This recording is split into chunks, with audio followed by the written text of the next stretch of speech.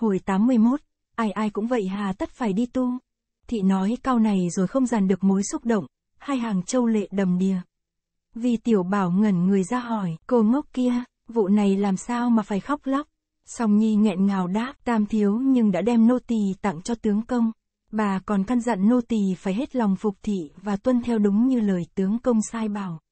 Nhưng, nhưng tướng công, làm quan lớn tại triều, bà má cùng ba vị ca ca của nô tỳ đều bị bọn quan áp ôn giết chết. Tướng công, tướng công, thị nói tới đây lớn tiếng khóc ròng, tuy vì tiểu bảo là con người cơ biến lại nhiều mưu trí mà lúc này cũng chân tay luống cuống. Gã vội nói, thôi được, thôi được, bây giờ ta không giấu giếm cô nữa, nói thật hết cho cô nghe. Ta làm quan là chuyện giả, ta chính là hương chủ ở thanh mộc đường trong thiên địa hội, theo chủ trương phản thanh phục minh. Cô có hiểu không, sư phụ ta là tổng đà chủ thiên địa hội, vụ này ta nói cho tam thiếu nhưng hay rồi. Thiên địa hội chúng ta chuyên phản đối triều đình mãn thanh. Sư phụ phái ta trà trộn vào làm quan ở Hoàng Cung là chuyện tuyệt đối bí mật. Nếu để người ngoài phát giác thì cái mạng ta đừng hòng sống sót. Song Nhi đưa tay trái lên bịt miệng vi tiểu bảo.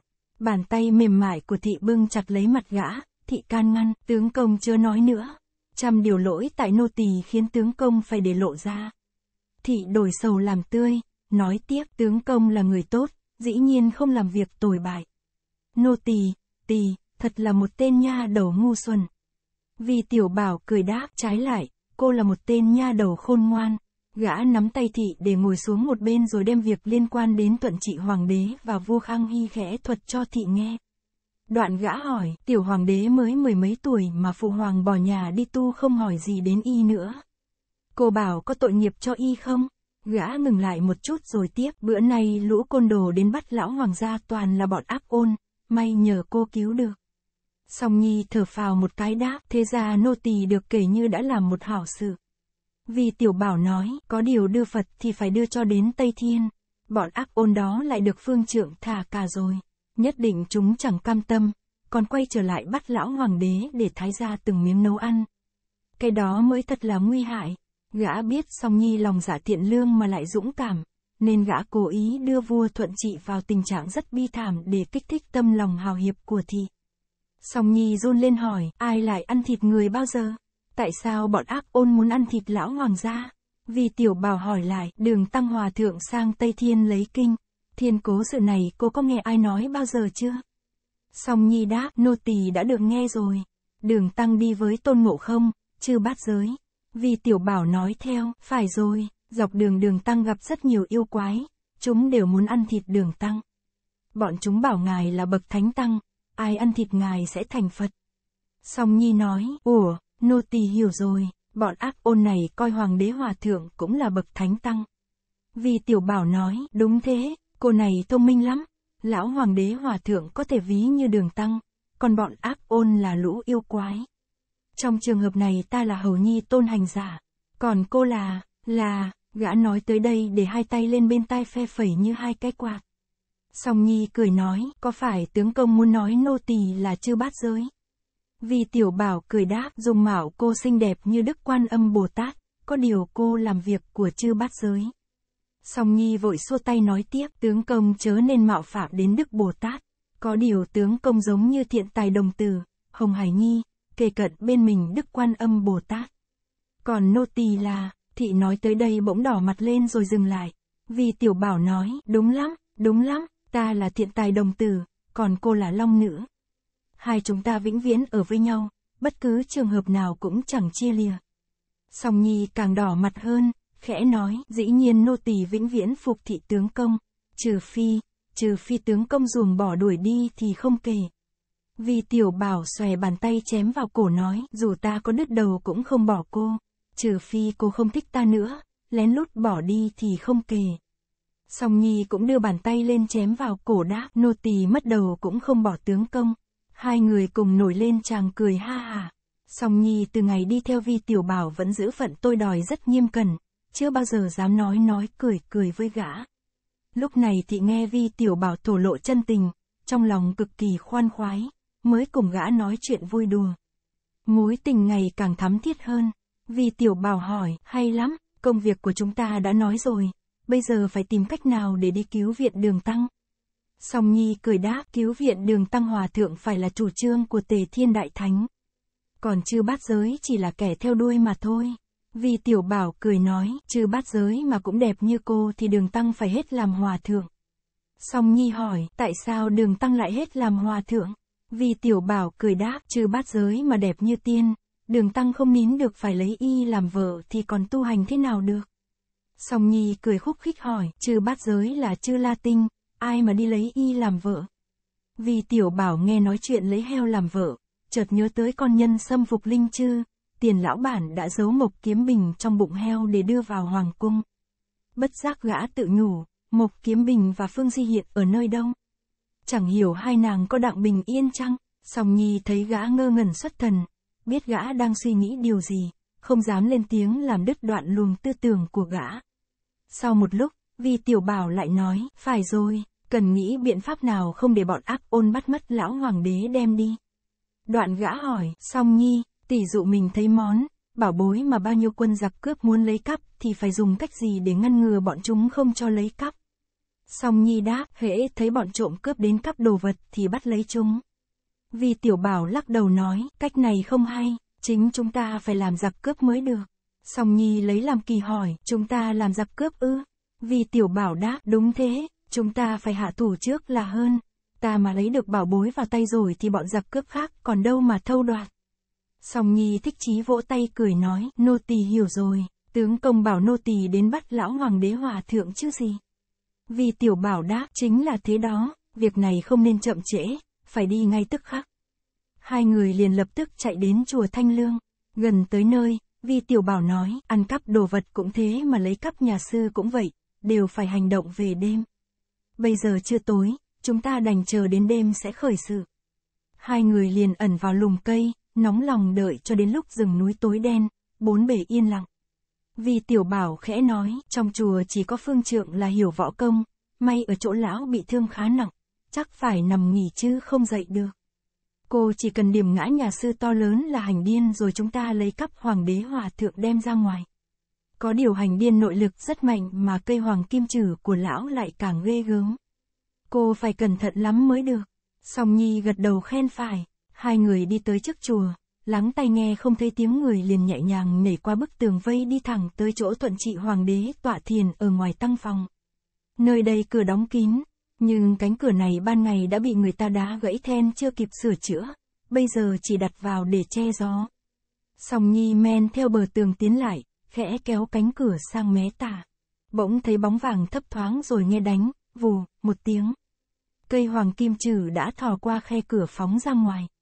Song Nhi chờ cho cây hoàng kino trừ hất lên liền nhảy vọt vào, phóng ngón tay điểm huyệt đạo trước ngực hành điên. Đồng thời thị khẽ nói, xin lỗi hòa thượng, đoạn thị giơ hai tay ôm lấy cây hoàng cừn trừ ở trong tay hành điên. Hành điên bị kiềm chế huyệt đạo, người lão từ từ té xuống, cây hoàng kim trừ nặng tới 200 cân, nếu song nhi không ôm lấy nó để đổ xuống tất làm lão gãy chân. Vì tiểu bảo lạ người nhảy vào theo, kéo cánh cửa gỗ đặt lại. Trong căn phòng nhỏ bé tối tăm, thấp thoáng có bóng người ngồi trên bồ đoàn. Vì tiểu bảo đoán chắc đây là tuận trị hoàng đế Pháp hiệu hành si, liền quỳ xuống đập đầu nói, nô tài là vi tiểu bảo, ban ngày đã cứu giá. Xin lão hoàng gia bất tất phải hoang mang. Hành si lẳng lặng không nói gì. Vì tiểu bảo lại tông, lão hoàng gia ở đây tu hành kể ra cũng hay lắm. Nhưng bên ngoài có rất nhiều gian tặc muốn bắt lão hoàng gia đưa đi. Hành động của chúng bất lợi cho lão hoàng gia, nên nô tài đến đây hộ giá và muốn thỉnh cầu hoàng gia tìm nơi khác yên ổn hơn để khỏi bị gian nhân chóc nã. Hành si vẫn không lên tiếng, vì tiểu bảo lại nói, xin mời lão hoàng gia cùng ra đi với nô tài. Gã chờ một lúc nữa, thấy người ngồi trên bồ đoàn vẫn không nhúc nhích. Gã ở trong bóng tối đã lâu, bây giờ nhìn rõ tư thế tọa thiền của hành si cũng giống hệt cách tọa thiền của Ngọc Lâm lúc ban ngày. Gã không hiểu có phải hành si đang nhập định thực sự hay là lão giả vờ không muốn nói năng gì với mình. Vì tiểu bảo chờ lúc nữa chẳng thấy động tĩnh gì lại nói, thân thế của lão hoàng gia bị tiết lộ mà trong chùa Thanh Lương lại không có người hộ giá. Địch nhân thì toán này chưa đi, toán khác đã đến. Lão hoàng gia còn ở đây tất bị chúng bắt chi bằng thay đổi địa phương khác thanh tĩnh hơn để tu hành cho khỏi phiền nhiễu. Hành si vẫn không trả lời. Hành điên bỗng lên tiếng, các người là hai đứa nhỏ rất tử tế. Ban ngày ta đã nhờ hai người cứu viện. Sư huynh ta đây đang nhập định về môn khô thiền không nói năng với ai. Các người định đưa y đi đâu? Thành âm lão cực lớn mà cố gắng hạ thấp xuống biến thành tiếng âm ứa, vì tiểu bảo đáp, tùy tiệm muốn đi đâu cũng được. Lệnh sư huynh thích đến chỗ nào thì bọn tại hạ đưa đến chỗ đó, miễn sao bọn ác ôn khỏi kiếm thấy y là được. Có thế thì hai vị mới đặng yên tĩnh tu hành niệm Phật. Hành điên nói, chúng ta không niệm Phật đâu. Vì tiểu bảo nói, được lắm, không niệm Phật thì thôi chứ sao. Song Nhi, người mau mau giải khai huyệt đạo cho đại sư. Song Nhi đưa tay nắn vào sau lưng cùng dưới nách hành điên mấy cái để giải khai huyệt đạo cho nhà sư. Hành điên quay về phía hành si kính cẩn nói, Bạch Sư Huynh, hai chú nhỏ này yêu cầu chúng ta tạm thời lánh đi. Hành si đáp, sư phụ đã bảo chúng ta không rời khỏi chùa Thanh Lương kia mà. Thanh âm hành si rất rõ ràng trong trèo. Bây giờ vi tiểu bảo mới nghe thấy y lên tiếng là lần đầu. Hành điên nói, nếu địch nhân lại kéo đến đông để tấn công thì hai chú nhỏ này không chống chọi được. Hành si đáp, mọi hoàn cảnh đều ở trong lòng mình mà ra. Còn bảo là nguy hiểm thì khắp nơi trong thiên hạ chẳng đâu là không nguy hiểm. Trong lòng mà yên tĩnh thì coi mọi việc trên thế gian đều phẳng lặng. Hành điên ngẩn người ra một lúc rồi nói, lời chỉ điểm của sư huynh rất đúng. Lão quay lại bảo vi tiểu bảo, sư huynh ta không chịu đi, các chú cũng nghe rõ rồi đó. Vi tiểu bảo trao mày hỏi, nếu địch nhân kéo đến bắt lệnh sư huynh rồi dùng đao chặt thành từng khúc một thì làm thế nào? Hành điên đáp, người đời chẳng ai tránh khỏi cái chết. Sống thêm mấy năm hay chết trước mấy năm thì có khác gì nhau? Vi tiểu bảo hỏi, sao lại bảo không khác nhau? Người chết với người sống chẳng khác gì nhau. Đàn ông giàn bà cũng giống nhau. Nhà sư với con rùa, con heo, cũng chẳng có gì phân biệt hay sao? Hành điên đáp, chúng sinh bình đẳng nguyên là thế đó. Vì tiểu bảo bụng bảo dạ, không trách một vị pháp hiệu hành si, một vị pháp hiệu hành điên. Quả nhiên bọn si ngốc điên khùng, không thể bức bách họ đi được rồi. Nếu điểm huyệt hoàng đế hòa thượng để sách đi thì phạm tội đại bất kính và tất bị người ta trông thấy. Trong lúc nhất thời gã đành chịu bó tay không biết làm thế nào. Gã nổi cơn tức giận lớn tiếng hỏi, cái gì cũng giống nhau chẳng có gì phân biệt, thì ra hiếu khang hoàng hậu cũng vậy. Đoàn kính hoàng hậu cũng thế, hà tất phải đi tu làm chi? Hành si đột nhiên đứng dậy cất tiếng run run hỏi, ngươi, ngươi bảo sao? Vì tiểu bảo vừa thốt lời ra khỏi cửa miệng, trong lòng hối hận quá quỳ mọp xuống tông, kẻ nô tài nói nhăng nói càn. Xin lão hoàng gia đừng nổi lôi đình. Hành si hỏi, những việc ngày trước ta quên hết rồi. Sao ngươi còn dùng cách xưng hô như vậy? Đứng dậy đi, ta có điều muốn hỏi. Vì tiểu bảo, dạ, một tiếng rồi đứng lên, bụng bảo dạ, lão bị ta nói khích mà phải mở miệng tiếp chuyện. Xem chừng có cớ rồi đây. Hành si hỏi, câu chuyện hai vị hoàng hậu ngươi nghe được ở đâu? Vì tiểu bảo đáp, vụ này Hải Đại Phú đã nói với Hoàng Thái Hậu. Hành si hỏi dồn, ngươi quen biết Hải Đại Phú ư? Hiện giờ hắn làm sao? Vì tiểu bảo tông, Hải Đại Phú bị Hoàng Thái Hậu hạ sát rồi. Hành si kinh hoàng la lên một tiếng rồi hỏi, hắn chết rồi ư? Vì tiểu bảo đáp, Hoàng Thái Hậu dùng công phu, hóa cốt miên trường, giết chết lão. Hành si run lên hỏi, Hoàng Thái Hậu có biết, biết võ công ư? Sao ngươi hiểu rõ thế? Vì tiểu bảo đáp, chính mắt nô tài đã chứng kiến cuộc động thủ giữa Hải Đại Phú và Hoàng Thái Hậu ở cung Từ Ninh. Hành si hỏi, ngươi là hạng người nào? Vi tiểu bảo đáp, nô tài làm ngự tiền thị vệ phó tổng quản trong hoàng cung tên gọi vi tiểu bảo. Gã lại thêm vào một câu, đức đương kim tiểu hoàng đế đã thân hành phong cho nô tài và giao ngự chát đem lên đây. Gã lấy tờ ngự chát của vua Khang Hy trình lên. Hành si ngẩn người ra một lúc, vẫn không đón lấy tờ ngự chát. Hành điên nói, trong này không có đèn lửa. Hành si thở dài nói, tiểu hoàng đế vẫn bình yên chứ. Y, y làm hoàng đế có vui vẻ không? Vì tiểu bảo đáp, tiểu hoàng đế được tin lão hoàng gia vẫn khang kiện, ngài hận mình chẳng thể chắp cánh bay lên ngũ đài sơn. Ngài ở trong cung lúc khóc, lúc la, khi thương khi mừng. Ngài bảo thế nào cũng lên đây. Sau ngài sợ lỡ việc quốc gia đại sự mới sai nô tài đi trước vấn an lão hoàng gia. Nô tài về kinh phúc trình rồi, tiểu hoàng đế sẽ thân hành lên đây.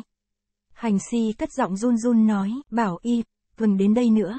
Y nghĩ đến triều chính đại sự trước, đúng là một vị hoàng đế rất hay, chứ không giống ta. Hành si nói tới đây thanh âm trở nên nghẹn ngào. Trong bóng tối nghe rõ tiếng châu lệ rơi tí tách xuống vạt áo. Song Nhi thấy lão hoàng gia nghĩ tới tình thân phụ tử không định được mà phải xa lệ. Lòng thị cũng xe lại, bất giác dòng châu lã trã khôn cầm, vì tiểu bảo bụng bảo dạ đã gặp thời cơ cần phải chụp lấy. Hiện giờ lão hoàng gia đang kích động tâm tình là lúc tốt nhất để thuyết phục lão gia. Gã nghĩ vậy liền nói, Hải Đại Phú đã điều tra được rõ ràng, Hoàng Thái Hậu ra hại Vinh Thân Vương, rồi giết chết đoan kính Hoàng Hậu, sau đến bà em của đoan kính Hoàng Hậu là Trịnh Phi. Hoàng Thái Hậu thấy chuyện bí mật bị bại lộ nên ngài ra tay đánh chết Hải Đại Phú, lại phái số đông cao thủ lên ngũ đài sơn mưu hại lão hoàng gia. Hành si thở dài đáp, người nói có điều quá đáng. Đoàn kính hoàng hậu hiển nhiên bị bệnh mà thác sao lại bảo hiếu khang gia hại. Vì tiểu bảo đáp, con người bất cứ bị bạo bệnh gì mà thác cũng là sự thường, nhưng chẳng thể vì mắc bệnh mà bao nhiêu xương cốt trong người đều bị gãy nát. Hành si nhớ tới mấy bữa trước ngày lâm tử của đồng ngạc phi, cả đến ngón tay út của bà cũng không cử động được. Lão gia ôm bà vào lòng thấy toàn thân mềm xèo như người không xương, lại tưởng vì bà bị trọng bệnh, thân thể suy nhược không còn chút khí lực nào mà diễn ra hiện tượng đó. Bây giờ nghe Vi Tiểu Bảo nhắc tới, nghĩ lại việc trước, bất giác mồ hôi chán toát ra nhỏ giọt. Miệng ngập ngừng nói, quả nhiên, quả nhiên có điều khác lạ. Đêm hôm trước Hải Đại Phú cùng Thái Hậu đối đáp nhau những chuyện gì bây giờ Vi Tiểu Bảo nhất nhất thuật lại hết cho hành si nghe. Tuy gã mau miệng thuật rất nhanh, nhưng nói rành mạch đâu ra đấy, hành si chú ý lắng tai nghe không sót một chi tiết. Hành si vốn là người trí tình, chỉ vì tha thiết yêu đồng ngạc phi mà sau khi bà qua đời, cả đến ngôi hoàng đế cũng không thiết. Lão gia cam tâm bỏ ngôi vạn thẳng trí tôn, ra mình vào phòng kín, không ngó đến chuyện đời nữa. Tuy hành si đã tham thiền mấy năm mà bóng dáng đồng ngạc phi vẫn còn in sâu vào tâm khảm, không tài nào xóa nhòa được. Nay ngài nghe vi tiểu bảo nhắc tới bà thì bao nhiêu Phật Pháp, thiền lý trong chớp mắt ngài đều quên hết. Những câu đối đáp giữa Hải Đại Phú và Hoàng Thái Hậu đưa vào gan ruột, mối bi thương phẫn nộ thi nhau ùn lên, khiến trước ngực ngài cơ hồ hơi thở không thông tưởng chừng sắp nổ tung. Vì tiểu bảo lại nói, Hoàng Thái Hậu định đã lỡ thì cho lỡ luôn, chứ chẳng chịu dừng tay. Bà quyết chí ra hại lão hoàng gia xong rồi sẽ tìm cách trừ diệt tiểu hoàng đế. Bà còn tính đến việc khai quật phần mộ đoan kính hoàng hậu và ban chiếu xuống thiên hạ phải thiêu hủy pho, đoan kính hoàng hậu ngữ lục. Bà bảo những thuyết trong ngữ lục này toàn là láo khuếch và di hại cho muôn dân. Nếu nhà nào toa tàng một cuốn thì cả nhà bị chu lục. Mấy câu sau vi tiểu bảo bịa ra, nhưng chính nó lại làm cho hành si bị đụng chạm vào vết thương lòng rất nhiều. Ngài nổi giận đùng đùng, vung tay vỗ đùi đánh, đét, một cái, lớn tiếng quát, con tiện nhân này đáng ta, phế bỏ từ sớm rồi, chỉ vì ta trần chờ không quyết đoán mà gây nên đại họa.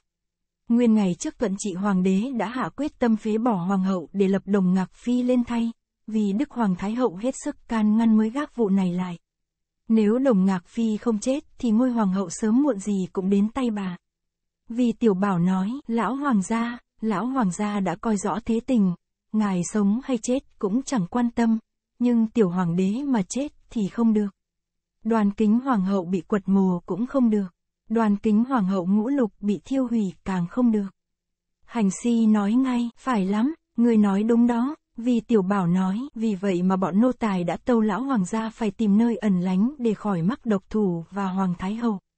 Thủ đoạn của hoàng thái hậu bước đầu tiên là hạ sát hoàng gia.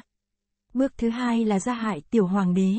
Bước thứ ba mới đến là quật mồ và thiêu hủy ngũ lục. Bước đầu bà không thành công thì bước thứ hai, thứ ba không dám hạ thủ. Hành si vốn là người tính tình rất nóng nảy, còn bàn về đầu óc minh mẫn thì vua Khang Hy tuy nhỏ tuổi nhưng lại cao thâm hơn phụ thân gấp 10. Chả thế mà bọn người trong Ngọc Vương phủ bày mưu giá họa cho Ngô Tam Quế. Ông vua nhỏ lập tức khám phá ra ngụy kế. Vì tiểu bảo phần kể chuyện thật, phần bịa thêm ra mà hành si đều tin là sự thật hết. Có điều bước thứ ba của Hoàng Thái Hậu về quật mồ đốt sách tuy vi tiểu bảo bịa ra, nhưng cũng không phải là điều vu khống hoàn toàn để hãm hại Hoàng Thái Hậu. Nếu Hoàng Thái Hậu biết mình ở vào hoàn cảnh nguy ngập thì bất cứ việc đại nghịch vô đạo nào bà cũng không từ. Việc quật mồ đốt ngũ lục đối với một phụ nhân thâm độc là chuyện rất thông thường. Tuy bà chưa nói ra miệng, biết đâu bụng bà chẳng có ý như vậy. Hành si lại lớn tiếng, may mà ngươi biết rõ vụ bí mật này đến cho ta hay, không thì hư cả việc lớn nhà nước. Lão gia quay sang bảo hành điên, sư đệ, chúng ta ra đi, hành điên đáp, xin tuân lời sư huynh. Tay mặt y cầm cây kim trừ giơ lên, tay trái kéo cánh cửa gỗ mở ra. Cửa vừa mở, đã thấy một nhà sư đứng đó. Hành điên chưa nhìn rõ mặt, lớn tiếng quát hỏi, ai, y vung kim trừ lên toan đập xuống, bỗng nghe nhà sư kia hỏi, các người định đi đâu? Hành điên giật mình kinh hãi, bỏ kim trừ xuống, chắp tay hô, sư phụ, nguyên nhà sư này chính là Ngọc Lâm. Lão thủng thẳng nói, các người nói chuyện với nhau những gì ta nghe hết rồi. Vì tiểu bảo la thầm trong bụng, còn mẹ nó, công việc của mình xong đến nơi, không chừng lại bị lão này đến phá đám. Hồi 82, rời chùa Linh Cảnh gặp đầu đà. Ngọc Lâm chậm rãi nói, những mối oan nghiệt trên thế gian phải tìm đường hóa giải chứ mong trốn tránh thì không được đâu. Đã có nhân kia là sinh quả nọ, nhân quả xưa nay là thế thế. Nghiệt đã theo mình, suốt đời mang lấy. Hành si lại phục xuống đất nói, lời giáo huấn của sư phụ thật là đúng lắm. Đệ tử hiểu rõ rồi. Ngọc Lâm nói, ta e rằng câu chuyện không phải dễ dàng như vậy. Người đã có vợ con từ trước, họ muốn tìm kiếm thì để họ tới đây. Đức Phật từ bi phổ độ chúng sinh, họ oán hận ngươi, muốn giết ngươi cho được mới cam lòng thì ngươi sửa mình tu tình. Họ muốn giết ngươi thì phải có nhân, ngươi trốn tránh họ thì cái nhân đó vẫn còn.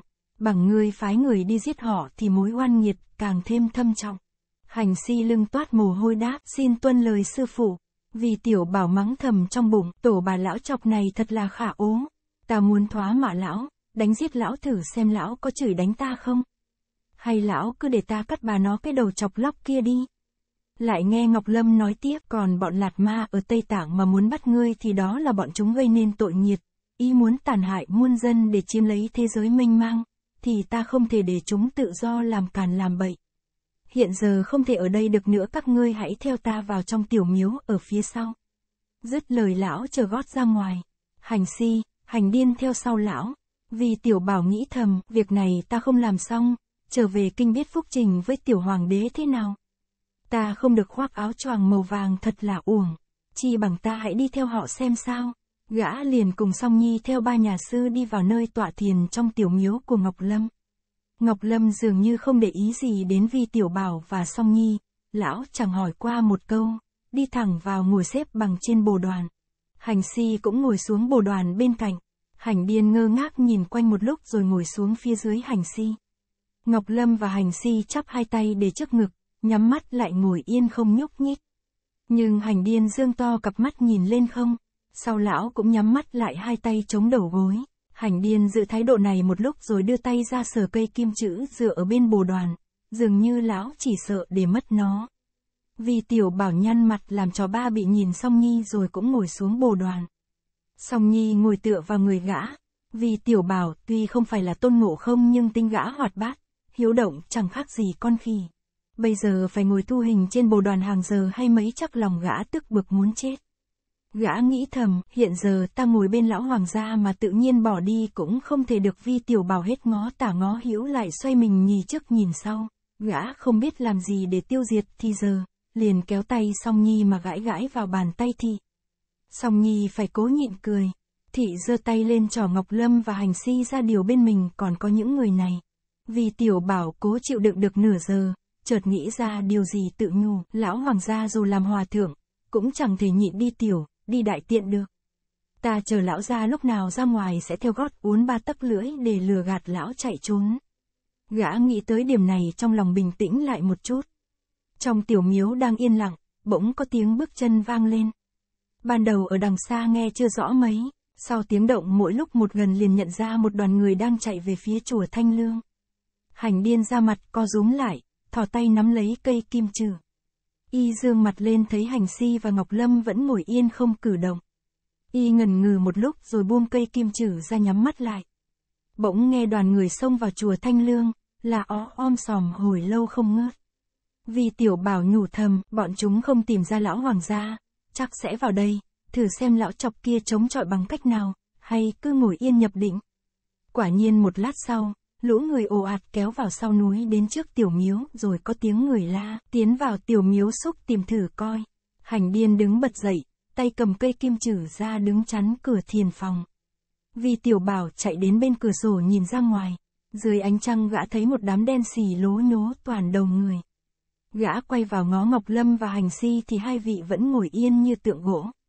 Song Nhi khẽ hỏi, làm thế nào bây giờ? Vì tiểu bảo khẽ đáp, chờ lát nữa họ xông vào đây thì chúng ta cứu lão hoàng gia chạy ra cửa sau. Gã dừng lại một chút rồi dặn, nếu dọc đường phải tan đường lạc nhau thì cứ về chùa Linh Cảnh chờ đợi.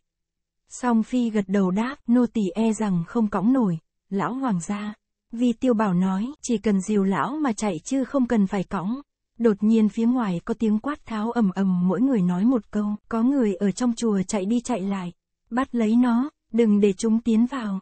Tổ mẹ con cừu non, bắt lấy nó, bóng người thấp thoáng, hai nhân vật tiến vào trong chùa lướt qua bên mình hành điên nhìn về phía Ngọc Lâm chắp tay khom lưng thi lễ rồi ngồi xếp bằng xuống đất. Hai nhân vật này là hai nhà sư mình mặc áo sáng. Cửa thiền phòng vố chật hẹp mà thân thể hành điên lại to lớn đứng choán gần hết. Bên mình hành điên không còn kẽ hở, vậy mà nhà sư lướt qua rất khéo tiến vào thiền đường, dường như không đụng đến vạt áo của lão.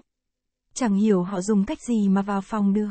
Lúc này bên ngoài vẫn có tiếng người hô hoán om sòm, mỗi người nói một câu, có người đến đó, ngăn chặn lấy hắn, bắt lấy nó, lại nghe thấy những tiếng huỳnh huỵch vang lên.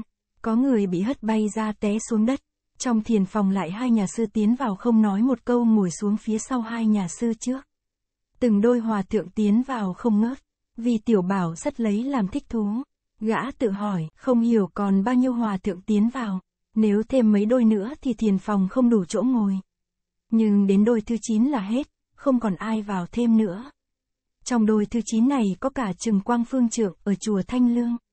Vì tiểu bảo vừa lấy làm kỳ, lại vừa vững dạ tự nhủ, thêm 17 nhà sư này mà võ công không kém Trừng Quang Phương Trượng thì bọn địch nhân nhiều đến đâu cũng không sợ nữa. Địch nhân bên ngoài vẫn tiếp tục kêu réo cực kỳ huyên náo, nhưng chẳng một ai dám xông vào. Sau một lúc có tiếng lão già gióng giạc hỏi, chùa Thiếu Lâm đã vì chùa Thanh Lương mà ra mặt, phải chăng họ muốn gánh lấy trách nhiệm này? Mọi người trong thiền phòng đều không trả lời. Lát sau lão già kia lại tuyên bố, hay lắm, bữa nay vì nể mặt thập bát la hán chùa Thiếu Lâm, chúng ta tạm gác vụ này. Anh em rút lui thôi. Tiếng hô hoán bên ngoài kẻ gọi người đáp vang lên một hồi rồi bỏ đi hết. Vì tiểu bảo ngắm nghía 18 nhà sư. Người già đến bảy tám chục tuổi người trẻ mới vào chạc 20. Cao có, thấp có đẹp có xấu có. Trong áo tăng bào đều phình ra tựa hồ đem theo binh khí. Gã nghĩ bụng, bọn họ thập bát la hán chùa thiếu lâm, thì ra trừng quang phương trượng cũng là một vị la hán. Lão chọc Ngọc Lâm không sợ hãi gì, té ra lão đã ước hẹn những tay trợ thủ ghê gớm đến bảo giá. Bọn sư sãi này ở đây tỏa thiền nhập định không biết đến bao giờ cho xong. Lão gia không thể ngồi đây mãi được. Gã đứng lên đi lại trước mặt hánh si. Quỳ xuống nói, đại hòa thượng, đã có tập bát la hán chùa thiếu lâm đến hộ giá thì đại hòa thượng yên như bàn thạch rồi. Nô tài xin trở về Bắc Kinh. Lão nhân gia có điều chi dặn bảo chăng? Hành si mở bừng mắt ra tủm tìm cười đáp, ngươi phải một phen tân khổ. Ngươi về bảo chủ đừng lên ngũ đài sơn quấy nhiễu cuộc thanh tu của ta. Dù y có lên ta cũng nhất định không cho gặp mặt. Người dặn y muốn cho thiên hạ Thái Bình phải nhờ bốn chữ, vĩnh bất gia phước, vĩnh viễn đừng tăng thuế khóa. Nếu làm được bốn chữ này là có lòng thảo với ta lắm, đủ khiến cho ta được hoan hỉ. Vì tiểu bảo đáp, nô tài xin tuân lời đại hòa thượng. Hành si thò tay vào bọc lấy ra một cái bao nhỏ nói, đây là một pho kinh sách, ngươi đem về giao cho chủ và bảo y. Việc thiên hạ nên thuận theo lẽ tự nhiên, đừng có miễn cưỡng. Nếu tạo được phúc cho lê dân bá tánh ở Trung Nguyên càng hay lắm. Trường hợp mà trăm họ trong thiên hạ muốn chúng ta đi thì chúng ta ở đâu đến lại trở về chỗ đó. Hành si nói rồi khẽ vỗ vào cái bao nhỏ. Vì tiểu bảo chợt nhớ câu nói của Đào Hồng Anh. Gã tự hỏi, phải chăng đây cũng lại là một pho tứ thập nhị trương kinh? Rồi gã tự nhủ, Đào cô cô đã nói, bọn người mãn châu lúc tiến vào cửa quan đánh thiên hạ vẫn lo người họ ít người Hán nhiều hơn gấp trăm chưa chắc đã chiếm dược Giang Sơn nhà Hán lâu dài. Nếu bị người Hán đuổi ra ngoài quan ải thì trong tám pho kinh sách này đã có địa đồ cất giấu bảo vật nhờ đó mà tìm ra được. Thế rồi cứ ở ngoài quan ải sinh sống một cách bình yên. Gã thấy hành si cầm bao đưa cho liền giơ hai tay ra đón lấy. Hành si ngẫm nghĩ một lúc rồi nói, thôi ngươi đi đi, vì tiểu bảo đáp, xin vâng, gã cúi dạp xuống dập đầu lại. Hành si nói, bần tăng không dám xin thí chủ đứng dậy. Vì tiểu bảo đứng lên đi về phía cửa phòng. Đột nhiên gã động tính trẻ nít, quay lại nhìn Ngọc Lâm hỏi, bạch lão hòa thượng, lão nhân gia ngồi lâu như vậy mà không mắc đi tiểu ư. Ngọc Lâm lờ đi như không nghe tiếng vi tiểu bảo miệng, cười hi hi khoa chân bước qua ngưỡng cửa. Hành si lại dặn theo, ngươi về nói với chủ, dù mẫu thân y có điều lầm lỏi thì cũng là mẫu thân. Y không được vô lễ và nhất là không được đem lòng oán hận. Vì tiểu bảo đáp lại bằng một tiếng dạ. Nhưng gã tự nhủ, ta dại gì mà truyền câu này của lão đến tai tiểu hoàng đế. Vì tiểu bảo về đến chùa Linh Cảnh, đóng cửa phòng lại mở bao ra coi thì quả nhiên bên trong có bộ tứ thập nhị chương kinh nhưng pho này bìa bọc bằng vải vàng. Gã nghiền ngẫm những lời dặn cửa hành si thấy có những chi tiết phù hợp với những lời của Đào Hồng Anh. Gã lẩm bẩm, hành si bảo, nếu trăm họ trong thiên hạ đều muốn chúng ta đi thì khi trước ta ở đâu đến lại trở về chỗ cũ. Người Mãn Châu từ người quan ải vào Trung Nguyên nếu họ trở về chỗ cũ tức là về bên kia quan ải.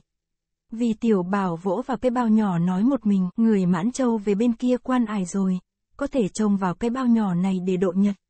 Gã liền tự hỏi, lão hoàng gia sai ta đưa cái bao này cho tiểu huyền tử. Vậy ta có giao cho y không? Trong tay ta đã có sẵn 6 bộ tứ thập nhị chương kinh, nay thêm bộ này nữa là 7. Tổng số 8 bộ, ta chỉ còn thiếu một. Nếu ta giao bộ này thì e rằng mình còn 6 bộ kia cũng bằng vô dụng. Gã nghĩ tiếp, theo lời lão hoàng gia thì dù tiểu huyền tử có lên ngũ dài sơn lão cũng không cho thấy mặt. Như vậy chẳng khác gì lão giã chết rồi còn tìm đâu ra đối chứng. Đây là đồ biếu người ta đưa đến tận nhà, nếu mình không nuốt trôi thì có tội với tổ tiên nhà họ vi. Nhưng gã nghĩ tới tiểu hoàng đế hết lòng tin cậy mình mà nuốt pho kinh này thì lỗi đạo bằng hiểu. Trong lòng gã không khỏi áy náy, sau gã tự an ủi, ta mà không sai xong nhi cứu thoát lão hoàng gia thì lão bị bọn lạt ma ở Tây Tạng bắt đem đi rồi và dĩ nhiên pho kinh này bị chúng đoạt mất. Như vậy phòng có khác gì ta cướp lại kinh sách từ tay bọn lạt ma, ta chẳng có gì đáng thẹn với tiểu huyền tử. Nói một cách khác lão hoàng gia cảm ơn cứu mạng tặng ta pho sách cũng chưa xứng đáng. Mạng người dĩ nhiên còn quý trọng gấp trăm lần pho sách. Lão hoàng gia có tặng ta pho sách bất quá mới trả được một phần trăm món nợ của lão, tức là còn thiếu 99 lần chưa trả. Sau này ta sẽ tìm cách đòi cho hết nợ, vì tiểu bảo nghĩ tới đây cho là chi lý và yên tâm lại không còn điều chi phải hối hận. Sáng sớm hôm sau Vi Tiểu Bảo cùng Song Phi và bọn vu bát xuống núi. Chuyến này gã lên ngũ Đài Sơn được gặp mặt lão hoàng gia là không phụ lời ủy thác của vua Khang Hy. Dọc đường gã còn được à nha đầu song nhi vừa xinh đẹp vừa võ công cao cường, trong lòng gã rất lấy làm hứng thú. Đoàn người rời khỏi chùa Linh Cảnh chừng hơn 10 dặm ở trên đường núi có một vị đầu đà ở phía trước đi tới. Lão đầu đà này thân hình cao nghẽo cao nghiều. Lão chẳng kém, mãng, hòa thượng hành điên, nhưng lão khác hành điên ở chỗ là gầy khẳng gầy kheo. Con người trừng quang hòa thượng đã gầy phơi xương mà lão đầu đà nay chỉ bằng nửa người trừng quang. Mặt lão chỉ còn là túm da bọc xương, hai mắt sâu hoắm, coi như xác chết. E rằng bốn tên đầu đà như thế này chập vào là một mới bằng hành điên. Đầu đà mặc áo bào vải rộng thùng thình coi chẳng khác áo treo trên mắt. Vì tiểu bảo thấy hình thù đầu đà như vậy cũng có ý khiếp sợ không dám nhìn lâu ngoảnh mặt ra hướng khác, và tránh sang bên đường để nhường lối cho lão ta đi. Ngờ đâu vị đầu đà tới trước mặt vi tiểu bảo liền dừng bước lại hỏi, phải chăng người từ chùa Thanh Lương về đây? Vì tiểu bảo đáp, không phải, bọn tai hạ từ chùa Linh Cảnh tới. Đầu đà vươn tay trái nắm lấy vai bên trái vi tiểu bảo và xoay người gã lại nhìn thẳng vào mặt hỏi, phải chăng chính ngươi là tiểu thái giám tiểu quế tử ở Hoàng Cung? Bàn tay lão ấn vào vai vi tiểu bảo một cái, toàn thân gã liền nhũn ra không nhúc nhích được. Gã vội đáp, hòa thượng nói nhăng nói càn, thử coi lại xem tại hạ có phải là thái giám không? Xin nói cho hòa thượng hay tại hạ là vi công tử ở đầu xương chậu. Song Nhi thấy vi tiểu bảo bị đầu đà kiềm chế liền quát hỏi, sao lão lại dám vô lễ với công tử nhà ta? Mau buông ngay ra, đầu đà lại vươn tay mặt chụp đầu vai Song Nhi nói, ta nghe thanh âm ngươi cũng hiển nhiên là một tên tiểu thái giám. Song Nhi hạ thấp vai xuống thành ra lão chụp phải khoảng không? Thị vung ngón tay điểm vào huyệt thiên khê lão đánh, bịch, một tiếng. Thị đã điểm trúng, nhưng ngón tay tựa hồ như đụng vào thanh sắt. Đầu ngón tay đau nhói lên suýt nữa bị gầy, Thị không nhịn được, ối, lên một tiếng. Tiếp theo đầu vai đau ê ẩm vì bị bàn tay lớn bằng cái quạt lá bồ của đầu đà nắm giữ. Đầu đà bật lên ba tiếng cười khanh khách nói, tên tiểu thái giám này võ công khá lắm, thạc là lợi hại, song nhi vung chân trái đá, bốp, một cái vào đùi đầu đà, nhưng chẳng khác gì đá vào khối đá lớn. Thị kêu rú lên, úi theo, thị đau quá nước mắt chảy ra. Đầu đà lại nói, tiểu thái giám võ công hay quá, thật là lợi hại, song nhi la ầm lên, ta không phải là tiểu thái giám, người mới là tiểu thái giám. Trời ơi, đầu đà cười hỏi, người thử nhìn lại ta xem có giống tiểu thái giám không? Song nhi thét lanh lảnh, buông tay mau, người mà không buông thì ta thoá mạ ngươi đó. Đầu đà nói, người điểm huyệt lại còn đá vào bắp đùi ta còn không sợ, chẳng lẽ lại sợ người thoá mạ? Võ công ngươi cao cường như vậy đúng là ở hoàng cung phái đi. Ta phải sục tìm mới được. Song Nhi cũng nói, võ công lão còn cao thâm hơn tay vậy lão càng đúng là người hoàng cung phái đi. Đầu đà nói, tên tiểu thái giám này nói quanh nói quần chẳng ra làm sao cả. Ta phải đem đi mở cuộc điều tra. Rồi lão không chờ đối phương trả lời. Tay trái sách vi tiểu bảo, tay mặt sách song nhi chạy như bay lên núi. Vì tiểu bảo và song nhi la ó, kêu gào mà lão đầu đà cũng không lý gì đến để mặc hai người kêu la dãy rua. Đầu đà hai tay sách hai người nhẹ nhàng như không có gì, chân bước rất mau. Bọn vô cát thấy tình trạng này vừa ngạc nhiên vừa kinh hãi, chúng chỉ trợn mắt há miệng chứ không dám lên tiếng. Đầu đà men theo đường núi chạy chừng được mấy trượng rồi đột nhiên nhằm chỗ triền núi không có đường mà sông thẳng lên. Lão di giữa khoảng núi non trùng điệp mà chẳng khác gì chạy trên đất bằng. Vì tiểu bảo chỉ thấy hai bên tay gió thổi vù vù tựa hồ đang đằng vân giá vũ. Gã tự hỏi, tên đầu đà này ghê gớm như vậy, phải chăng hắn là sơn thần hay quỷ quái? Đầu đà chạy hồi lâu rồi đặt hai người xuống đất. Lão trỏ tay lên cao hăm dọa, nếu ngươi không nói thật thì ta xách cả hai lên đỉnh núi kia rồi liệng xuống. Vì tiểu bảo nhìn theo ngón tay trỏ của đầu đà thì thấy ngọn núi này cao ngất. Đỉnh núi biến vào đám mây mù mờ mịt.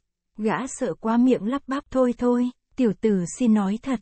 Đại sư phụ ơi, nàng, nàng là, của tiểu tử đầu đà hỏi, y là thế nào với ngươi? Vì tiểu bảo ngập ngừng đáp, nàng là, vợ của tiểu tử. Gã vừa dứt lời, đầu đà cùng song nhi đều giật mình kinh hãi. Song nhi mặt đỏ bừng lên, dầu đà lấy làm kỳ hỏi, sao, y là vợ ngươi? Vì tiểu bảo đáp, tiểu tử không dám giấu giếm đại sư phụ. Tiểu tử là một công tử con nhà giàu ở thành Bắc Kinh thấy tiểu thư đây nhà ở kề bên xinh đẹp, rồi bọn tiểu tử tư tình ra hậu hoa viên chỉ non thề biển, ước hẹn việc chung thân. Ra ra nàng không bằng lòng tiểu tử liền đưa nàng trốn đi. Giải sư phụ coi lại mà coi, nàng là một vị cô nương chứ không phải là tiểu thái giám. Bảo nàng là tiểu thái giám thì oan quá, đại sư phụ không tin cứ lật mũ nàng lên coi sẽ rõ. Đầu đà lột mũ song nhi lộ ra mớ tóc mây xinh đẹp. Thời bấy giờ hết thấy đàn ông trong thiên hạ, chỉ trừ sư sãi, đạo sĩ, đầu đà là cạo chọc còn thì cạo nửa sau. Mái tóc song nhi thật dài xả xuống hai vai. Vậy đúng là gái không sai nữa.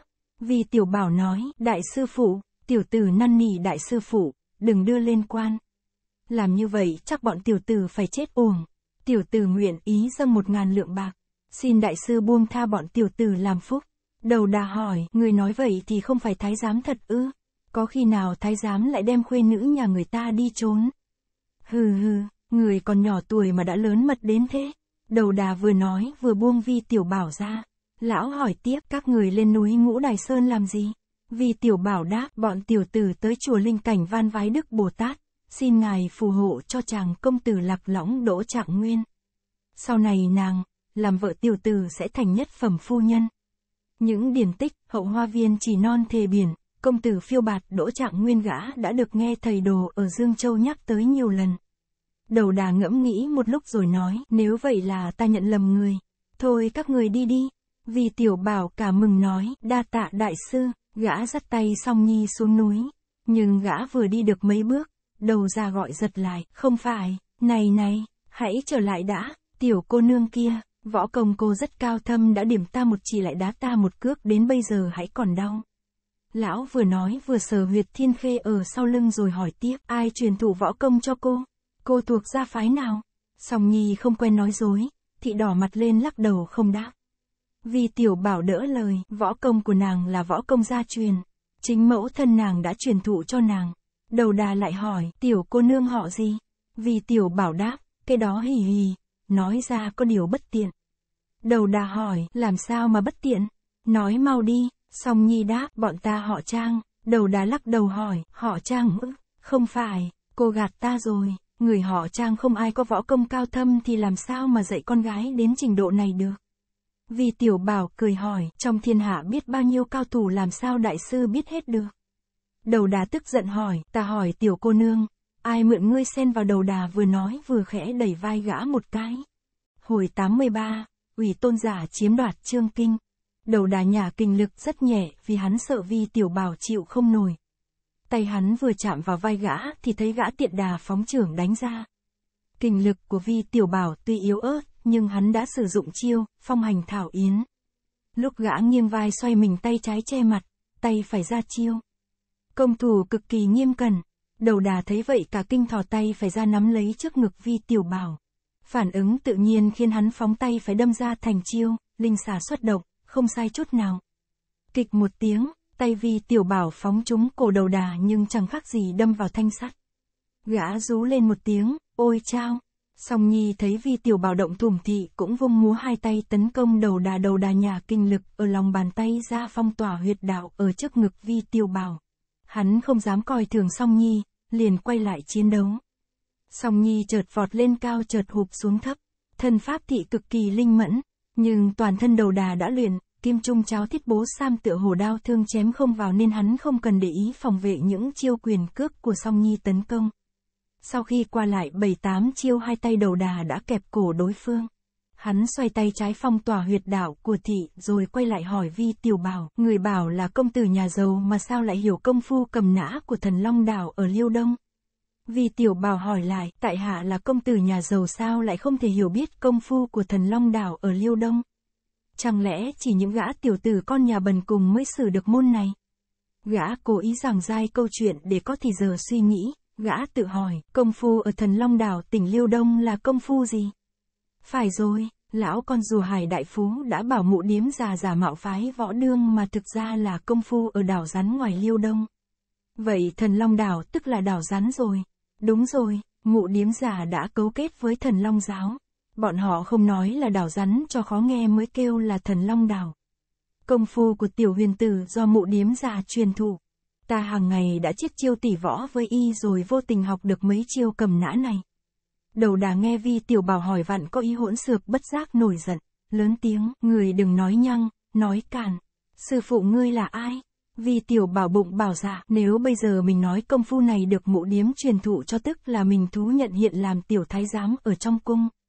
Trong lòng xoay chuyển ý nghĩ rất nhanh, miệng gã đáp, tại hạ được một người bạn thân của thúc thúc truyền thụ võ công. Nhân vật đó là một vị cô nương béo mập tên gọi là Liễu Yến. Đầu đà lấy làm kỳ hỏi, liệu Yến cô nương là bạn thân với thúc thúc ngươi ư? Thúc thúc ngươi là ai? Vi tiểu bảo đáp, tệ thúc thúc là Vi đại bảo, một vị công tử nổi tiếng ăn chơi tại thành Bắc Kinh, vung tiền như rác, xài từ ngàn lượng trở lên. Gã ngừng lại một chút rồi tiếp, tướng mạo tệ thúc thúc bảnh trai như một nghệ sĩ trên sân khấu. Cô nương béo mập khi mới ngó thấy lần đầu đã phải mê tơi. Thường thường cứ nửa đêm là cô lại lén đến nhà tại hạ. Lúc vào cũng như lúc ra, cô đều nhảy qua bức tường vây ở hậu hoa viên. Tại hạ quấn quýt với cô cô và đòi cô dạy võ công. Cô liền truyền thụ cho tại hạ mấy chiêu. Đầu đà nghe Vi Tiểu Bảo nói nửa tin nửa ngờ liền hỏi lại, thúc thúc ngươi có hiểu võ công không? Vi Tiểu Bảo cười ha hà đáp, y chẳng hiểu đếch gì hết, nên thường thường bị Liễu Yến cô cô tóm cổ sách đi sách lại không nhúc nhích được. Gã thấy đầu đà chú ý lắng tai nghe, liền kể tiếp, tệ thúc thúc bực mình thoá mạ, thế này là con túng cổ cha. Liễu Yến cô cô cười đáp, con túng cổ cha hay cháu túng cổ ông thì đã sao? Gã nói vòng vo tam quốc để chửi cạnh đầu đà. Đầu đà chẳng hiểu gì hết liền hỏi vặn hắn về tướng mạo liễu yến, cố ý điều tra xem hư thực thế nào. Vì tiểu bảo dĩ nhiên tả hình dạng liễu yến không sai một chút. Rồi gã hỏi, vị cô cô béo mập đó thích đi đôi giày thêu màu hồng. Đại sư phụ, tại hạ cả gan đoán là sư phụ đem lòng thương yêu liễu yến cô cô có đúng thế không?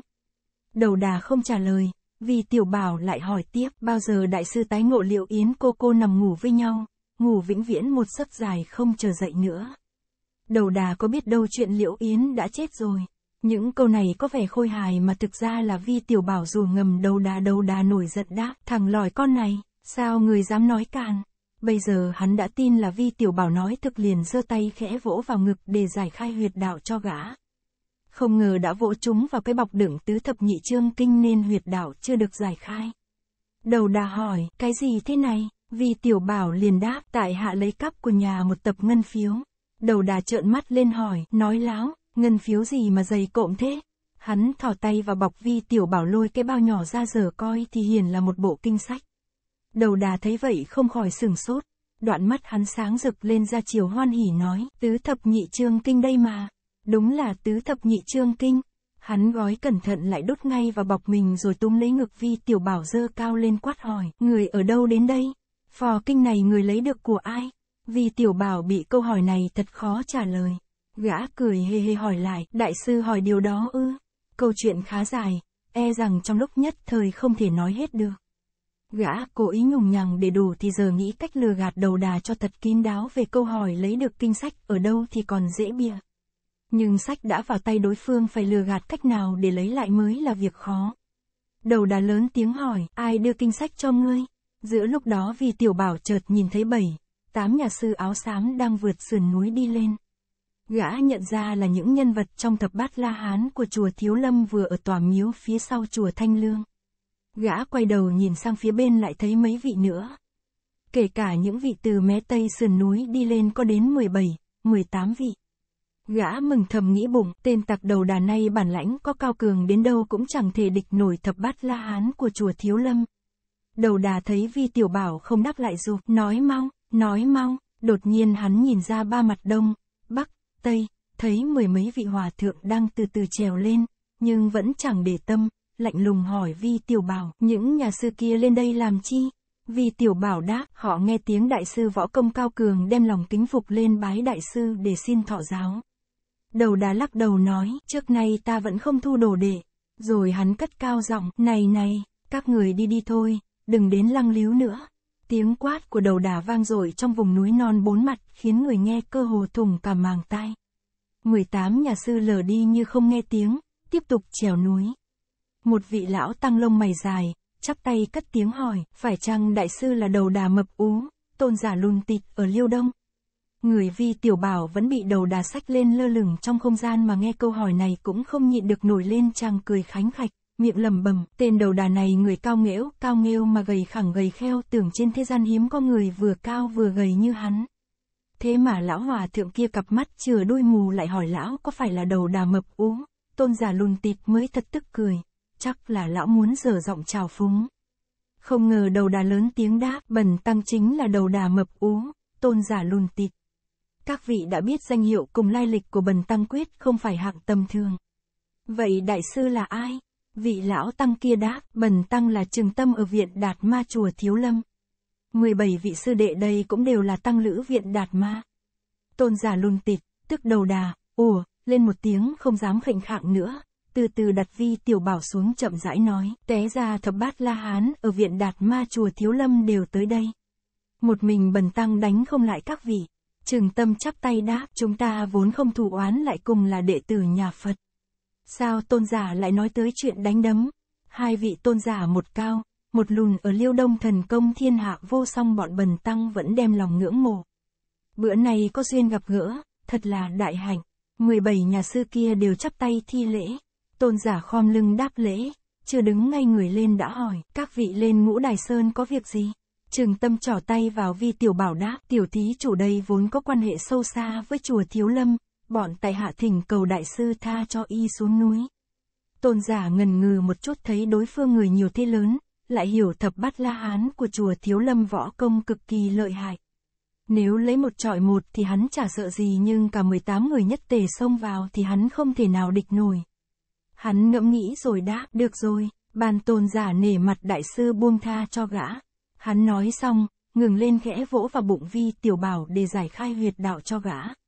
Vi tiểu bảo đứng dậy xòe tay mặt ra nói, bộ kinh sách đó là của ông bạn với thập bát La Hán đây giao cho tại hạ đưa đến, chùa Thiếu Lâm để chuyển tới tay phương trượng trụ trì tại chùa đó xin đại sư trả lại cho. Tôn giả tức giận hỏi, sao, phò kinh sách này liên can gì tới chùa Thiếu Lâm? Vì tiểu bảo lớn tiếng đáp, đại sư đoạt kinh của tại hạ. Đây là của lão hòa thượng giao tại hạ đem đến cho người ta chứ không phải chuyện tầm thường. Xin đại sư mau mau trả lại đi. Tôn giả sẵn giọng, người đừng nói nhăng nói càn. Hắn xoay mình nhằm sườn núi phía bắc chạy đi. Ba nhà sư chùa Thiếu Lâm vọt mình lại toan nắm lấy cánh tay tôn giả. Tôn giả không dám ham chiến với mọi người. Hắn né mình tránh chiêu cầm nã của ba nhà sư. Ai ngờ thân hình tôn giả cao nghêu mà hành động cực kỳ linh xào không thể tưởng tượng được. Ba nhà sư chùa Thiếu Lâm ra chiêu chảo đó là một môn võ tuyệt đỉnh của phái Thiếu Lâm mà không đụng được tới áo đối phương. Nhưng tôn giả vì phải tránh đòn thành ra chậm lại trong nháy mắt. Lại thêm bốn nhà sư chùa Thiếu Lâm ở phía sau đứng ra chẹn đường. Tám bàn tay giao nhau ngăn chặn lối đi khiến cho tôn giả phải dừng lại.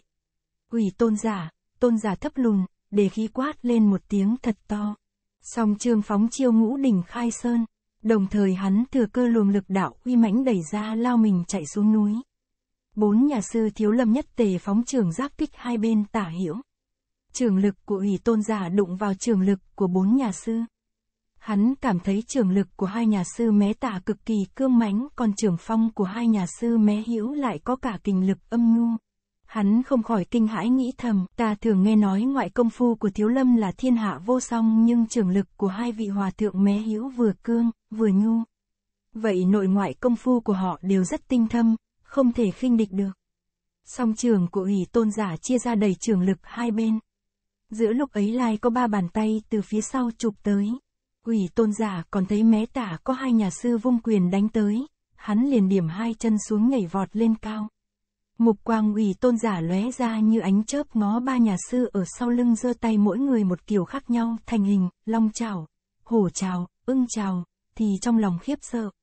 Hắn phất tay áo cho tụ phong xoáy lại như cơn gió lốc. Chân trái hắn vừa chấm đất, tay mặt đã túm được vi tiểu bảo dơ lên, hỏi, các vị muốn gã sống hay muốn gã chết? 18 nhà sư chùa Thiếu Lâm kẻ tiền người thoái kết thành hai vòng bao vây ủy tôn giả. Trừng Tâm nói, bộ kinh sách đó của tiểu thí chủ đây có quan hệ trọng đại. Xin đại sư trả lại cho để làm mối thiện duyên. Bọn bần tăng cảm kích vô cùng ủy tôn giả tay mặt nắm vi tiểu bảo dơ cao nữa lên tay trái đặt vào thiên linh cây gã. Hắn không trả lời trừng tâm rồi cứ thế chạy về hướng bắc.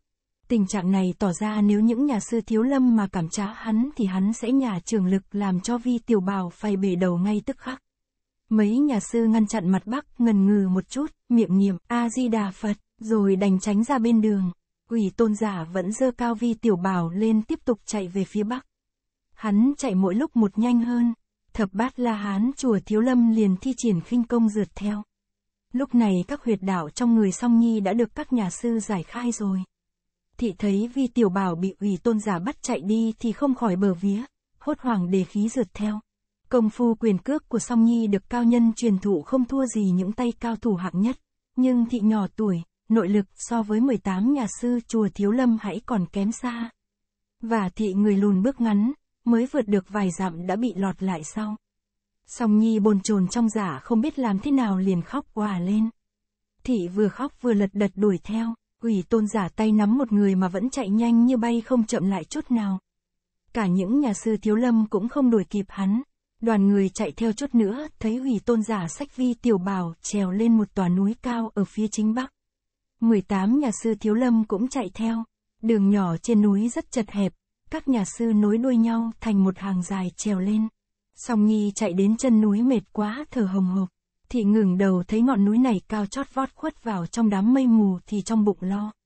Tên ác đầu đà bắt công tử đem lên đỉnh núi cao thế kia.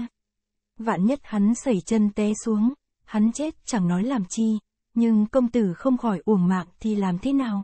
Thị đang sao xuyến trong lòng bỗng nghe tiếng lọc cọc vang lên, từng khối đá lớn ở trên lăn xuống. 18 nhà sư thiếu lâm chạy nhảy như bay, luôn luôn né tránh. Nguyên ủy tôn giả từ lúc trèo lên ngọn núi, không ngớt vung chân đá và những tảng đá bên đường cho rơi xuống để cản trở địch rượt theo. Khi nào những nhà sư thiếu lâm chịu để bị thương về đá núi từ trên lăn xuống. Nhưng các vị vừa rượt vừa né tránh nên mỗi lúc một cách ủy tôn giả xa hơn. Trừng Quang Phương Trượng đã bị thương ở trước ngực vào lúc đánh nhau với Hoàng Phủ Các, gây tổn hại đến nội lực. Lão lọt lại phía sau 17 nhà sư kia. Song Nhi đề khí chạy lên núi trông thấy Trừng Quang. Thị vừa chạy vừa la gọi, phương trượng đại sư, phương trượng đại sư, Trừng Quang quay lại ngó, thấy Song Nhi lật đật chạy lên ra chiều mệt nhọc liền dừng chân để chờ thị. Song Nhi chạy gần tới nơi, Trừng Quang nhìn rõ vẻ mặt kinh hoàng của thị, liền kiếm lời an ủi. Nhà sư nói, tiểu thí chủ đừng sợ, y không dám ra hại công tử của thí chủ đâu. Nhà sư nắm lấy tay thị dắt đi từ từ trèo lên núi. Song Nhi khác nào kẻ sắp chết đuối vớ được tấm ván. Lòng thị an ủi được một chút hỏi lại, phương trưởng, hắn, hắn không sát hại công tử ư. Trừng Quang đáp, tiểu thí chủ cứ vững tâm, nhất định hắn không dám đâu. Tuy nhà sư nói vậy, nhưng thị thấy ủy tôn giả hung hăng tàn ác thì tin tưởng thế nào được. Ngọn núi này ở phía nam ngũ đài sơn nên gọi là Nam Đài.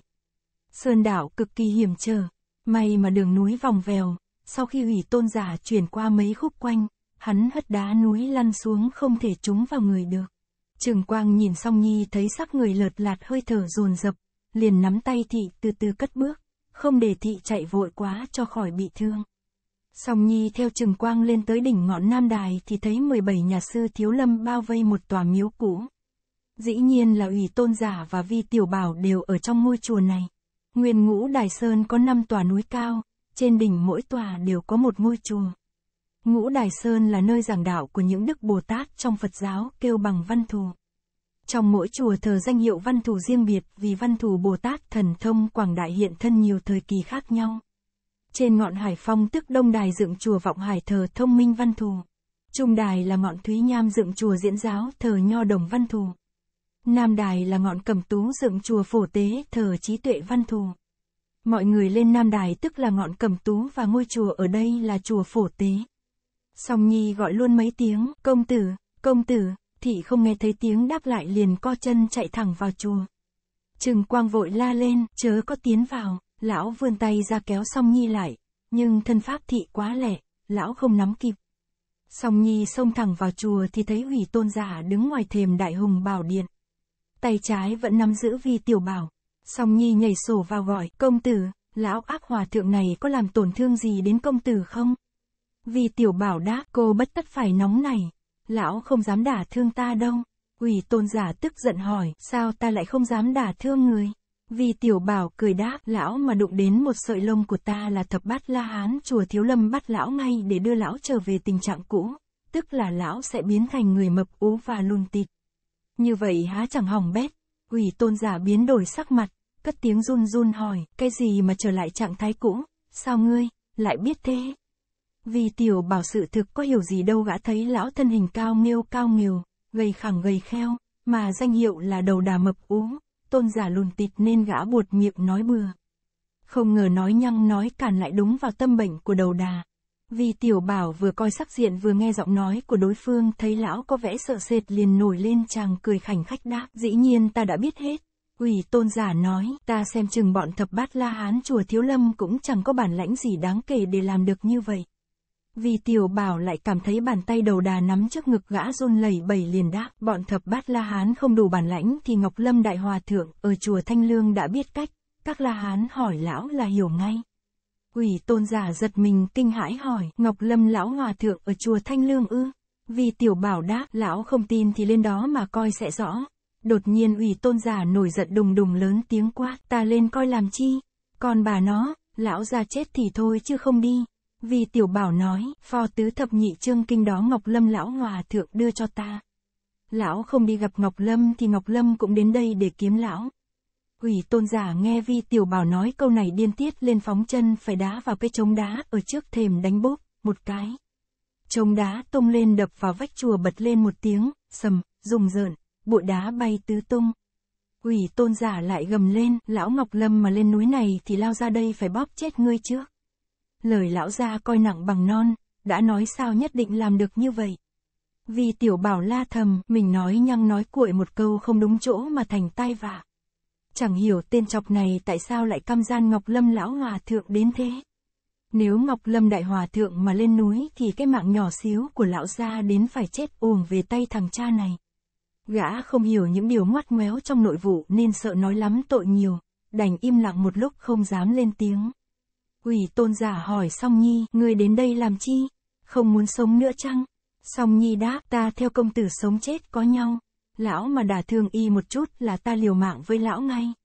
Quỷ tôn giận, tức mình văng tục thoá mà, còn mẹ nó, thằng tiểu tặc này đẹp tốt gì mà con lòi giữ tình giữ nghĩa với gã như vậy song nhi đỏ mặt lên ấp úng, công tử, là hảo nhân, lão là người tồi bại. Bỗng nghe bên ngoài thập bát la hán chùa thiếu lâm đồng thanh niệm Phật hiệu, A-di-đà Phật, A-di-đà Phật, thiện tai, thiện tai, quỷ tôn giả biến đổi sắc mặt, lại nghe 18 nhà sư đồng thanh nói, quỷ tôn giả, tôn giá tha tiểu thí chủ ra và trả kinh sách lại cho y, quỷ tôn giả toàn thân run bần bật. Tay trái đang nắm trước ngực vi tiểu bảo phải buông ra. Lão đưa cả hai tay lên bịt lỗ tai, tựa hồ âm thanh của 18 nhà sư thiếu lâm cực kỳ khó nghe, tưởng chừng các nhà sư nay nói gì lão cũng không muốn để vào tai. Song Nhi cúi xuống ôm vi tiểu bảo lên toan phi thân chạy ra ngoài chùa. Quỷ tôn giả vươn tay chụp sau lưng thị. Hồi 84, vì ăn phình mắc mưu kẻ nít. Song Nhi nghiêng mình né tránh, chiêu đầu ủy tôn giả chụp không trúng, nhưng chiêu thứ hai thì không thoát được nên bị hắn nắm cổ kéo lại. Lại nghe thấy 18 nhà sư thiếu lâm đồng thanh niệm, A-di-đà Phật, A-di-đà Phật, thiện tai, thiện tai, quỷ tôn giả, tôn giả là anh hùng hảo hán tiếng tăm lừng lẫy trong võ lâm mà làm khó dễ cho con nít, há chẳng để thiên hạ cười cho ư. Các nhà sư nói mấy câu này đầy vẻ hòa bình mà vi tiểu bào tường chừng bị tức ngực hơi thở không thông. Toàn thân rất khó chịu, quỷ tôn giả gầm lên, các người còn dùng tà pháp thì lão gia không nể nữa đâu. Lành làm gáo vỡ làm muôi, lão gia giết thằng lỏi, phá hủy kinh sách thử xem các người làm gì. Tiếng gầm của hắn rất công hiệu, tăng lữ chùa thiếu lâm chỉ sợ hắn giết người, hủy kinh không dám đồng thanh tụng niệm hay nói gì nữa. Sau một lúc trừng tâm lại nói, quỷ tôn giả, tôn giả muốn sao mới chịu trả kinh sách. Quỷ tôn giả đáp, các vị đừng làm nhốn nháo thì ta tha người lập tức. Còn kinh sách thì bất luận thế nào cũng không thể trả được. Các nhà sư đứng bên ngoài cửa đều im lặng. Quỷ tôn giả điểm huyệt vi tiểu bảo và song nhi rồi nhớ nhác nhìn trạng thái bốn phía trong đại hùng bảo điện để tìm đường thoát thân. Đột nhiên những bóng xám thấp thoáng. 18 nhà sư thiếu lâm đều tiến lại. Năm vị men theo mé tả, quanh tới phía sau ủy tôn giả. Năm vị theo mé hữu vòng lại. Chỉ trong khoảnh khắc 18 nhà sư thiếu lâm đã bao vây ủy tôn giả vào giữa. Ủy tôn giả tức giận nói, có giỏi thì lấy một trọi một đấu với lão gia cho biết tài cao thấp. Dù các người có dùng phép xa luân chiến lão gia cũng chẳng quan tâm. Trừng Quang chắp tay nói, xin tha thứ cho bần tăng vô lễ. Bọn bần tăng muốn xông cả vào. Quỷ tôn giả giơ chân trái khẽ đạp lên đầu vi tiểu bảo mà cười khanh khách. Hiển nhiên hắn có ý tỏ cho mọi người biết nếu quần tăng xông vào đánh ẩu là hắn nhà kinh lực ở bàn chân làm cho đầu vi tiểu bảo phải vỡ nát. Vi tiểu bảo người mùi đế giày rách nát dính bùn vừa kinh hãi vừa tức giận. Khôn nỗi huyệt đạo bị phong tỏa dĩ nhiên toàn thân gã không cử động được, mà cái bàn chân hôi thối của ủy tôn giả đè lên đầu cũng làm cho trí gã thành ra hồ đồ. Gã không sao nghĩ ra được kế thoát thân. 21 người đều dương mắt lên nhìn nhau và đều bó tay không tìm ra được phương lược để phá giải cục diện căng thẳng này. Vì tiểu bảo đảo mắt lùng dục tìm trên điện xem có vật gì lạ mắt để bịa chuyện nói nhăng nói cuội một hồi đang dẫn mục quang của ủy tôn giả ra chỗ khác. Gã cho rằng hệ hắn sơ hở một chút thì có thể khiến cho các nhà sư thiếu lâm gặp cơ hội cứu thoát gã. Nhưng gã bị bàn chân của ủy tôn giả đạp lên đầu nên chỉ nhìn ra phía bên ngoài được mà thôi. Bỗng gã nhìn thấy trong sân có một tảng đá lớn hình con rùa. Trên lưng tảng đá trồng một khối thạch kệ. Ngoài ra không còn gì nữa. Vì tiểu bảo cất tiếng hỏi, da da của tôn giả bò ở trong sân mà trên lưng bị cây trụ đá nặng ngàn cân đè lên há chẳng đau khổ ư. Thế mà tôn giả không giải cứu cho lão gia thì thật là con người bất hiếu. Quỷ tôn giả hỏi lại, ra ra ta bò ở dưới sân đông Người chỉ mở miệng nói càn. Vì tiểu bảo không trả lời câu hỏi làng sang chuyện khác, về tứ thập nhị chương kinh tất cả có 8 bộ. Tôn giả chỉ lấy được một bộ, còn thiếu 7 bộ. Chắc tôn giả cũng biết giữ một bộ này cũng bằng vô dụng. Phải có đủ 8 bộ mới thành công hiệu lớn lao. Quỷ tôn giả hỏi ngay, còn 7 bộ nữa ở đâu ngươi có biết không? Vì tiểu bảo đáp, dĩ nhiên tại hạ biết rồi. Quỷ tôn giả hỏi dồn, ở đâu, ở đâu, nói mau đi không thì ta dầm nát sọ ngươi ra. Vì tiểu bảo đáp, trước kia tại hạ chưa hay, bây giờ mới biết. Quỷ tôn giả lấy làm kỳ hỏi, sao lại bây giờ mới biết? Người nói vây là nghĩa gì? Trên khối thạch kệ khắc đầy những chữ triện quanh co. Dĩ nhiên vi tiểu bảo chẳng hiểu gì. nhưng gã giả vờ nhìn thạch kệ lầm bầm như người đọc văn bia rồi thủng thẳng nói. Tứ thập nhị chương kinh chia làm tám bộ. Bộ thứ nhất cất ở Hà Nam trong chùa, không hiểu chùa gì, mấy chữ kia tại hạ không nhận ra được. Quỷ tôn giả hỏi, chữ gì đâu? Hắn thấy mục quang vi tiểu bảo chú ý nhìn tấm thạch kệ trong sân rất lấy làm kỳ hỏi tiếp, trên khối đá có khắc chữ ư. Vì tiểu bảo lờ đi như không nghe tiếng vẫn làm bộ chú ý đọc văn bia. Bộ thứ hai cất ở trên núi bút giá tỉnh Sơn Tây trong am gì gì. Đại sư hai chữ này tại hạ lại không đọc được, vì chữ khắc mờ quá. Tôn giả là nhân vật văn võ toàn tài thử lại gần xem. Quỷ tôn giả tin là gã nói thật, liền cúi xuống sách vi tiểu bảo lại gần cửa điện chăm chú nhìn thạch kệ. Những chữ khắc trên thạch kệ đều theo lối triển, nếu đúng là văn tự hắn cũng không hiểu được. Trường hợp mà những nét này không phải là văn tự thì trên thạch kệ khắc những gì?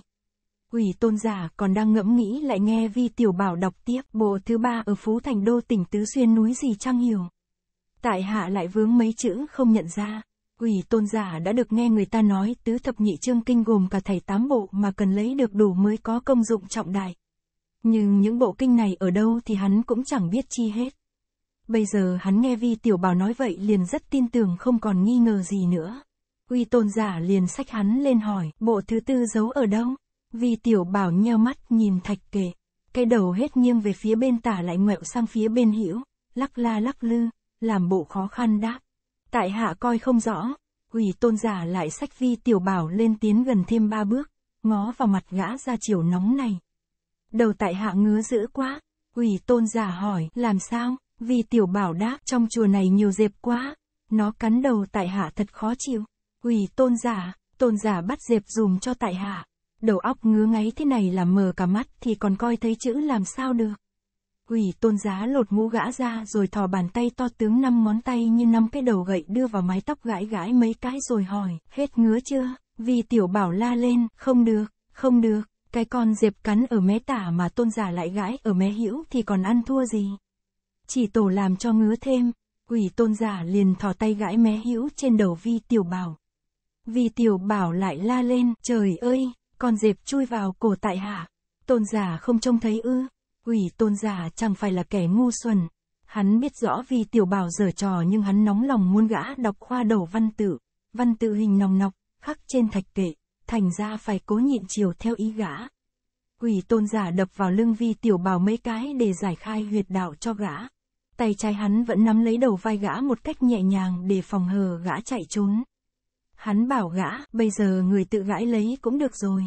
Vì tiểu bảo lại la lên, úi theo, tổ bà con dẹp này ghê gớm quá. Dễ thường ba năm nó chưa hút máu hút mù người ta. Nguyên trước nó lùn tịt mập ú, lâu nay đói ăn vừa gầy vừa khô đét lại. Nó liều mạng làm khó dễ cho lão ra. Gã nói rồi thò tay trái vào trong cổ áo mà gãi thật mạnh. Quỷ tôn giả biết hắn nói vòng vèo để thoá mạ hắn là con dẹp. Nhưng hắn cứ lờ đi coi như là không biết lại hỏi, bộ kinh thư thứ tư giấu ở đâu? Vì tiểu bảo đáp, bộ kinh thứ tư giấu ở tỉnh Hà Nam trên núi Thiếu, viện đạt. Chùa Thiếu Lâm, không hiểu nổi, thiếu gì, viện đạt gì? Quỷ tôn giả giật mình kinh hãi nói, bộ thứ tư giấu ở viện đạt ma chùa Thiếu Lâm ư. Vì tiểu bảo thấy ủy tôn giả lộ vẻ úy kỵ 18 nhà sư chùa Thiếu Lâm, mà những nhà sư này lại ở viện đạt ma nên gã cố ý bịa ra như vậy để chơi khăm ủy tôn giả. Gã chắc mầm ủy tôn giả dù có lớn mật đến đâu cũng chẳng dám đến viện đạt ma chùa thiếu lâm để lấy cắp kinh sách liền hỏi, chữ, ma, đó ư. Tại hạ không biết chữ này. Ủy tôn giả, chữ khó thế mà tôn giả còn đọc được, hà tất còn phải bảo tại hạ đọc dùng. Rồi gã reo lên, à phải rồi, đây là ủy tôn giả muốn khảo nghiệm tại hạ. Nói ra lại thẹn thùng, trong mỗi hàng tại hạ đều vấp phải mấy chữ không nhận được. Bỗng thấy hủy tôn giả biến đổi sắc mặt, lúc đỏ ngầu, lúc xám xanh, mắt hắn hầm hè nhìn quần tăng chùa thiếu lâm. Hiển nhiên hắn giang tức giận, vì tiểu bao lén lén lút thò tay xuống ống giày rút lưỡi chủy thu giấu vào tay áo. Quỷ tôn giả lại hỏi, bộ thứ năm dấu ó đâu? Thiếu lâm là một phái lớn trong võ lâm vi tiểu bảo đã nghe Hải Đại Phú nói đến nhiều lần. Gã còn nghe lão nói Hoàng Thái Hậu mạo xưng là người phái võ đương. Mặt khác Hoàng Thái Hậu lại bảo Hải Đại Phú ở phái không động. Gã cho rằng võ đương và không động cũng là hai phái lớn. Gã liền bảo pho thứ năm và pho thứ sáu giấu ở núi Võ Đương và núi Không động Quỷ tôn giả mỗi lúc một xa sầm nét mặt, trông thật khó coi. Vì tiểu bảo nói bộ thứ bảy bị người của Mộc Vương Phủ ở Vân Nam lấy được. Còn bộ thứ tám thì gã úp mở không biết giấu ở phủ gì Tây Vương tỉnh Vân Nam. Nguyên gã bị Bạch Hàn Phong cho nếm mùi đau khổ gã muốn Mộc Vương Phủ cũng gặp chuyện rắc rối. Trong phủ Bình Tây Vương Ngô Tam Quế cao thủ đông như kiến cỏ, ca sư phụ hắn còn phải úy kỵ, thì ủy tôn giả mà dám lần đến sinh sự chắc hắn sẽ phái nếm mùi đau khổ không còn nghi ngờ gì nữa. Vì tiểu bảo tưởng mình đắc sách không ngờ ủy tôn giả đột nhiên biến sắc hỏi, người bảo bộ thứ tám trong phủ bình Tây Vương ư? Vì tiểu bảo đáp, chữ đó tại hạ không biết, chẳng hiểu có đúng là phủ bình Tây Vương hay không? Ủy tôn giả càng tức giận lớn tiếng quát, người nói nhăng nói càn một cách vô lý, tấm bia đá này chưa đủ ngàn năm cũng phải 500 năm. Ngô Tam Quế hiện nay bao nhiêu tuổi? Tấm bia này dựng lên từ mấy trăm năm trước sao đã khắc tên Bình Tây Vương Ngô Tam Quế vào. Tấm thạch kệ màu sắc đen xì, trên mặt rùa đá và kệ đá đã mọc rêu xanh, những văn tự khắc vào nhiều chỗ loang lổ, tàn khuyết. Ai trông vào cũng biết ngay là một cổ vật hàng mấy trăm năm. Vì tiểu bảo hãy còn nhỏ tuổi không nghĩ tới đạo lý này mới bột nghiệp nói quanh đưa ngô tam quế vào. Vì tiểu bảo than thầm, hỏng bét, thật là hỏng bét, nhưng ngoài miệng vẫn cãi cối, tại hà đã nói, không biết là chữ gì. Chính ủy tôn giả bảo là bình Tây vua ưng. Không chừng thời xưa đã có cầu Tây Vương, miêu Tây Vương, quy Tây Vương hay con trầu con khỉ Tây Vương gì. Quỷ tôn giả, tại hạ đã nói những chữ hình thù rắc rối khó lòng nhận ra. Tôn giả biết thì bảo là biết không thì bảo là không. Đã không biết lại còn đọc bừa là bình Tây Vương Ngô Tam Quế. Các vị đại hòa thượng đây đều học vấn tinh thâm mà tôn giả cứ đọc càn đọc ẩu há chẳng khiến các vị cười cho đến trẹo quay hàm. Gã nói nhăng nói cuội một hồi nhưng rất có lý khiến ủy tôn giả mặt thẹn đỏ bừng. Lão không tức giận, lẩm bẩm gật đầu nói, đây là khoa đầu văn tự, ta chẳng biết một chữ nào. Té ra không phải bình Tây Vương, xuống dưới còn những chữ gì nữa. Vì tiểu bảo lẩm bẩm, nguy quá, mình chỗ cho hắn một hồi mới lấp liếm được vụ này. Bây giờ ta phải nói vài lời lọt tai để lão hởi lòng mới được. Xà đảo mà hắn bảo là thần long đảo, hắn lại còn nhìn nhận con mụ liệu yến béo tròn béo chụt, thì chắc mụ cũng là một nhân vật trong thần long giáo. Gã nghẹo đần dòm ngó rồi ngập ngừng nói, phía dưới dường như là thọ ngang thượng, thượng, không biết là thượng gì. Ủy tôn giả lộ về khẩn trương hỏi, người coi kỹ xem, thọ ngang thượng gì? Vì tiểu bảo ngập ngừng, dường như là chữ, chữ, đế, à phải rồi. Thọ ngang thượng đế ủy tôn giả sướng quá hai bàn tay xoa vào nhau nói, quả nhiên là câu này thật. Dưới còn gì nữa? Vì tiểu bảo đáp, những chữ này thật cổ quái khó nhận quá. Phải rồi, đúng chữ hồng, hồng giáo chủ, lại còn hai chữ thần long nữa. Tôn giả coi xem bốn chữ này có phải là thần thông, quảng đại, không? Quỷ tôn giả bật tiếng reo, ha ha, rồi nhảy lên hỏi, có đúng là hồng giáo chủ thọ ngang thượng đế không? Tấm bia dựng lên từ ngàn năm trước đã khắc câu này rồi ư? Vì tiểu bảo đáp, phía trên đã, đường Thái Tôn, Bia có từ đời đường Thái Tôn. Lý Thế Dân sai tần thúc bảo, trình rảo kim dựng lên. Gã ngừng lại một chút rồi tiếp, trên bia còn nói rõ, đường triều có vị quân sư biết việc ngàn năm về trước và ngàn năm về sau tên gọi từ mậu công. Vậy ra từ mậu công đã tính đến việc ngàn năm sau về triều đại thanh sẽ có vị hồng giáo chủ ở thần Long Giáo là một nhân vật thần thông quảng đại, thọ ngang thượng đế. Nguyên thầy đồ giảng sánh trong quán trà ở Dương Châu kể những thiên cố sự về đời tùy đường vi tiểu bảo đã được nghe nhiều lần những danh hiệu trình rảo kim, từ mậu công vân vân, và gã đã thuộc lòng. Thực ra từ mậu công là một viên tướng khai quốc đời nhà đường chẳng thể bấm ngón tay mà tính được những việc quá khứ vị lai hàng ngàn năm về trước hay về sau. Vì tiểu bảo đã khéo phóng đại những câu chuyện cổ tích để lừa gạt ủy tôn giả. Mục đích của gã là làm cho lão phải điên đầu để 18 nhà sư thiếu lâm có cơ hội cứu gã thoát hiểm. Còn những câu, hồng giáo chủ thần thông quảng đại, thọ ngang thượng đế, vân vân, thì gã đã đọc được ở tòa nhà lớn của họ Trang. Gã đã nghe bọn Trương Lão Tam và giáo chúng thần long giáo hô đi hô lại nhiều lần. Quỷ tôn giả nghe vi tiểu bảo nói tới đây không ngớt gãi đầu gãi tai. Miệng há hốc ra không ngậm lại được nữa. Vì tiểu bảo nói, phía sau cây trụ này không hiểu còn khác gì nữa. Tôn giả thử coi xem. Quỷ tôn giả đáp, phải rồi, lão quanh ra phía sau thạch kệ để quan sát. Vì tiểu bảo nhân cơ hội này liền bước nhanh một bước lùi lại, rồi nhảy vọt ra. quỷ tôn giả giật mình vội vươn tay chụp. Bốn nhà sư thiếu lâm đứng hai bên lập tức đồng thời phóng trưởng đánh tới. quỷ tôn giả đành phải vung quyền chống cử. Vì tiểu bảo đã nhảy tới đứng ở phía sau quần tăng chùa thiếu lâm. Kế đó lại thêm bốn nhà sư thiếu lâm nhảy sổ lại. Tám nhà sư thiếu lâm chân không dừng bước chạy rất nhanh xoay quanh ủy tôn giả. Tay họ không ngớt phát chiêu, nhưng chẳng cần nhìn xem chiêu đó có đánh trúng đối phương hay không. Cứ đánh một đòn rồi lại chạy đi. Tám nhà sư xen kẽ nhau phát chiêu, 16 tay chia làm 8 phương đánh vào.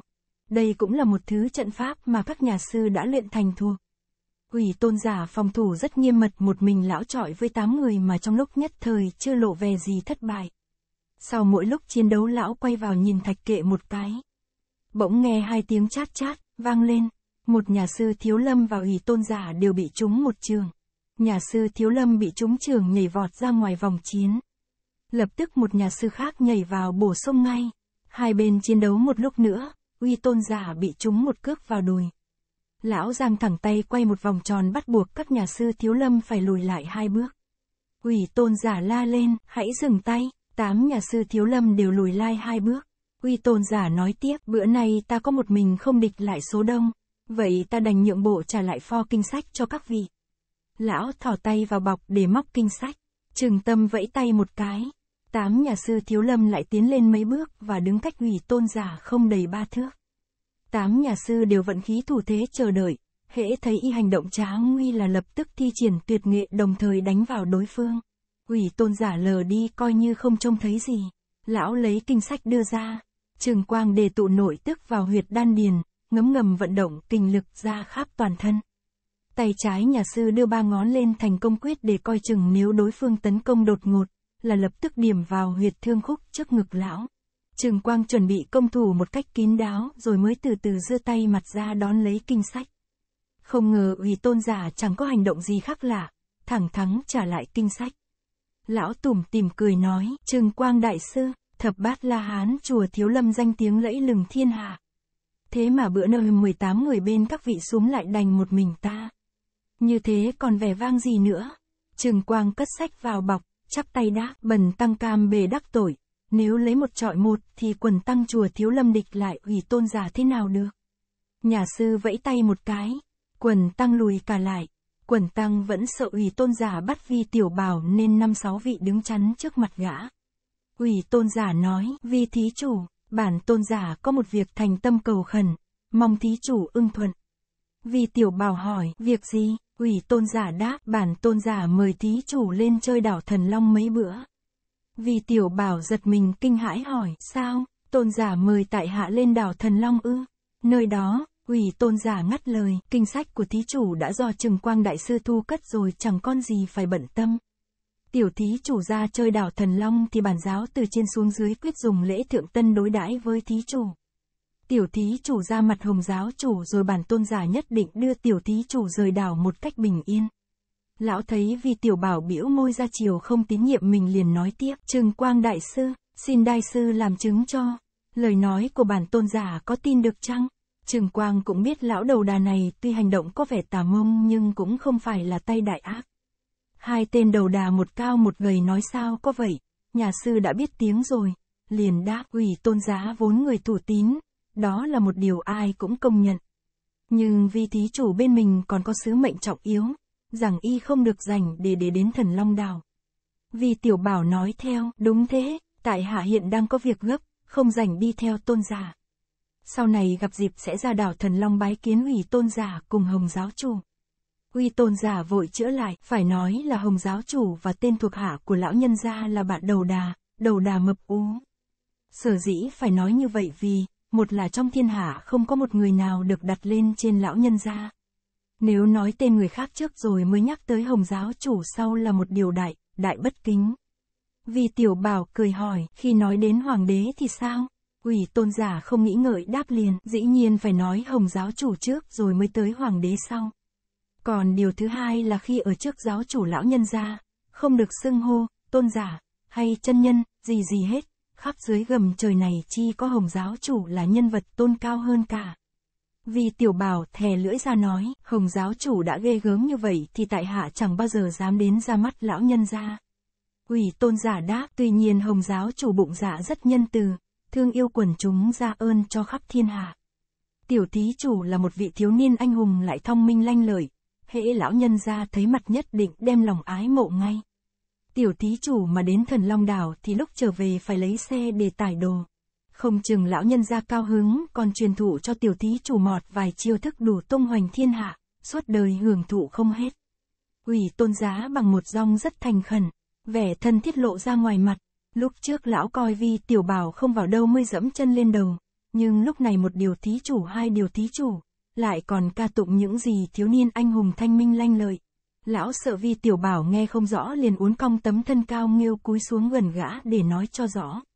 Vì tiểu bảo nhớ lại những câu nói của Đào Hồng Anh, những điều mắt thấy về cử chỉ của bọn Trương Lão Tam ở trang gian lại liên tưởng đến hình dáng Hoàng Thái Hậu và Liệu Yến cùng người cung nữ cải dạng Nam Trang, nên đối với thần Long Giáo có một ấn tượng chán ghét không bút nào tả xiết.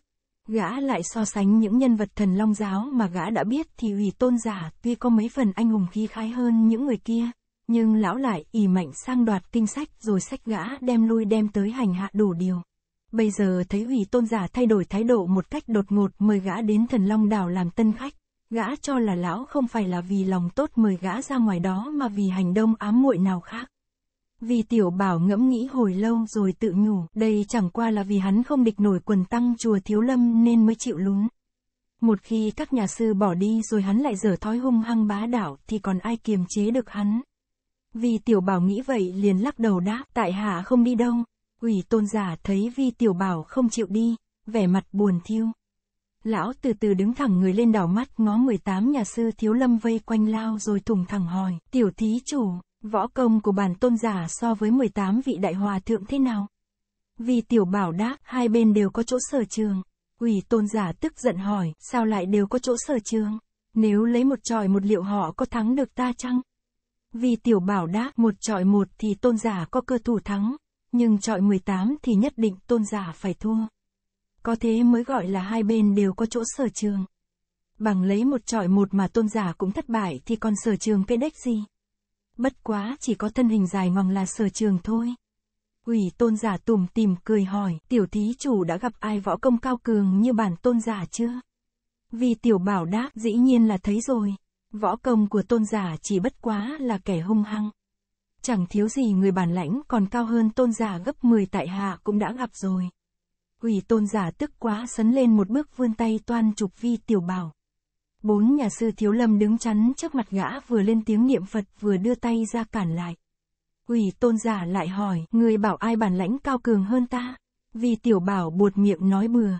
Bây giờ bị ủy tôn giả hỏi vạn liền tắc hỏng vì chưa nghĩ ra được những ai có võ công cao thâm hơn ủy tôn giả. Gã nhìn nhận võ công của sư phụ rất cao thâm nhưng chưa chắc thắng được ủy tôn giả. Ủy tôn giả thấy vi tiểu bảo không trả lời được. Gia triều đắc ý hỏi, tiểu thí chủ không đưa được ra nhân vật nào võ công cao hơn ta phải chăng? Vì tiểu bảo chợt động tâm cơ đáp, sao lại không đưa ra được? Có điều tại hạ không muốn nói vì e rằng chỉ tổ làm cho tôn giả sự mất mặt chứng nhân vật ấy võ công cao thâm hơn tôn giả nhiều lắm. Thứ nhất là Tổng Đà Chủ Trần Cận Nam ở Thiên Địa Hội. Tại Hạ đã được mắt thấy lão nhân gia cùng người tỷ đấu trong thành Bắc Kinh.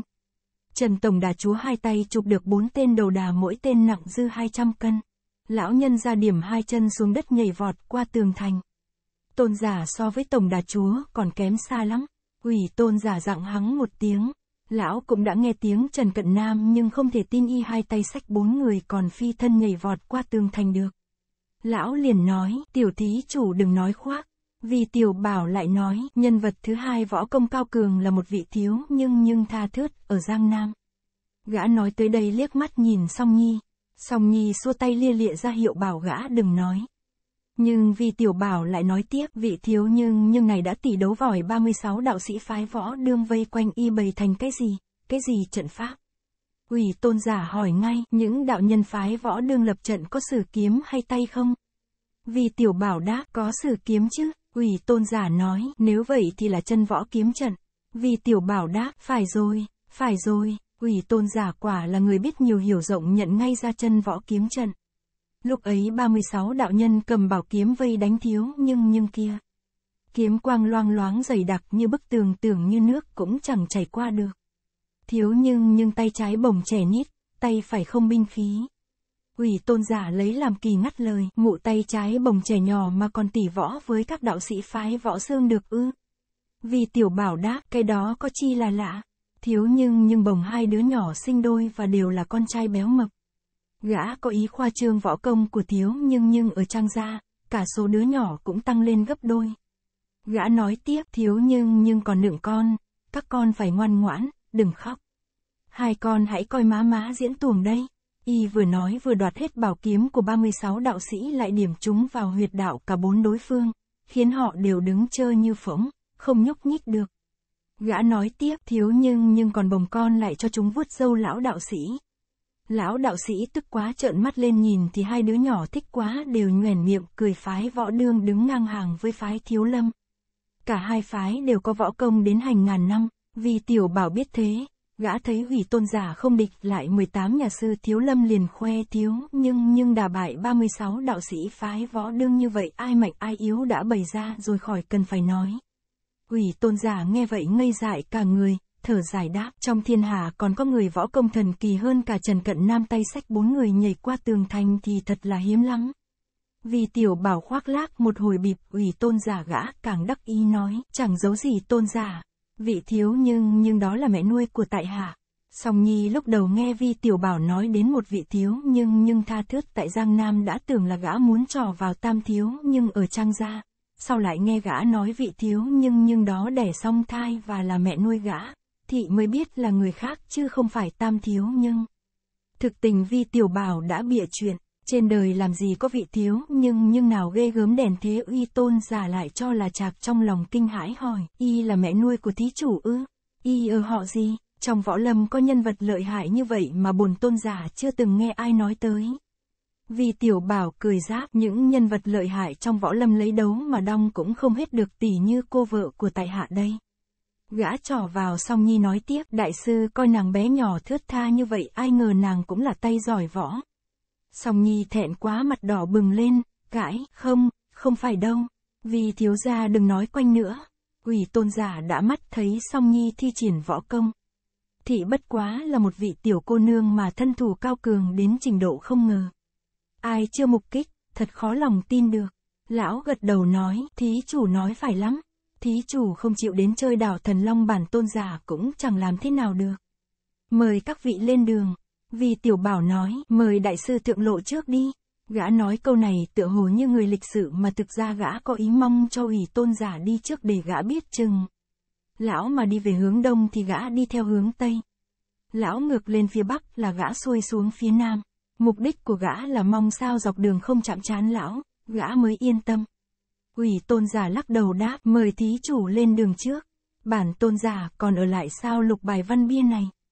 Vì tiểu bảo cười thầm trong bụng, mình bịa chuyện trời ơi đất hỡi không ngờ gạt được lão, lại khiến lão tin là thực. 18 nhà sư Thiếu Lâm cùng bọn Vi Tiểu Bảo xuống núi Cẩm Tú rồi trừng tâm lấy kinh sách giao trả cho Vi Tiểu Bảo và hỏi gã, phải chăng thí chủ trở về Bắc Kinh? Vi Tiểu Bảo đáp, đúng thế. Trừng tâm nói, bọn bần tăng vâng lời Ngọc Lâm Đại sư hộ tống thí chủ về Bắc Kinh cho được vô sự Vi Tiểu Bảo cả mừng nói, vậy thì hay lắm, tại hạ chỉ lo lão đầu đà kia chưa chịu bỏ qua còn tìm đến rắc rối. Nếu được các vị cùng đi thì không có gì đáng ngại nữa. Nhưng tại hạ chưa hiểu có ai bảo vệ cho hành si đại sư không? Trừng tâm đáp, thí chủ cứ yên lòng. Ngọc Lâm đại sư đã sắp đặt đâu vào đấy rồi. Bây giờ vì tiểu bảo mới đem lòng kính phục Ngọc Lâm lão hòa thượng. Gã không ngờ nhà sư già chỉ nhắm mắt nhập định tựa hồ trời long đất lở cũng chẳng hỏi gì đến mà thực ra lão ngấm ngầm bố trí mọi việc rất chu đáo. Vì tiểu bảo được thập bát la hán chùa thiếu lâm hộ tống, dọc đường chẳng có chuyện gì nguy hiểm. Quỷ tôn giả dĩ nhiên không xuất hiện mà cả những nhân vật võ lâm khác cũng chẳng chạm chán một ai. Hôm về tới ngoài thành Bắc Kinh, 18 nhà sư thiếu lâm cùng vi tiểu bảo thi lễ từ biệt. Trừng tâm nói, này thí chủ đã tới kinh sư, bọn lão tăng xin cáo biệt về chùa. Hồi 85, tiểu cô nương đốc chiến quần hùng. Vì tiểu bảo đáp chúng vị đại hòa thượng, các vị đã vì tại hạ mà phải chịu một phen tâm khó hiện tại hạ cảm kích vô cùng. Xin các vị nhận một lạy này của tại hạ để tỏ chút lòng tri ân. Gã nói rồi quỳ xuống dập đầu. Trừng tâm vội đỡ lấy gã không để quỳ xuống. Lão nói, dọc đường bọn lão tăng đã được thí chủ tiếp đãi một cách rất chu đáo. Bọn lão tăng đi từ Sơn Tây tới Bắc Kinh ung dung như một cuộc du sơn ngoạn thủy, có chi đáng gọi là tâm khổ. Nguyên vì tiểu bảo bên mình dắt theo tiền bạc xài không hết. Đoàn người ở ngũ đài sơn xuống núi rồi liền thuê 19 cỗ xe lớn, vì tiểu bảo cùng song nhi ngồi một xe. 18 nhà sư thiếu lâm mỗi vị một xe, vì tiểu bảo lại sai bọn vô bát cưỡi khoai mã chạy trước để tìm những nơi nghỉ chân hoặc quán trọ. Bọn này vừa thăm đường trước vừa chuẩn bị trà thơm, đồ điểm tâm cơm chay và mướn phòng nhất nhất việc gì cũng rất chu đáo. Đi tới địa phương nào vi tiểu bảo cũng vung vãi tiền bạc thường cho khách điếm cùng tiểu nhị, khiến bọn chúng coi 18 nhà sư thiếu lâm như các vị thiên thần Bồ Tát, hầu hạ cực kỳ cung kính 18 vị hòa thượng quen mùi khổ hạnh. Tuy chẳng ham muốn gì những cách ăn xài phong lưu nhưng thấy vi tiểu bảo đối đãi với mình bằng một dạ trí thành rất lấy làm vừa lòng. Vì tiểu bảo vốn là một đứa nhỏ miệng mồm lém lẩu, những lời gã nói tuy không tự đáy lòng mà ra, nhưng cũng làm cho mọi người vui vẻ. Bản tính gã thích kết bạn là chuyện đúng sự thực. Dọc đường vi tiểu bảo trò chuyện với các nhà sư rất tương đắc bây giờ nói đến chuyện phân ly. Lòng gã như xe lại, bất giác hai hàng lệ tuôn rơi. Trừng tâm nói, phúc đức, thật là phúc đức, hà tất tiểu thí chủ phải buồn giàu. Nếu chúng ta còn có tiện duyên thi rồi đây sẽ có ngày mời thí chủ lên chùa Thiếu Lâm tương hội. Vì tiểu bảo nghẹn ngào đã tại hạ nhất định có dịp lên vấn an các vị. Trừng tâm nói, bây giờ đến lúc chia tay thí chủ thứ cho lão tăng nói thẳng câu này, dường như trong người thí chủ chúng phải chất kỳ độc. Lão tăng đã ngấm ngầm thử tìm cách hóa giải mà không thấy công hiệu, chẳng hiểu vì duyên cớ vi tiểu bào đã bị hải đại phú hạ độc, trong bụng thỉnh thoảng lại nổi cơn đau. Những ngày gần đây càng đau dữ dội, có điều chỉ đau một lúc rồi lại hết ngay. Sau khi chúng độc gã lại bị trường của Hoàng Thái Hậu làm cho chứng nội thương thêm trầm trọng. May ở chỗ gã còn nhỏ tuổi chẳng biết trọng khinh không hay nặng nhẹ. Hơn nữa gã tính tình khoáng đạt chẳng để tâm một việc gì nên gã vẫn không lo buồn. Bây giờ nghe Trừng Tâm nói vậy không khỏi trong lòng uất ức bất giác tuôn rơi hai hàng lệ đáp. Đây là hai nhân vật đại ác đã làm hại tiểu tử. Một người hạ độc, một người đả thương nên nông nỗi này. Trừng Tâm trầm lặng một lúc rồi nói, từ nay tiểu thí chủ nên làm nhiều điều thiện, hoặc giả có thể biến điều giữ thành điều hành đồng thời trị thương khỏi bệnh. Trường hợp mà tiểu thí chủ không chữa khỏi được thì lên chùa thiếu lâm lão tăng sẽ hết sức tìm cách diều trị cho. Vì tiểu bảo mừng rỡ lại quỳ xuống dập đầu, trường tâm vội đỡ gã dậy rồi cùng quần tăng từ biệt gã lên đường. Song Nhi nghe câu chuyện đối đáp giữa Trừng Tâm Hòa Thượng và Vi Tiểu Bảo, thì bồn chồn trong dạ vội hỏi, thiếu gia, ở trong mình thiếu gia trúng độc và bị thương có đau nặng không? Chắc là thiếu gia khó chịu lắm. Thị chờ hồi lâu không thấy Vi Tiểu Bảo trả lời bất giác sụt sùi lệ xa. Vi Tiểu Bảo cười đáp, ô hay, làm sao mà cô khóc? Ta chẳng đau đớn chi hết và cũng chẳng khó chịu chút nào. Gã đưa tay áo lên lau nước mắt cho thị. Song Nhi đỏ mặt lên dịu dàng nói, thiếu gia, mấy bữa nữa chúng ta lên chùa Thiếu Lâm xin đại hòa thượng trị thương cho thiếu gia. Vi Tiểu Bảo đáp, phải lắm, vị Tiểu Hòa thượng Pháp hiệu trừng thông nói chuyện rất hợp ý ta. Ta cũng định lên chơi với y một thời gian. Trong thập bát La Hán chùa Thiếu Lâm, Trừng Thông là nhà sư trẻ nhất. Y mới 24 tuổi nhưng tư chất thông tuệ khác thường mà lại siêng năng cần mẫn. Võ công của nhà sư này đã tới trình độ chắc tuyệt nên được liệt vào hàng thập bát La Hán. Vì tiểu bảo rất hợp tính với Trừng Thông. Đoàn người tiến vào thành Bắc Kinh. Song Nhi thấy cảnh tượng trong thành cực kỳ xa hoa. Thị ngạc nhiên trợn mắt há miệng. Vì tiểu bảo tìm vào như quy khách sạn ở cửa Tây. Gã mướn một gian phòng thượng hạng định để an trí song nhi, sáng mai sẽ vào ra mắt vua Khang Hy tâu rõ mọi việc. Tối hôm ấy vì tiểu bảo đưa song nhi vào phòng rồi bảo thị cài then cửa lại. Ban ngày đã mua đủ đồ cần dùng, bây giờ gã lấy vải dầu bọc tứ thập nhị trương kinh cẩn thận lại từng quyền đặt vào trong một chiếc hộp gỗ. Xung quanh vải bọc lại rắc vôi bột cho khỏi ẩm ướt. Vì tiểu bảo kéo cái bàn ra chỗ khác rồi dùng mũi chùy thủ khoét tường thành một lỗ hồng. Lưỡi chùy thủ chặt sắt như cắt bùn, nên khoét tường lấy mấy viên gạch ra chẳng khó khăn gì vi tiểu bảo cất cái hộp gỗ vào lỗ hồng, rồi chặt một miếng gạch đặt vào che kín hộp đi. Gã lại hòa vôi với nước cho tan ra để gắn khe những viên gạch. Chỗ hồng tường giấu hộp gỗ ở gầm bàn, sau khi vôi khô rồi, ai không cố ý tìm tòi quyết không phát giác ra được.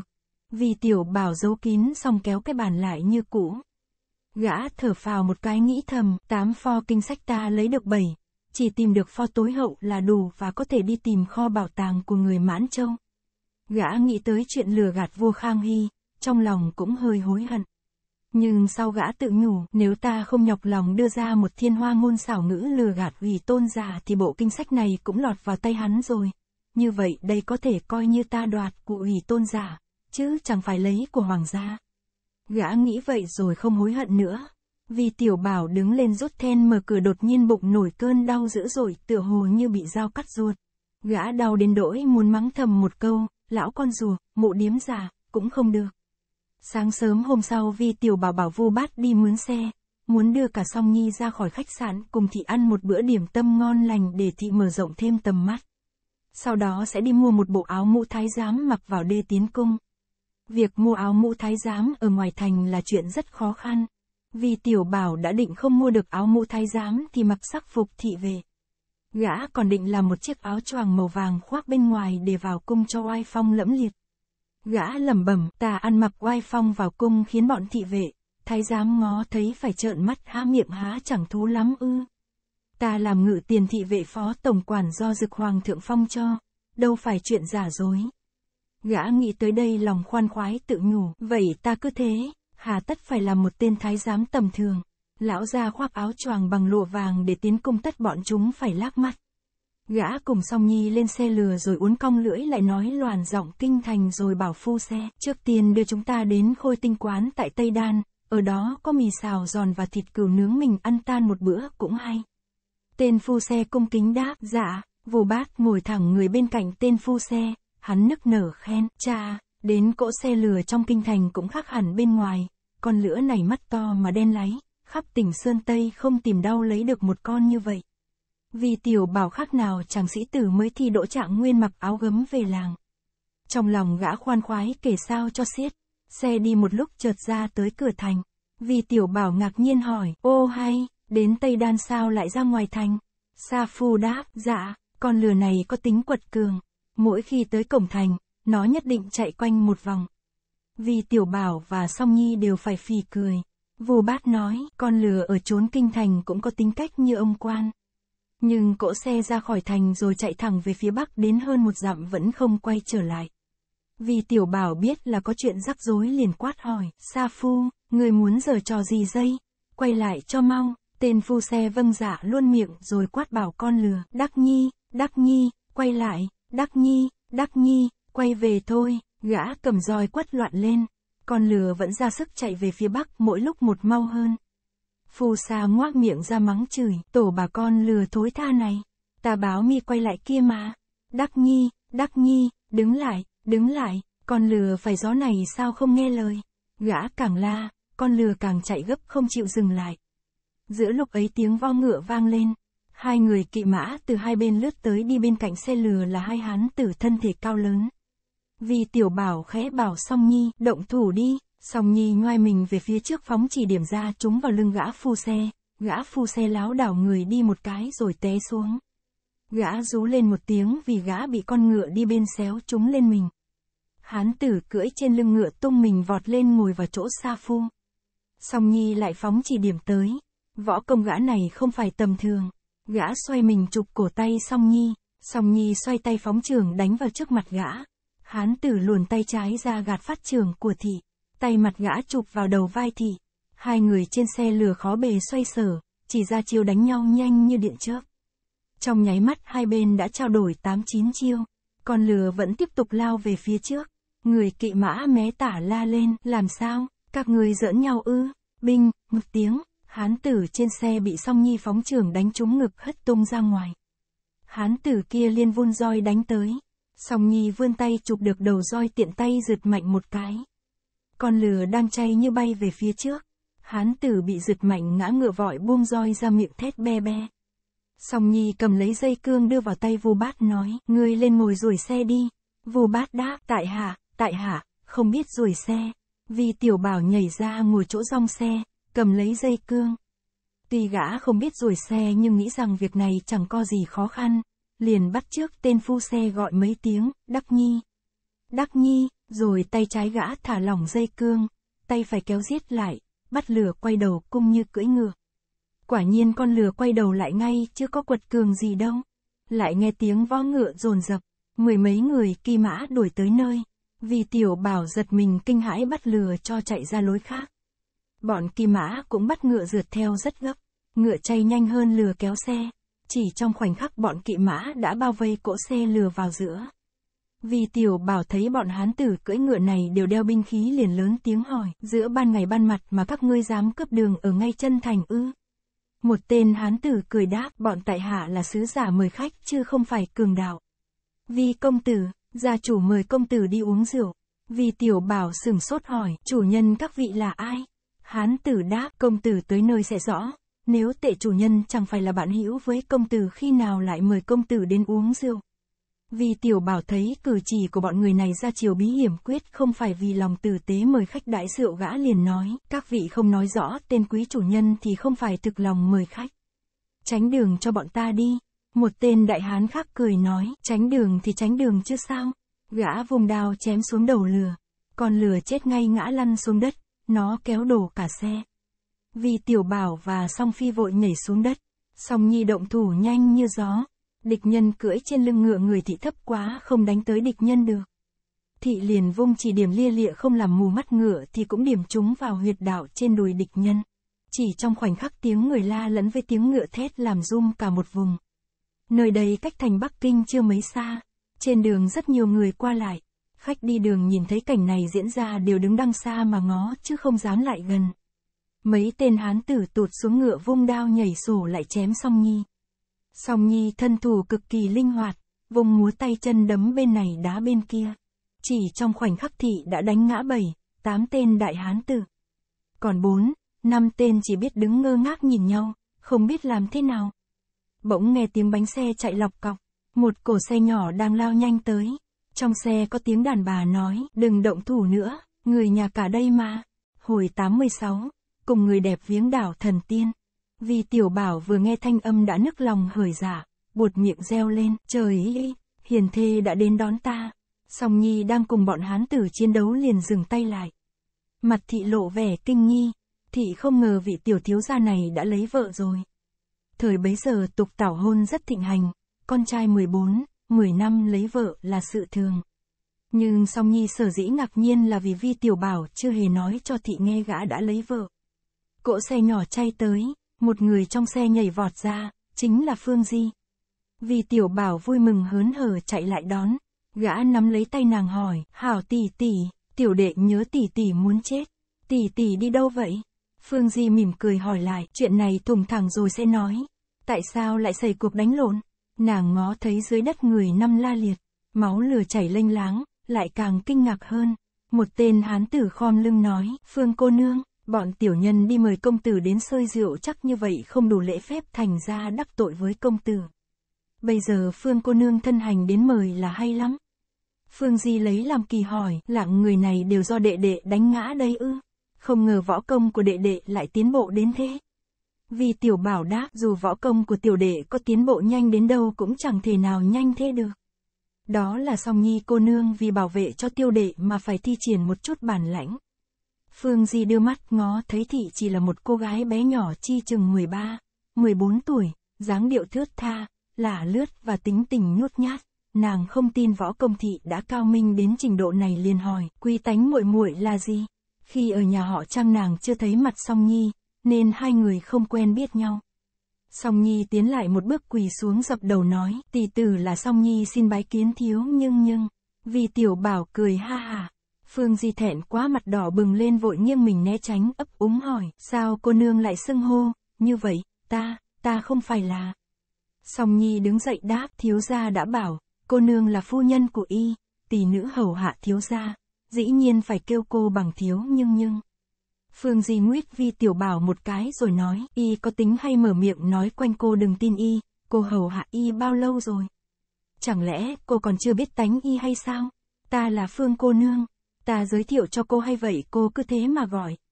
Song Nhi mỉm cười đáp, bây giờ tiểu tỷ chưa xưng hô với Phương cô nương như vậy, nhưng rồi đây sẽ xưng hô như thế. Phương Di lại đỏ mặt lên ngập ngừng, ngày sau cô kêu ta bằng. Nàng cảm thấy câu này nói ra không ổn nên đến chữ cuối cùng liền dừng lại không nói nữa. Song Nhi liếc mắt nhìn Vi Tiểu Bảo, thấy bộ mặt gã nhơn nhơn đắc ý.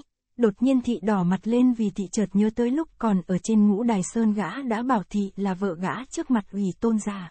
Bây giờ mới hiểu Vi Tiểu Bảo tính thích khôi hài hễ thấy cô nào nhỏ tuổi xinh đẹp là gã kêu bằng vợ. Vi Tiểu Bảo lại cười hỏi, còn cô vợ nhỏ này nữa thì sao? Song Nhi không thấy thế làm lạ nữa, đứng lặng yên. Phương Di lại nguyết gã trách móc, chia tay đã bấy lâu bây giờ gặp mặt, chứng nào vẫn tật ấy.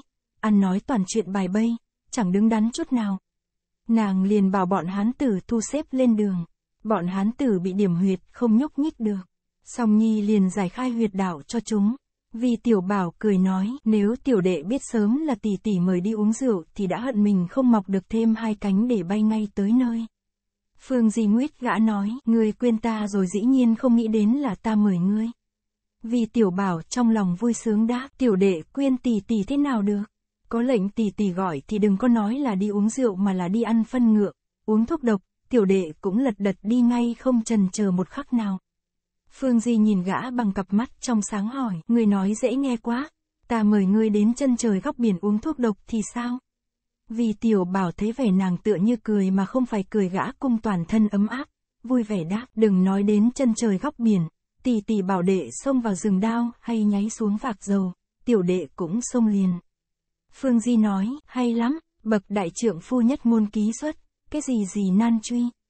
Câu này nàng đã bắt trước vi tiểu bảo, vì gã học lỏm rồi không nhớ hết nên Phương Di nhại lại. Vì tiểu báo vỗ ngực nói theo, giải trưởng phu nhất ngô ký xuất cái gì gì nan truy. Rồi hai người cùng cười ồ, Phương Di sai thủ hạ dắt ngựa đến cho Vi tiểu bảo cưỡi. Nàng nhường cỗ xe nhỏ cho song nhi lên ngồi, còn nàng cùng cưỡi ngựa sóng vai với Vi tiểu bảo mà đi. Hai người thả ngựa đi bước một dưới ánh triệu dương mát mẻ. Bọn hán tử theo sau. Phương Di hỏi, bản lãnh đệ đệ giỏi quá rồi. Làm thế nào mà thu được tên tiểu nha đầu võ công khá lắm. Vì tiểu bảo cười đáp, tiểu đệ có tài cán gì đâu. Đó là thị cam tâm tình nguyện đi theo tiểu đệ Phương Di ngoài mặt tươi cười. Nghĩ thầm trong bụng, gã này tuy nhỏ tuổi nhưng là người tài hoa mà bên mình lại thừa tiền bạc xài không hết. Chắc gã vung tiền mua con nha đầu này nhưng sao thị lại là tay võ nghệ cao cường thì mình khó mà hiểu được. Vì tiểu bảo chợt nhớ tới bọn từ thiên xuyên, mộc kiếm bình, liền hỏi, khi ở trong ngôi nhà ma tỷ tỷ bị toán người của thần Long Giáo bắt giữa về sau làm sao thoát hiểm được. Phải chăng tam thiếu nhưng nhưng nhà họ Trang đã cứu ra. Phương Di lấy làm kỳ hỏi lại, tam thiếu nhưng nhà họ Trang là ai? Vì tiểu bảo đáp, bà chủ nhân tòa trang viện đó. Phương Di lắc đầu hỏi, y là trang chủ ư? Thủy chung bọn ta không gặp y. Những người ở thần Long Giáo chỉ muốn kiếm đệ đệ bọn họ không có ác ý gì với ngươi cả trương lão tam tìm không thấy ngươi rồi thả chúng ta ra. Bọn tiểu quận chúa, từ lão ra còn đi sau, lát nữa họ sẽ tới đây. Phương Di quay lại nhìn thăng vào mặt vi tiểu bảo băng cặp mắt sâu thẳm dường như để soi xét đầu óc gã. Nàng bỗng ra điều trách móc trong lòng ngươi chỉ nhớ mong tiểu quận chúa. Mới gặp ta một lúc mà đã hỏi tới y bảy tám lần. Vi tiểu bảo cười đáp, tiểu đệ mới hỏi lần đầu mà bảo bảy tám lần. Tỷ tỷ nói vậy là oan cho tiểu đệ. Giả tỷ mà tiểu đệ gặp y mà chưa thấy mặt tỷ tỷ thì tiểu đệ phải hỏi bảy tám chục lần rồi. Phương Di mỉm cười nói, dù ngươi có 10 cái miệng cũng chẳng thể hỏi một lúc bảy tám chục lần. Nhưng một cái miệng của ngươi còn lém lỏng hơn 10 cái miệng khác. Hai người vừa đi vừa nói chuyện, chẳng bao lâu đã được hơn 10 dặm. Đoàn người vẫn tiến về phía đông, vì tiểu bảo lại hỏi, gần đến nơi chưa? Phương Di hờn mát đáp, còn xa lắm, người nhớ tiểu quận chúa cũng chẳng cần phải nóng này như vậy. Ta mà biết thế này thì để y đi đón ngươi hay hơn để ngươi khỏi nóng lòng sốt ruột. Vì tiểu bảo thè lưỡi ra nói, từ giờ tiểu đệ không hỏi câu nào nữa là xong. Phương Di nói, cái miệng ngươi không hỏi nhưng trong dạ ngươi bồn chồn càng khiến cho người ta lộn ruột. Phương Di tự hồ ăn phải giấm chua. Vì tiểu bảo càng cao hứng cười nói, nếu trong lòng tiểu đệ mà nóng này chút nào thì tiểu đệ không là chồng tỷ tỷ mà chỉ đáng là con tỷ tỷ. Phương Di bật lên tiếng cười khúc khích nói, ngoan lắm, ngươi là, nàng toan nói ngươi là đứa con ngoan ngoãn nhưng nàng chợt nhớ ra nói như vậy không ổn bất giác đờ mặt lên rồi dừng lại. Phương Di tuy là một vị cô nương nhỏ tuổi thường nói đùa với Vi Tiểu Bảo, nhưng kêu gã bằng dứa con ngoan ngoãn thì bất nhã quá. Đoàn người đi đến trưa vào tòa thị trấn nhỏ ăn uống xong lại tiếp tục đi về hướng đông. Vì tiểu bảo tuy nóng lòng muốn hỏi đi tới đâu nhưng lại không dám. Gã thấy mình rời Bắc Kinh mỗi lúc một xa, biết rằng bữa nay khó lòng quay lại hoàng cung để vào bệ kiến vua Khang Hy được. Gã tự nhủ, tiểu huyền tử không gia hạn cho ta bao giờ phải về phục mảng, dù ta có nấn ná ở ngũ đài sơn một thời gian, hoặc ta bị ủy tôn giả bắt rồi chưa buông tha thì về cung chậm mấy ngày cũng chẳng hề gì. Dọc đường gã cùng Phương Di chỉ nói chuyện phiếm chăng liên quan gì đến ai. Hồi ở trong cung tuy cùng một phòng, nhưng có mộc kiếm bình Phương Di còn giữ giá lầm lì ít nói. Bây giờ sóng vai lòng buông tay khấu, nàng cười nói tự nhiên ra chiều vui vẻ. Bọn hán tử cũng biết điều, thấy chàng và nàng ra vẻ thân mật liền đi sau một quãng xa xa. Vì tiểu bảo mối tình chớm nở, lúc ở hoàng cung gã kêu Phương Di bằng, vợ, thì trong 10 phần thì có 6 phần là nói đùa, 3 phần là giọng khinh bạc, chỉ có một phần phảng phất chút tình nam nữ. Bữa nay từ biệt lâu ngày trùng hội, gã thấy Phương Di lúc hờn mát, lúc nỉ non tình tự, lúc cười ruồi càng thêm ve mặn mà, thì không khỏi động tình. Gã thấy nàng cưỡi ngựa đã nửa ngày, hai má đỏ hồng coi càng xinh đẹp khả ái bất giác gã ngẩn người ra nhìn. Phương Di mỉm cười hỏi, ngươi làm gì mà ngẩn người ra thế? Vì tiểu bảo ấp úng đáp, hảo tỷ tỷ, tỷ tỷ thật là đẹp. Tiểu đệ, muốn, tiểu đệ muốn. Phương Di hỏi, người muốn sao? Vì tiểu bảo đáp, tiểu đệ nói ra tỷ tỷ đừng nổi nóng nhé. Phương Di nói, người nói rừng đắn thì ta không nổi nóng, nhưng nói tầm bậy tất nhiên ta phải nổi nóng. người muốn sao? Vì tiểu bảo đáp, tiểu đệ, nếu quả được, là chồng tỷ tỷ thì, sung sướng quá. Phương Di nguyết gã một cái rồi nặng mặt quay đi chỗ khác. Vì tiểu bảo hốt hoảng hỏi, hảo tỷ tỷ, tỷ tỷ nổi nóng rồi ư. Phương Di nói, dĩ nhiên ta bực mình, bực đến cả 120 cái mình. Vì tiểu bảo cãi, câu đó sao lại không đứng đắn. Tiểu đệ nói với cả tấm lòng thành thực.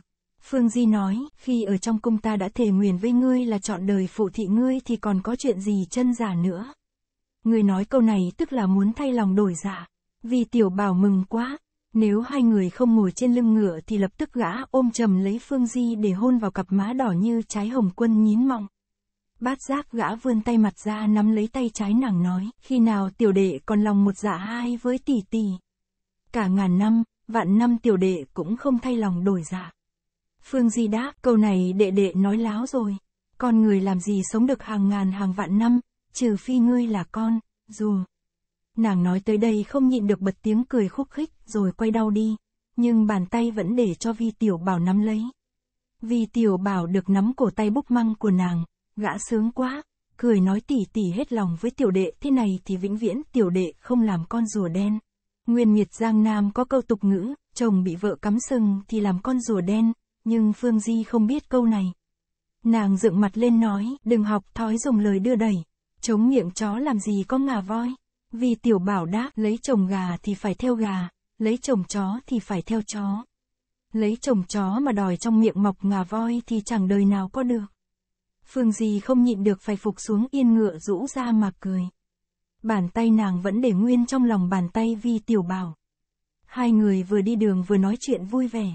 Đến tối vào trọ trong khách điếm ở một tòa thị trấn lớn. Sáng hôm sau, Vi Tiểu Bảo sai Vu Bát đi thuê một cỗ xe lớn để cùng Phương Di ngồi mà thượng lộ. Hai người tình mặn nghĩa nồng, lúc nào thích chí, Vi Tiểu Bảo lại ôm choàng lấy lưng nàng mà hôn vào mặt. Phương Di cũng không cử, nhưng nếu gã đi xa hơn nữa thì nàng không chịu.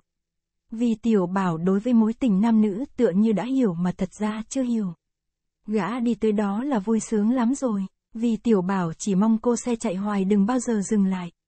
Gã muốn ôm người Ngọc đi đến tận chân trời góc biển rồi lại quay xe đi tới chân trời góc biển đầu đằng kia. Đường xá trong thiên hạ đi vĩnh viễn không bao giờ hết, mà đi hết rồi quay trở lại đường cũ cũng chẳng hề gì. Hàng ngày đi cho đến tối mới tìm vào nhà trọ, sáng dậy lại ra đi, gã chỉ sợ đột nhiên Phương Di dừng xe lại bảo, đến nơi rồi. Vì tiểu bảo lạc vào cõi ôn nhu, không còn nhớ gì nữa. Nào chiếu chỉ của hoàng đế, nào tứ thập nhị trương kinh, nào lão hoàng đế trên ngũ đài sơn hay bất cứ gì gì gã cũng bỏ ra sau gáy. Vì tiểu bảo trong tình trạng say sưa ngây ngất chẳng nhớ gì đến ngày giờ, cũng chẳng hiểu đã đi được bao nhiêu đường đất. Một hôm vào lúc xế chiều, cỗ xe ngựa bỗng đi tới bờ biển. Phương Di dắt tay gã đi xuống bãi nhìn khói nước mịt mờ, nàng khẽ cất tiếng hỏi, hảo đệ đệ, đệ đệ cùng ta cưỡi thuyền ra khơi du ngoạn cảnh mây nước để hưởng những ngày thần tiên. Người bảo có thú không? Nàng nói câu này rồi kéo gã lại gần và gục vào đầu vai gã, người nàng mềm rũ tựa hồ không còn chút kháng lực nào. Vì tiểu bảo đưa tay ôm lấy lưng nàng để đề phong nàng ngã xuống. Gã cảm thấy những sợi tóc tơ cham vào mặt mình. Tấm lưng thon hơi rung động, hắn nghĩ rằng ngồi thuyền ra khơi một cách đột ngột thì có điều không ổn. Nhưng trước tình cảnh này chàng chẳng thể trả lời bằng tiếng không, được.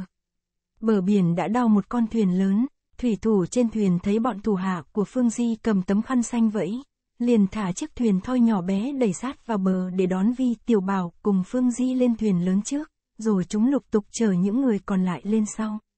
Vi Tiểu Bảo tiến vào khoang thuyền, thấy cách bài trí rất sang trọng. Dưới sàn trải một tấm chiên dày, trên bàn bày đủ trà nước cùng đồ điểm tâm coi chẳng khác tòa khách sảnh của một vị vương tôn hay quan lớn. Gã nghĩ thầm, hảo tỷ tỷ đối đãi với ta một cách trịnh trọng thế này, tất không có ý hại ta. Hai tên bộc dịch lấy khăn dấp nước nóng đưa cho hai người lau mặt rồi bưng vào hai bát canh miến. Trên bát canh đặt thịt gà xé ra thành đường sợi nhỏ, ăn vào rất ngon miệng và mùi vị khác thịt gà thường. Bỗng thấy con thuyền dập dình, hiển nhiên thuyền đã dương buồm ra khơi cách sinh nhai ở trên thuyền tựa hồ như một thế giới riêng biệt. Phương Di bồi tiếp Vi tiểu bảo uống rượu và bày trò oàn tù tì tha hồ mà cười nói say sưa. Đêm khuya nàng chờ gã lên giường nằm xong mới ngủ riêng trong khoang bên cạnh. Sáng sớm hôm sau, Phương Di lại vào trải đầu mặc áo cho Vi tiểu bảo. Vi tiểu bảo nghĩ thầm, bây giờ nàng chưa biết ta chẳng phải là tiểu thái giám. Có làm vợ chồng cũng là chuyện giả dối. Bao giờ ta nên nói rõ cho nàng hay? Hôm ấy hai người ngồi tựa bên cửa sổ nhìn mặt trời mọc trên biển thấy cảnh tương huy hoàng như muôn ngàn con kim xà uốn khúc trên làn nước bao la. Phong cảnh thật là đẹp mắt. Phương Di bỗng thở dài nói, bữa trước ta đi hành thích hoàng đế thát đát, nắm chắc phần chết ở trong cung. Ngờ đâu được hoàng thiên bảo hữu cung ngươi hội ngộ, bữa nay lại cùng hưởng hạnh phúc. Hảo đệ đệ, thân thế của đệ đệ ta chẳng biết một tí gì. Trường hợp nào đã đưa đẩy ngươi vào cung? Ngươi học võ công ra sao? Vì tiểu bảo cười đáp tiểu đệ đang muốn nói cho tỷ tỷ hay, nhưng lại sợ tỷ tỷ nghe mà hoàng hồn đồng thời còn e tỷ tỷ vui sướng đến phải ngất lim. Phương Di xích mình đến sát cạnh Vi Tiểu Bảo khẽ nói, câu chuyện của đệ đệ ta thích nghe hay là ta không thích nghe ngươi cũng cứ nói thật đừng lừa gạt ta. Ta, cũng chẳng quan tâm. Vi Tiểu Bảo đáp, hảo tỷ tỷ, tiểu đệ sinh trưởng tại Dương Châu. Già mẫu ở trong kỹ viện, Phương Di kinh hãi, quay lại cất tiếng run run hỏi, lệnh mẫu thân làm gì trong kỹ viện? Giặt quần áo hay nấu cơm, hay là quét nhà bưng nước? Vì tiểu bảo thấy nàng biến sắc, khóe mắt lộ vẻ sợ hãi thì trong lòng không khỏi run lên. Gã biết nàng coi kỹ viện là nơi xấu xa rất đáng khinh bỉ. Nếu nói thật mẫu thân là một kỹ nữ thì có lẽ suốt đời nàng khinh thường và mất cả tình thân mật. Gã liền cười khanh khách hỏi lại, gia mẫu ở trong kỹ viện từ hồi 6-7 tuổi thì làm sao biết nấu cơm giặt áo cho người. Phương Di nét mặt dịu lại một chút, nàng hỏi, bà ở trong kỹ viện hồi 6, 7 tuổi thôi ư. Tài hoa khoác lác của Vi Tiểu Bảo là tay số 1, gã chẳng cần nghĩ ngợi gì vặn lại. Sau khi bọn Thái Giác ở Mãn Châu tiến vào quan ải rồi gây cuộc thảm sát, ở Dương Châu tỷ tỷ có biết không? Phương Di đáp, phải rồi, dĩ nhiên ta biết. Vì tiểu bảo nói, ông ngoại tiểu đệ làm quan lớn với triều nhà Minh đóng ở Dương Châu sau vì việc nước mà uổng mạng. Khi đó gia mẫu là một cô gái nhỏ lưu lạc ngoài đường phố. Trong kỹ viện thành Dương Châu có một vị thượng khách giàu sang.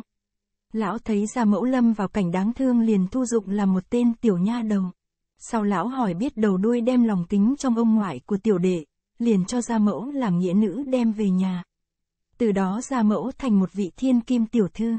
Gia mẫu kết hôn với gia phụ. Lão nhân Gia Nguyên là một công tử giàu sang nổi tiếng ở thành Dương Châu. Phương Di nửa tin nửa ngờ nói, té ra là huyết, ban đầu đệ đệ làm ta sợ giật bắn người, vì ta thông lệnh mẫu thân bị chìm đắm vào nơi lầu hồng kỹ viện để làm kẻ ăn người ở hầu hạ bọn đê hèn vô liêm sỉ. Lọ là những gái cực kỳ xấu xa hủ hóa, bất cứ ai cũng làm chồng được. Vì tiểu bảo sinh trưởng trong kỹ viện từ thuở nhỏ, Trước nay gã chăng có ý thức gì về mẫu thân là hạng đàn bà tồi tàn vô liêm sỉ. Bây giờ gã nghe Phương Di nói vậy không khỏi bực mình mắng thầm trong bụng, bọn đàn bà con gái trong mộc vương phủ như các người cao quý lắm hay sao? Mẹ kiếp, ta cũng coi là hạng vô liêm sỉ bất cứ ai cũng chẳng làm được cái gì. Ban đầu gã toan nói huyệt tuệt than thiết của mình cho Phương Di hay nhưng sau gã thấy nói chạp là bất lợi cho mình, nên giấu nhem sự thực không dám gì răng. Gã liền ba hoa khoác lác chẳng những thuộc dòng dõi giàu sang, gã còn tả nhà cửa mình ở Dương Châu như rông như phượng. Dù gã muộn hoa hòe hoa sói thế nào thì sảnh đường phòng xá, cùng cách trần thiết cũng sặc mùi kỹ viện.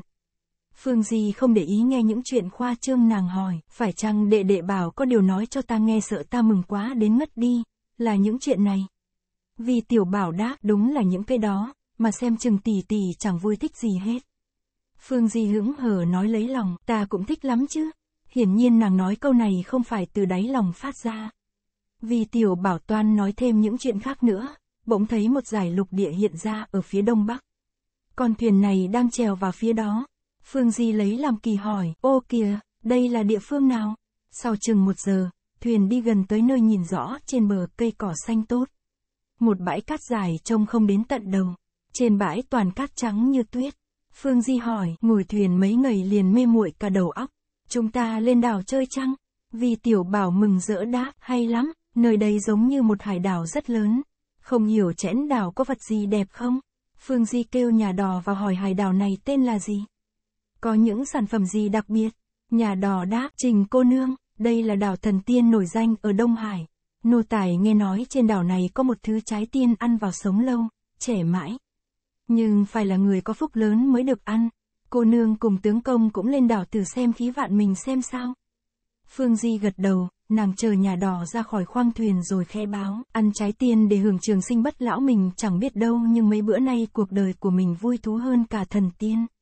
Vì tiểu bảo cả mừng nói theo, háo tỷ tỷ, tiểu đệ cùng tỷ tỷ hãy lên đảo thần tiên này chơi một thời gian. Ăn được trái tiên là hay mà chẳng tìm được cũng vậy. Tiểu đệ chỉ mong vĩnh viễn được kề cận tỷ tỷ là thành tiên rồi. Phương Di ngồi dựa vào mình gã đáp, ta cũng nghĩ thế. Hai người chuyển sang thuyền nhỏ rồi lên bờ. Chân dẫm lên cát nhỏ trên bãi biển, mũi người mùi hoa thơm từ trong rừng bay ra, thật chẳng khác viếng nơi tiên cảnh.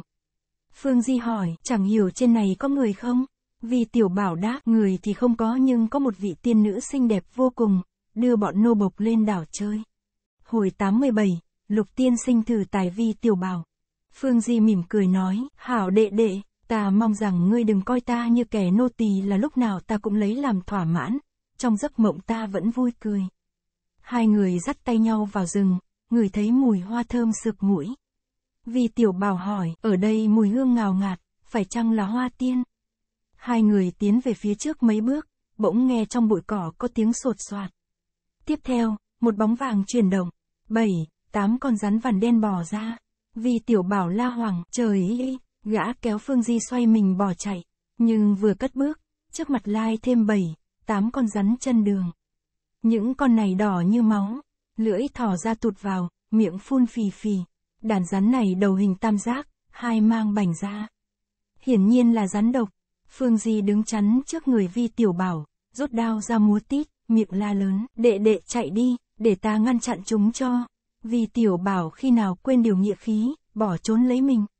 Gã vội rút lưỡi chùy thủ ra nói, chạy qua bên này, gã kéo Phương Di chạy xéo đi. Vừa đi được hai bước, bỗng thấy đầu cổ mắt lạnh, một con rắn ở trên cây đeo tròng ten đã cuốn vào cổ gã. Vì tiểu bảo chẳng còn hồn vía nào nữa, rú lên một tiếng. Phương Di vội vươn tay nắm lấy mình rắn. Vì tiểu bảo thét, không được, gã chưa dứt lời, con rắn đã ngoái lại cắn vào mờ bàn tay Phương Di rồi bám chặt không buông ra nữa. Vì tiểu bảo vội vung chùy thủ chặt đứt con rắn làm hai đoạn. Giữa lúc ấy trên cổ chân hai người đều bị độc xà quấn lấy. Vì tiểu bảo vung chùy thủ lên chặt thì chân bên phải đau nhói, vì bị rắn độc cắn trúng. Phương Di Di vứt bỏ đơn đao, ôm lấy gã vừa khóc vừa nói, bữa nay vợ chồng ta bỏ mạng nơi đây rồi. Vì tiểu bảo nhờ con lưỡi chùy thủ sắc bén phi thường, mỗi lần vung lên là một con rắn bị chặt đứt. Nhưng những rắn độc từ trong rừng kéo ra mỗi lúc một nhiều.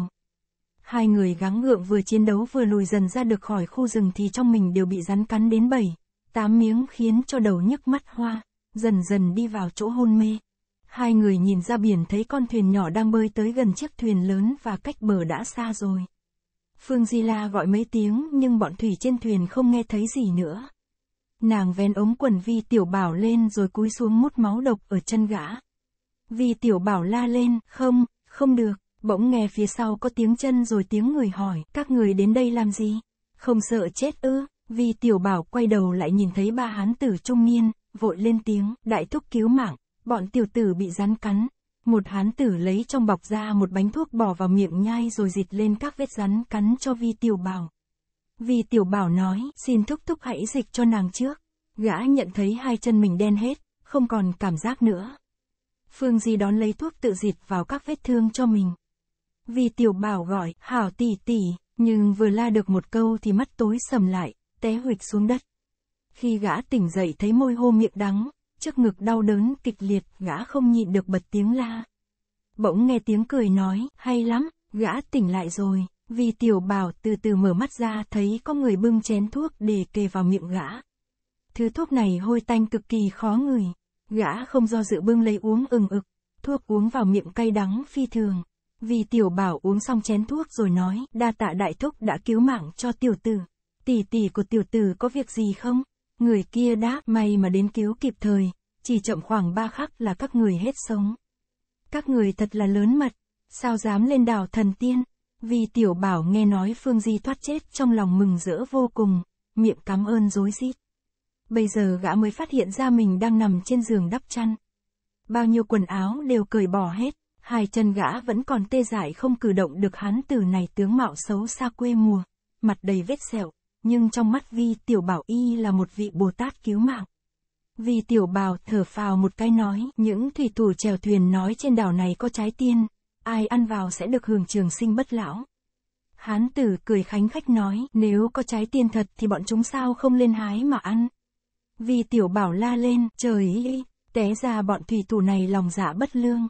Trên thuyền tiểu nhân còn có người bạn, đừng để, đừng để bọn tàn ác làm hại y, đại thúc ơi. Xin đại thúc tìm cách cứu mạng cho y. Hán tử mặt mũi xấu xa nói, thuyền đã ra đi từ ba bữa trước, bây giờ biết đâu mà kiếm. Vì tiểu bảo lộ vẻ bâng khuâng hỏi, sao lại đi từ ba ngày trước? Hán tử đáp, người đã hôn mê ba ngày ba đêm, chắc người chưa tự biết mà thôi. Vì tiểu bảo nhớ tới song nhi, tùy thị võ công cao cường nhưng một mình trơ trọi giữa nơi biển cả bát ngát thì làm sao thoát được độc thù của bọn hung đồ. Gã nghĩ tới đây không khỏi bồn chồn trong dạ.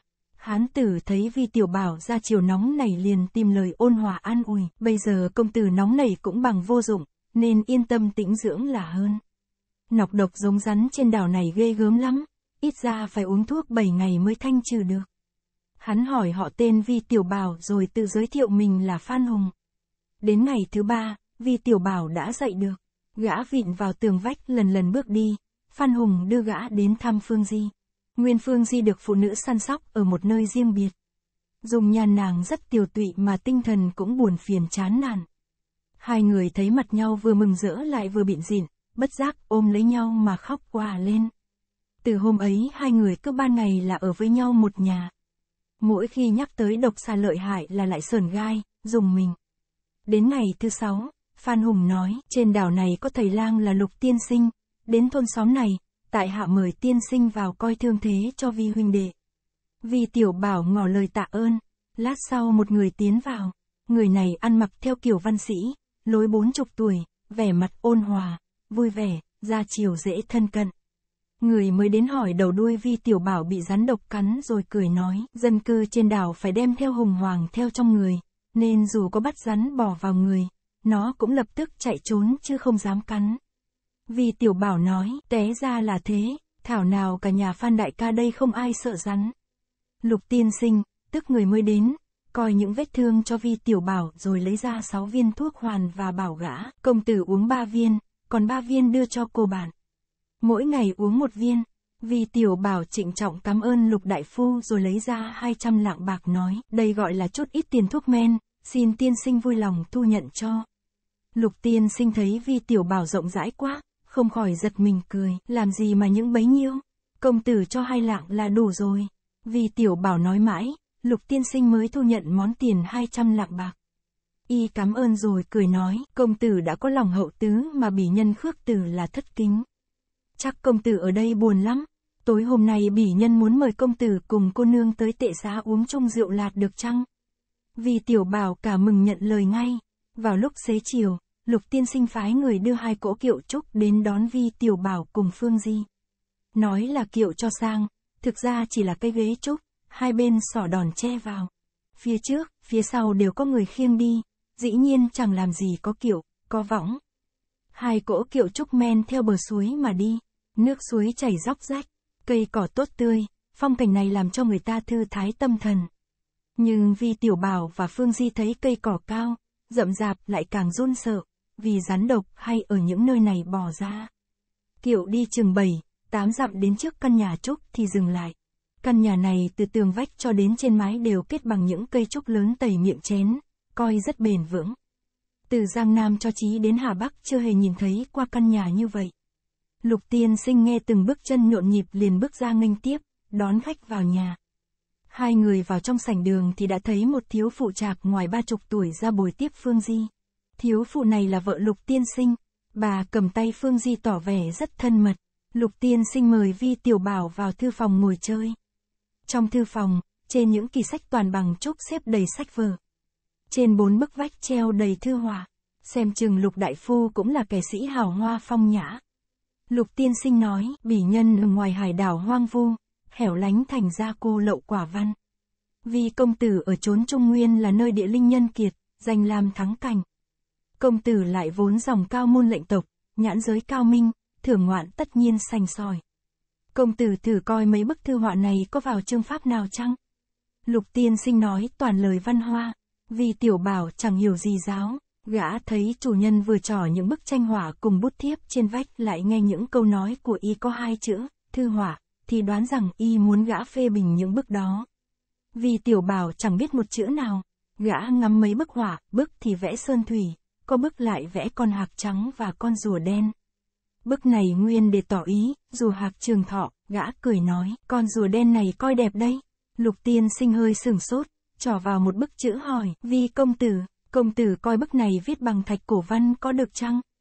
Vì tiểu bảo thấy những chữ ngoằn ngoèo như vẽ bùa liền gật đầu đáp, hay, bức này hay lắm. Lục tiên sinh lại trò vào một bức đại, tự hỏi, bức này phòng theo chữ khắc vào đá trên lang nha đài thời nhà tần. Công tử thấy thế nào? Vì tiểu bảo nghĩ thầm, bức nào mình cũng khen là hay, là đẹp thì thành ra vô vị. Gã liền lắc đầu đáp, bức này chữ viết không được hay lắm. Lục tiên sinh nét mặt cung kính nghiêm nghị nói, xin công tử chỉ điểm những, bại bút, trên bức chữ này. Vì tiểu bảo đáp, bức này, bại bút, quá nhiều mà, thắng bút, rất ít. Vì tiểu bảo thấy lục tiên sinh bảo vạch rõ những chỗ, bại bút, gã tưởng đã có, bại bút, tất có, thắng bút, nên mới đáp là, bại bút rất nhiều mà thắng bút không có mấy. Ngờ đâu lục tiên sinh nghe gã nói đến hai chữ, thắng bút, không khỏi ngần người, vì chẳng ai nói thắng bút bao giờ.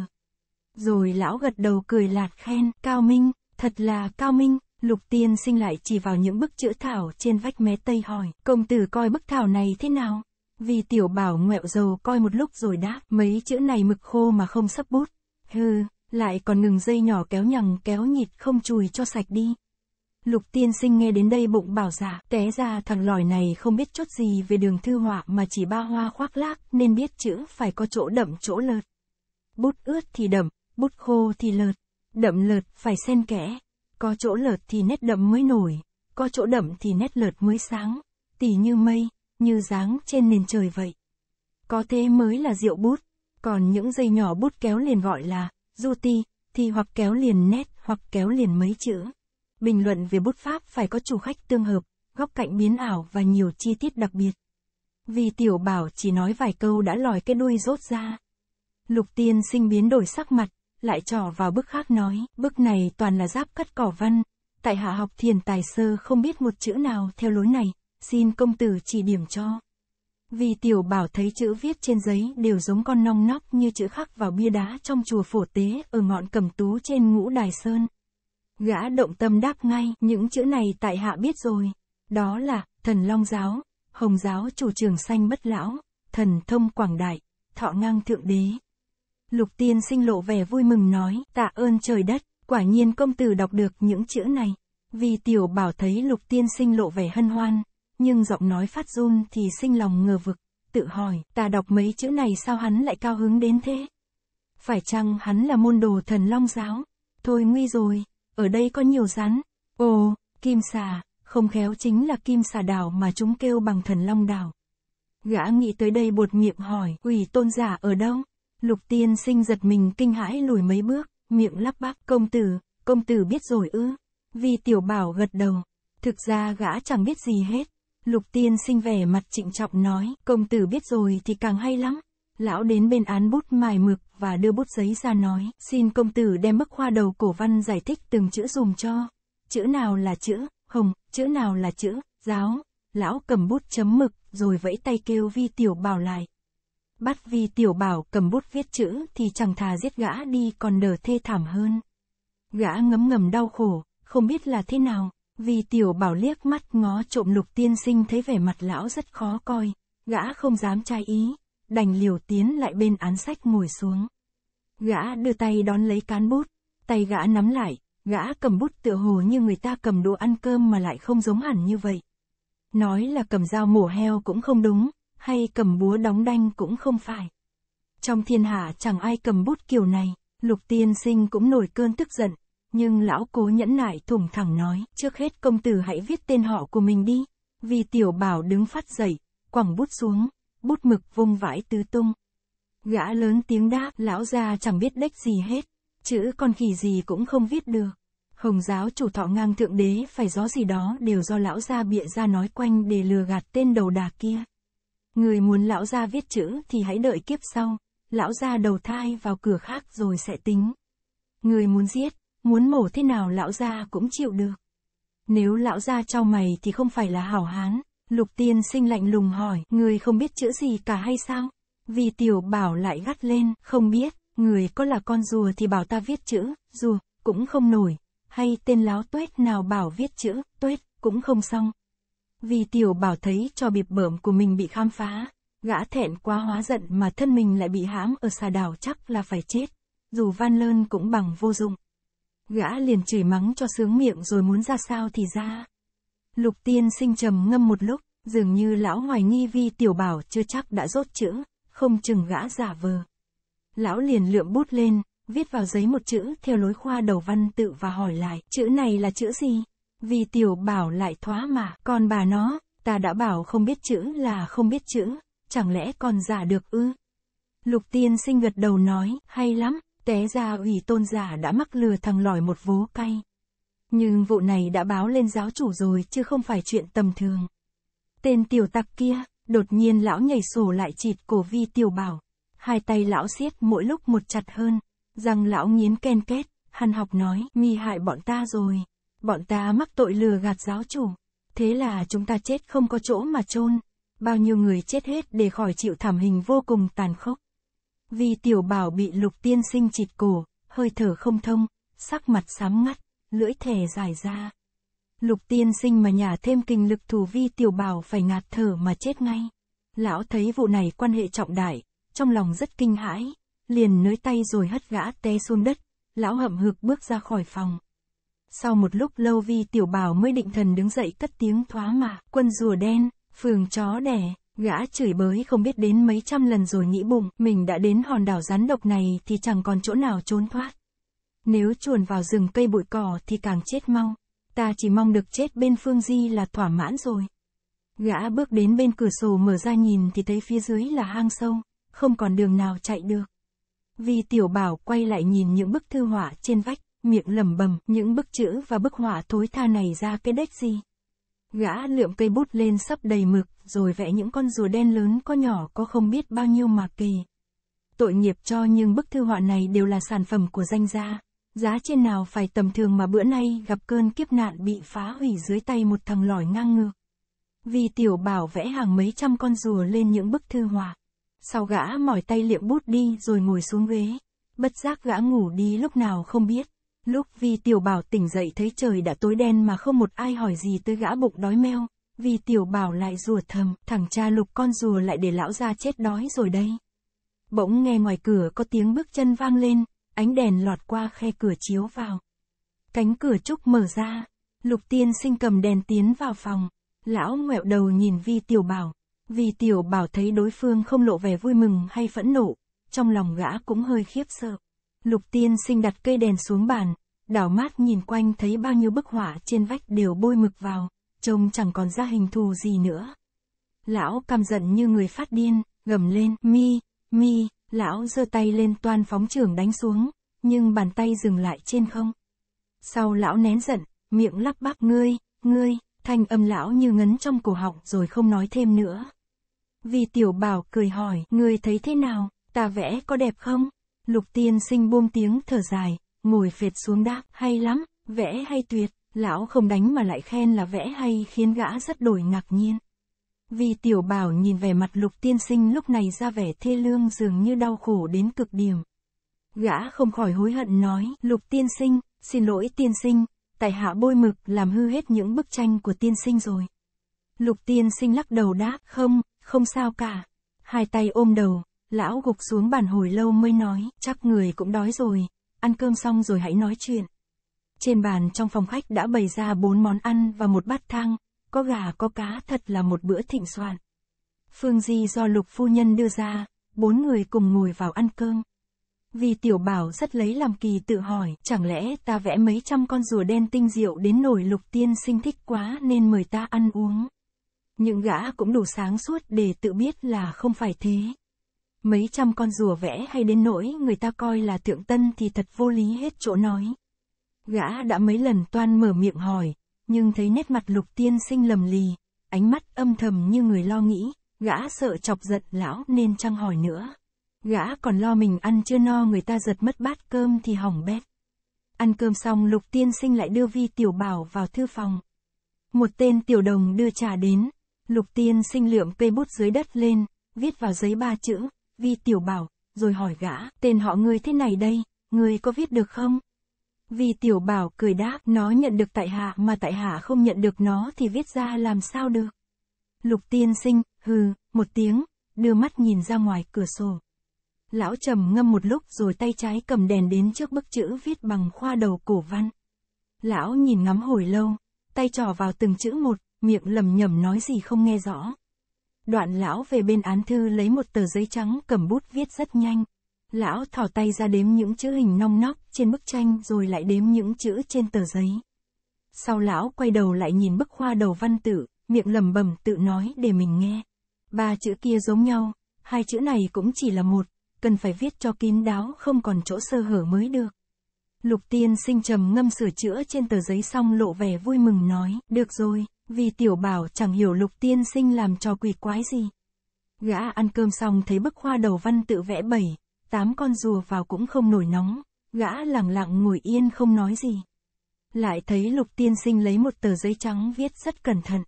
Hồi 88, học khoa đầu văn kêu trời như bọng. Lần này lục tiên sinh viết rất thong thả. Lão viết xong gục gặc cái đầu, khẽ đọc lại một lượt. Vì tiểu bảo chỉ nghe loáng thoáng những gì, thần long đảo.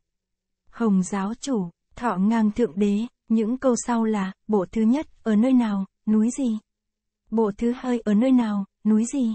Gã đột nhiên tỉnh ngộ biết những câu này là chính gã đã bịa ra ở chùa phổ tế để bịp hủy tôn giả. Lúc đó gã chỉ lo thoát thân cho lẹ mà bịa chuyện. Ngờ đâu ủy tôn giả lại tin là thật về đảo tuyên dương ầm ỉ, gã lo thầm, hôm ấy ủy tôn giả mời ta đến đảo thần long ra mắt giáo chủ ta nhất định không chịu. Rẻ đâu mà đưa lối cụ ý đưa đường, thuyền lại trèo tới đây.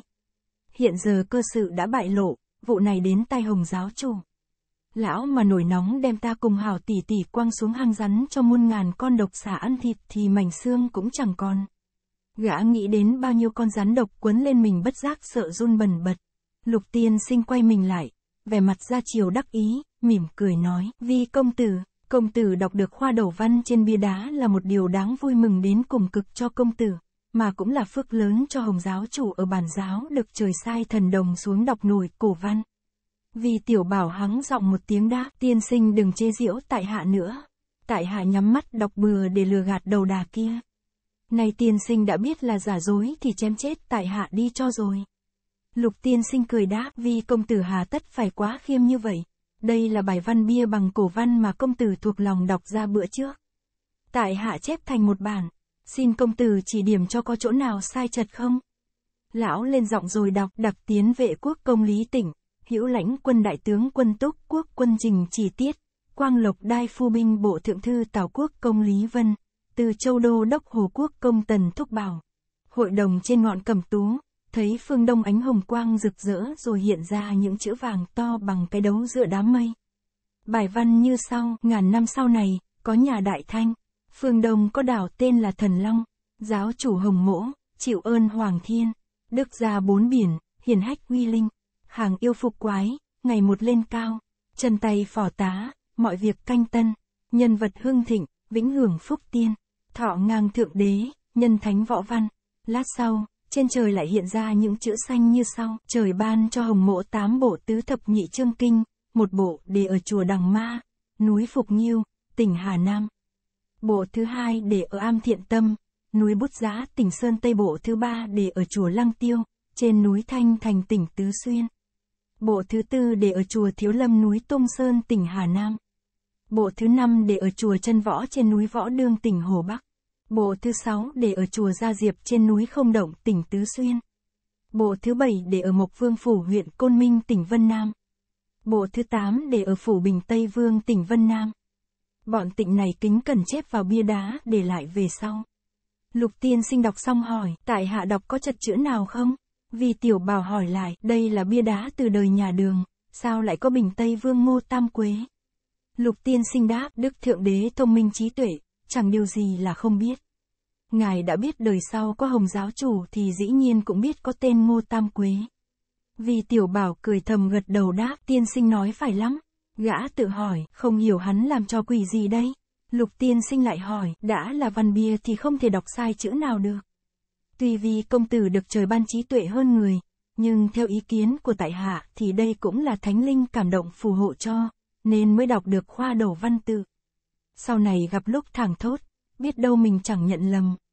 Vậy hay hơn hết là vi công tử học thuộc lòng bài văn bia này để phòng khi giáo chủ tuyên triệu, có thể đọc trơn như cháo chảy. Hồng giáo chủ mà vui dạ ngài sẽ ban thưởng rất nhiều. Vì tiểu bảo đột nhiên tĩnh ngộ nói, té ra là thế, té ra là thế. Bây giờ gã mới hiểu ủy tôn giả cùng lục tiên sinh đã bẩm báo với hồng giáo chủ là có thằng nhỏ đọc được văn tự trên bia đá. Nhất định hồng giáo chủ sẽ tuyên triệu gã vào tra hỏi. Không ngờ câu chuyện hoàn toàn giả dối. Lục tiên sinh sợ hồng giáo chủ hạch tội, mới làm ra bài văn bia giả để gạt lão. Lục tiên sinh nói, bây giờ tại hạ đọc câu nào? Vì công tử cũng đọc câu ấy cho thuộc lòng kỳ cho đến lúc không còn chữ nào sai chật nữa mới thôi. Đoạn bắt đầu đọc, năm trình quan thứ hai, tháng 10, ngày giáp tý, việc xảy ra đến thế này, vì tiểu bảo chẳng học cũng không được. Huống chi gã học thuộc để đến gặp hồng giáo chủ lại là một chuyện thú vị cho gã. Vì tiểu bảo liền đọc theo, vì tiểu bảo thiên tư thông tuệ mà bảo gã học thuộc thiên đoàn và mấy trăm chữ nguyên là chuyện dễ. Có điều bài văn này có nhiều thư chữ lát léo, ý nghĩa mơ hồ khó hiểu. Gã đành theo lục tiên sinh đọc hết lượt này tới lượt khác may lục tiên sinh là người nhẫn nại và lúc này trong lòng thư thái. Lão không ngại khó khăn, hết lòng dạy gã học. Vì tiểu bảo phải đọc ba mươi mấy lần mới thuộc không còn chữ nào sai chật. Tối hôm ấy gã ngủ ở nhà lục tiên sinh. Sáng hôm sau gã cùng Phương Di ăn cơm xong liền học lại. Lục tiên sinh nghe gã đọc đã nhớ hết thì trong lòng rất hoan hỉ. Lão lại lấy bút viết bài văn bia theo lối khoa đầu văn để dạy vi tiểu bảo nhận mặt chữ. Lão theo thứ tự bài văn bia bịa đặt, câu đầu là, Duy Trinh Quan nhị nghiên, vì tiểu bảo phải học mặt chữ khoa đầu kêu khổ vô cùng. Khoa ẩu văn tự kéo nhằng kéo nhịt, hình trạng nhiều chữ không khác nhau mấy mà bắt gã phân biệt, lại viết ra từng chữ thì thật là giết người. Bản tính vì tiểu bảo là con người hiếu động, gã phải ngồi yên một khắc cũng đã khó rồi, bây giờ chỉ bảo gã viết 10 chữ từ nhất đến thập cũng là khó khăn, chứ đừng nói chuyện bắt gã học khoa đầu văn. Thực ra bài văn khác trên thạch kệ ý nghĩa khác hẳn, chứ còn thua gì đến bài văn mới tạo ra. Lục tiên sinh cũng chẳng biết một chữ nào về khoa đầu văn. Hắn chỉ đếm số chữ trên tờ giấy mà ủy tôn giả đã phóng lại ở trên thạch kệ, rồi lão làm một bài khác đúng bấy nhiêu chữ để thay vào. Mục đích của lão chỉ cốt làm cho hồng giáo chủ vui lòng về bài văn bia, còn nguyên văn bài đó khắc trên đá lão chẳng cần biết họ nói cái gì. Bài văn khắc trên thạch kệ và bài văn viết ra dĩ nhiên có hàng trăm chỗ sơ hở. Tỷ như câu, duy trinh quan nhị niên, năm trinh quan thứ hai, thì chữ nhị là chữ thứ tư, chữ nhị chỉ có hai nét mà chữ thứ tư trên khoa đầu văn có đến 18 nét, bất luận thế nào cũng chẳng thể nói là chữ nhị được. Chữ thứ ba ở khoa đầu văn chỉ có ba nét mà bảo là chữ quan, chẳng chịt đến mấy chục nét thì thật là phi lý hết chỗ nói. Nhưng muốn đặt một bài để che giấu cho kín đáo đối với bài văn khắc trên bia đá thì dù lục tiên sinh có tài giỏi đến đâu trong lúc thẳng thốt cũng chẳng thể làm ngay được. Hồng giáo chủ là một tay đại trí tuệ thì bài văn bia giả này khó lòng che mắt y được. Lục tiên sinh cũng biết thế, nhưng đại nạn lâm đầu, lão đành tạm thời lấp liếm được chút nào hay chút ấy, nếu không may mà xảy ra tai vạ thì cũng đành phải chịu. Hôm ấy lục tiên sinh dạy vi tiểu bảo nhận chữ, tiến bộ rất là chậm chạp. Từ sáng đến trưa gã mới nhận được 8 chữ khoa đầu văn. May mà lối chữ này vốn dĩ kỳ hình quái trạng nên dù vi tiểu bảo viết khó coi đến đâu cũng không làm cho người ta rách mắt. Nếu viết lối khải thư thì một đứa nhỏ chưa từng viết chữ bao giờ, bắt đầu vạch chữ ra, ai coi vào cũng nhận thấy ngay điều trá ngụy. Buổi chiều vi tiểu bảo học thêm được 7 chữ, đến tối lại thêm được 6 chữ nữa. Thế là cả thầy trong ngày gã học được 21 chữ.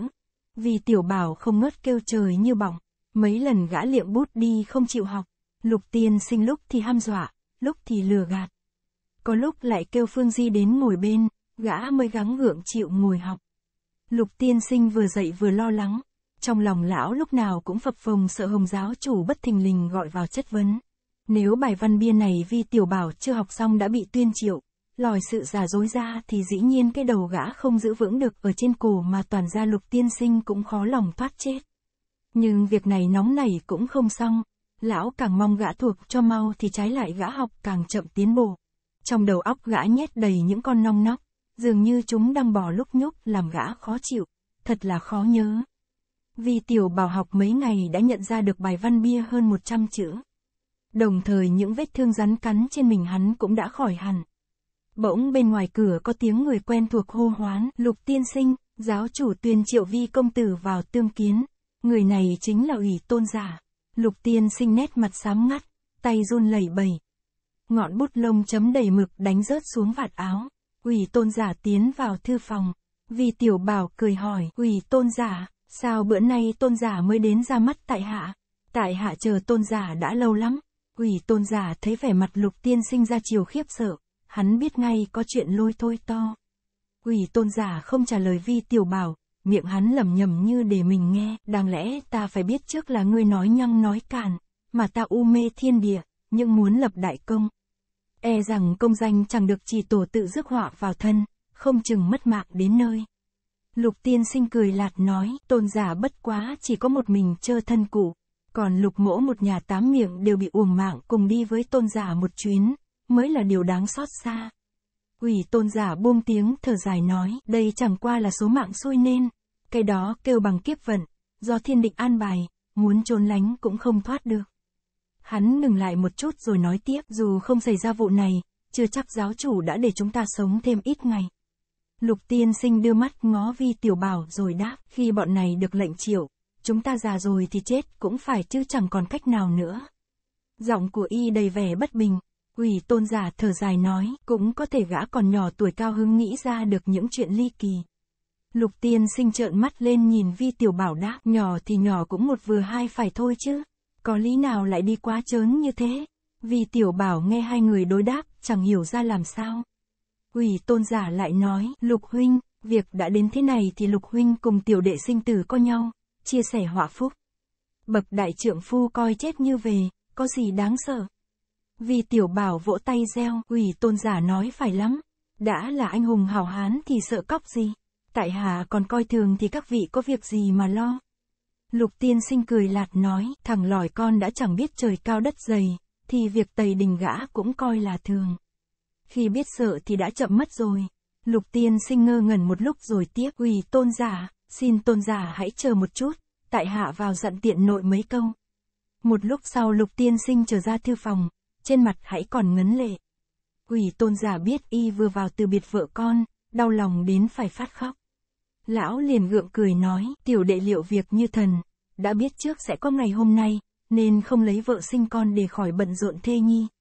Lục tiên sinh phần nộ giơ tay lên, gan bàn tay ẩn hiện màu xanh biếc, vì tiểu bảo sợ hãi, ối, lên một tiếng. Lục tiên sinh từ từ hạ tay xuống, hàn học nói, cả chuyện này cũng màng mà nói giỡn ư. Quỷ tôn giả nhăn nhó, cười đáp, xin lỗi lục huynh, tiểu đệ lỡ lời, xin lục huynh cho tiểu đệ một viên độc long hoàn. Lục tiên sinh gật đầu, y móc trong bọc một chiếc bình sứ, mở nút đổ ra mấy viên thuốc hoàn màu hồng, nói, thứ thuốc hoàn uống vào là tắt thở ngay. Nếu chưa phải lúc nguy nan tối hậu thì đừng có uống vào mà chết. Quỷ tôn giả đón lấy viên thuốc cười nói, đa tạ lục huynh, bạn đầu đà này không coi rẻ tính mạng đâu. Vì tiểu bảo lúc ở trên ngũ hành sơn đã mắt thấy hủy tôn giả chiến đấu với thập bát la hán chùa thiếu lâm, oai phong lẫm liệt, mà xin thuốc chữa sẵn để đề phòng khi hồng giáo chủ xử tội là tự sát liền. Gã mới biết tình trạng cực kỳ nguy ngập, không khỏi sinh lòng sợ hãi.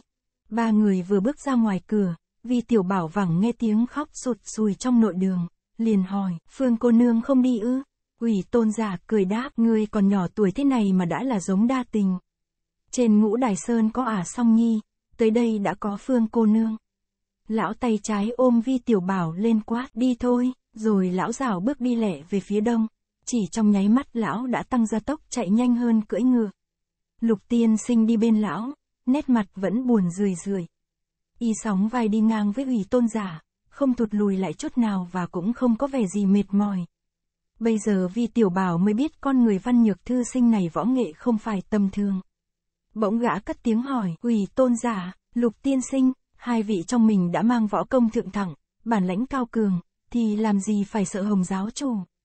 Các vị, ủy tôn giả đưa tay bịt miệng gã, nổi giận quát, ở trên đảo thần long này mà ngươi dám thốt ra những lời đại nghịch vô đạo đến thế ư.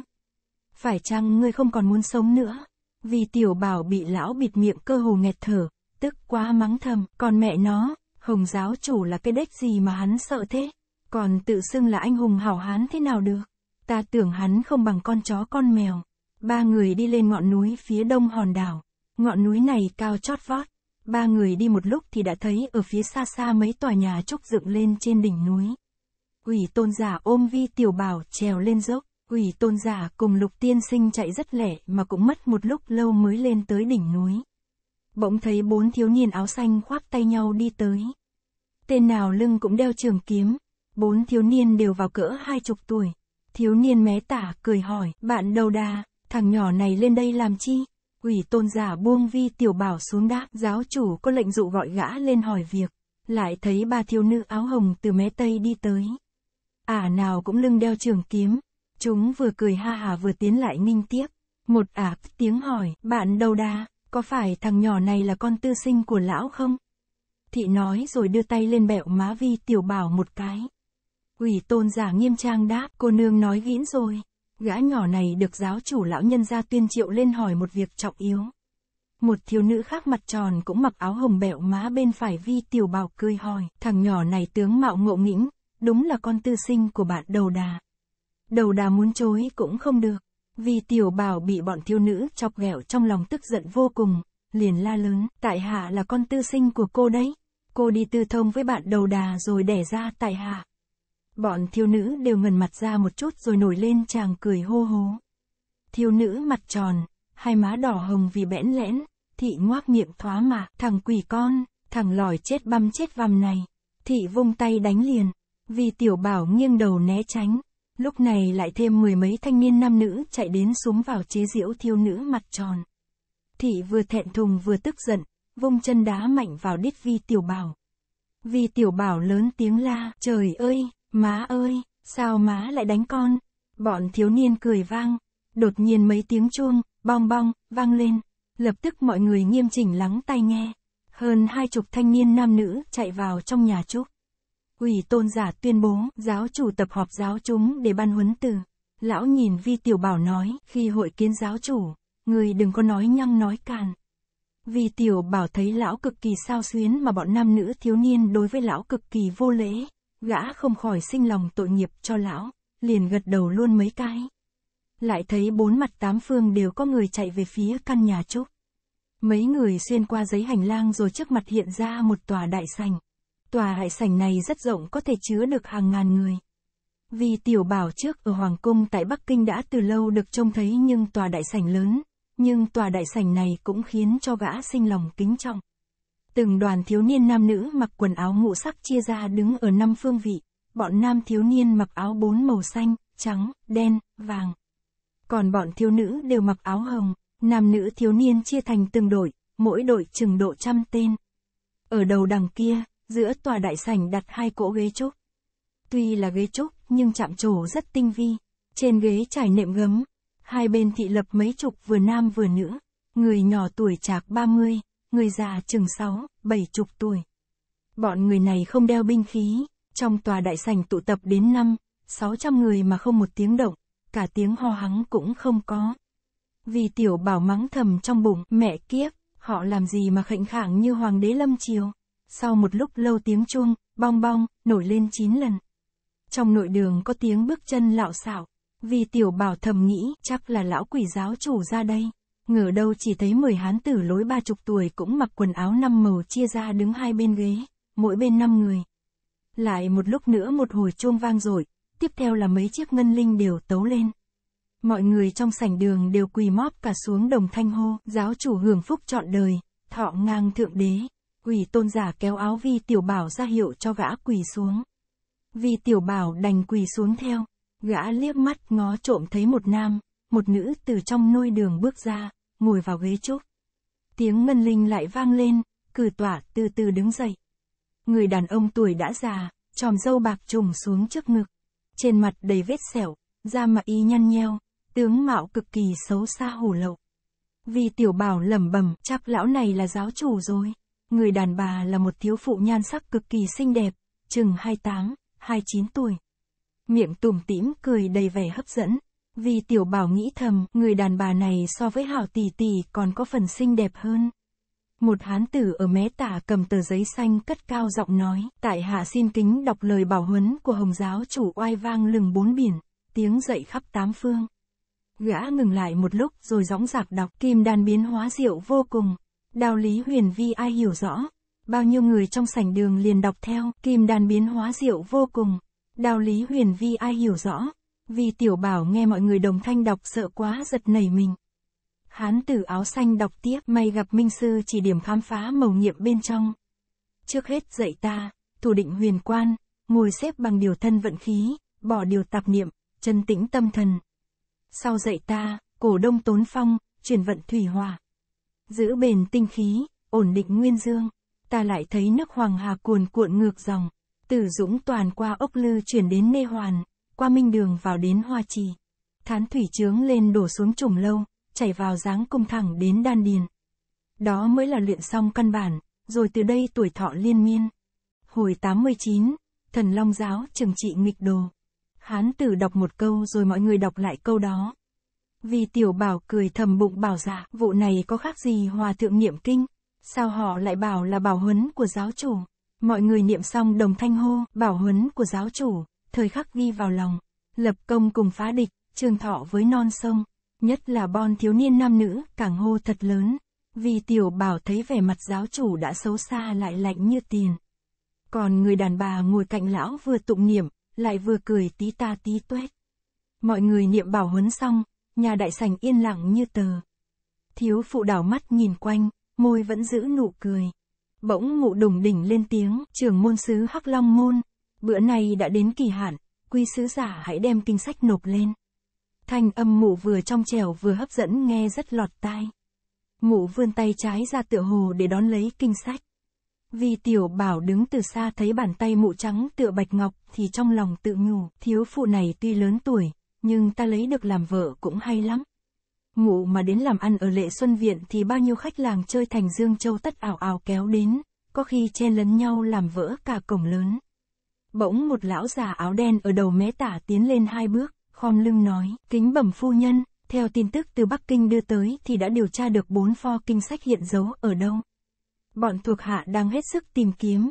Theo lời bảo huấn của giáo chủ thì bọn thuộc hạ có phải hy sinh tính mạng cũng vui lòng. Chỉ cầu sao lấy được kinh sách về dâng lên giáo chủ cùng phu nhân. Giọng nói của lão phát run, vì lão sợ hãi quá chừng.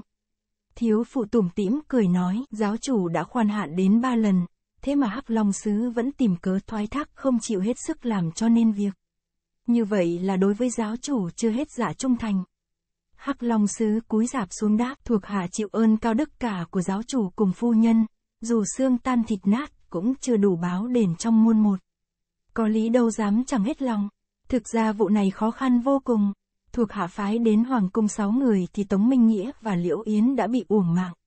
Vì tiểu bảo nghe nói đến Liễu Yến, gã tự hỏi, ngũ cung nữ béo chùn béo chuột quả là môn đồ của thần Long Giáo. Còn tên Tống Minh Nghĩa nào đó phải chăng là người cung nữ giả? Thiếu phụ giơ tay trái lên vẫy vi tiểu bảo, cười nói, tiểu đệ đệ, đệ đệ hãy lại đây. Vì tiểu bảo giật bắn người lên khẽ hỏi, phải chăng phu nhân kêu tiểu tử? Thiếu phụ cười đáp, phải rồi ta kêu tiểu đệ đệ. Vì tiểu bảo liếc mắt ngó lục tiên sinh và ủy tôn giả đứng hai bên. Lục tiên sinh nói, phu nhân đã chuyển hô, vậy công tử tiến lên cung kính hành lễ. Vì tiểu bảo lẩm bẩm, ta không cung kính thì đã sao? Nhưng gã cũng tiến lên kính cẩn khom lưng thi lễ, miệng hô, giáo chủ cùng phu nhân hưởng phúc trọn đời, thọ ngang thượng đế. Hồng phu nhân rất cao hứng cười hỏi, chú nhỏ này ngoan lắm. Ai dạy chú dưới chữ, giáo chủ, thêm vào ba chữ, cùng phu nhân. Nguyên giáo chúng trong thần long giáo chỉ hô, giáo chủ hưởng phúc trọn đời, thọ ngang thượng đế. Ai gia nhập thần long giáo cũng học thuộc lòng câu chúc này, chẳng dám thêm vào hay bớt đi một chữ nào. Vì tiểu bảo thấy vị phu nhân này đã xinh đẹp vô cùng lại quyền thế rất lớn, có tầng bốc mụ cũng chẳng mất vốn mất lãi gì, gã liền thêm đại vào ba chữ, cùng phu nhân. Vì tiểu bảo nghe hồng phu nhân hỏi vây liền đáp, giáo chủ được phu nhân bầu bạn thì thọ ngang thượng đế mới là thú vị. Bằng không thì sau một vài trăm năm phu nhân quy tiên rồi, một mình giáo chủ chẳng hiu quạnh tĩnh mịch lắm du. Hồng phu nhân nghe gã nói cười tươi như hoa nở. Hồng giáo chủ cũng không khỏi nhếch mép, tay quét tròm dâu dài rồi gật đầu mỉm cười. Bọn giáo chúng thần long giáo hễ thấy mặt giáo chủ là kinh hồn táng đờm, chẳng khác gì chuột sợ mèo. Còn ai dám buột miệng nói can. Ban đầu họ nghe vi tiểu bảo nói vậy đều sợ hãi rụng rời, bàn tay ướt đẫm mồ hôi. Sau thấy giáo chủ cùng phu nhân nét mặt tươi cười, chúng mới yên lòng. Hồng phu nhân tươi cười hỏi, ba chữ đó chính tiểu đệ đệ tự nghĩ ra thêm vào ư. Vì tiểu bảo đáp, đúng thế, tiểu tử nghĩ rằng không thêm vào không được, vì trong khoa đầu văn khắc trên bia đá đã có danh tự của phu nhân rồi. Gã nói câu này khiến lục tiên sinh sợ tái mặt, khác nào bị rớt xuống hố băng, bụng bảo dạ, mình đã mất bao nhiêu tâm huyết mới dạy cho gã học thuộc lòng bài văn bia. Không ngờ bị gã thay đổi một cách đột ngột, gã mà thêm danh tự của phu nhân vào thì tất số chữ trong bài văn bia sẽ chênh lệch không còn đúng nữa. Biết làm thế nào, rồi y than thầm, thẳng lòi ngang ngược này bột miệng huynh hoang, tất gã đi đến bài văn bia của mình ra đọc loạn xa ngông. Nguyên bài văn bia mình làm đã có chỗ sơ hở, Gã lại giở trò này thì còn chi mà không bại lộ. Hồng phu nhân sửng sốt hỏi, người nói trên bia đá có khắc cả tên ta ư? Vì tiểu bảo đáp, đúng thế, ngoài miệng gã đáp, đúng thế, mà trong bụng la thầm, hỏng bét, nếu mụ bắt ta đọc thuộc bài văn bia thì làm gì trong đó có tên mụ. Mày ở chỗ hồng phu nhân không căn vặn chuyện đó, mụ hỏi sang chuyện khác, phải chăng ngươi họ Vi và ở Bắc Kinh tới đây? Vì tiểu bảo lại đáp, đúng thế, Hồng phu nhân hỏi, bạn đầu đà đã nói là khi ngươi ở Bắc Kinh đã gặp một cô nương béo mập tên gọi là Liễu Yến và thị đã truyền dạy võ công cho ngươi, có đúng thế không? Vì tiểu bảo nghĩ bụng, những điều gì ta nói với ủy tôn giả, lão đều bẩm lại với giáo chủ cùng phu nhân hết rồi. Bây giờ sự đã lỡ thì cho lỡ luôn, và lại Liễu Yến chết rồi, còn tìm đâu ra được để đối chứng. Gã liền đáp, đúng thế, Liễu A Di là bạn với thúc thúc của tiểu tử. Ngày cũng như đêm A Di thường đến chơi nhà tiểu tử. Hồng phu nhân cười khanh khách hỏi, thị đến nhà ngươi làm chi? Vì tiểu bảo đáp, A Di cùng thúc thúc nói chuyện cười đùa. Có lúc cả hai người còn ôm lấy nhau mà hôn. Các vị tường tiểu tử không biết, nhưng tiểu tử đã ngó trộm thấy rồi. Gã rất thạo nghề nói dối và biết rằng càng nói những chuyện ly kỳ khúc chiết càng khiến người ta tin tưởng, nên gã cứ bịa đại gia mà nói. Hồng phu nhân cười nói, người thật là một thằng nhỏ tinh quái. Người ta hôn nhau cũng giòm trộm. Mụ quay lại hỏi Hắc Long Sứ, người đã nghe thấy chưa? Con nít đã nói là thật. Vì tiểu bảo nhìn theo ánh mắt hồng phu nhân thấy Hắc Long Sứ nét mặt tái mét ra chiều khiếp sợ đến cùng cực. Người run bần bật, hắn quỳ hai đầu gối xuống dập đầu năn nỉ, thuộc hạ, thuộc hạ không biết đường đôn đốc, tội đáng muôn thác. Xin giáo chủ cùng phu nhân mở, chấm CSO một sinh lộ. Thuộc hạ xin lập công chuộc tội vi tiểu bảo rất lấy làm kỳ tự hỏi, ta nói chuyện cô nương béo mập cùng thúc thúc hôn nhau thì có liên can gì đến lão? Tại sao lão lại kinh hồn táng đờm? Hồng phu nhân mãn cười nói, lập công chuộc tội ư, ngươi có công lao gì? Ta tưởng ngươi phái người đi hết sức làm việc cho giáo chủ. Rẻ đầu thị tới Bắc Kinh để mua vui. Hắc Long Sứ dập đầu binh binh, chán lão máu tươi chảy đầm đìa. Vì tiểu bảo thấy thế sinh lòng bất nhẫn, muốn nói vài câu gỡ cho lão mà trong lúc nhất thời không nghĩ ra được. Hắc Long Sứ vẫn quỷ gối tiến lên kêu ca, bẩm giáo chủ, thuộc hạ đã từng vì lão nhân ra xuất sinh nhập tử, tuy công lao chẳng có gì, nhưng cũng chịu đủ điệu cực khổ. Hồng phu nhân cười lạt, ngắt lời, người nhắc đến chuyện ngày trước làm chi? Tuổi ngươi đã già rồi còn giúp việc được cho giáo chủ mấy năm nữa. Ta tưởng ngươi đừng làm chức Hắc Long Sư nữa, há chẳng khoái hơn ư. Hắc Long Sứ ngừng đầu lên nhìn Hồng giáo chủ kêu van bằng một giọng rất tha thiết. Thưa giáo chủ, giáo chủ đối với lão thuộc hạ, lão huynh đệ không còn chút tình nghĩa cũ nào ư. Hồng giáo chủ mặt vẫn trơ như gỗ, hững hở đáp, trong bản giáo bọn lão hù hồ đồ rất nhiều, cần phải chỉnh đốn mới được. Thanh âm giáo chủ trầm trầm lai ồm ồm nghe không rõ. Từ lúc vi tiểu bảo vào bái kiến, bây giờ gã mới nghe lão nói là lần đầu.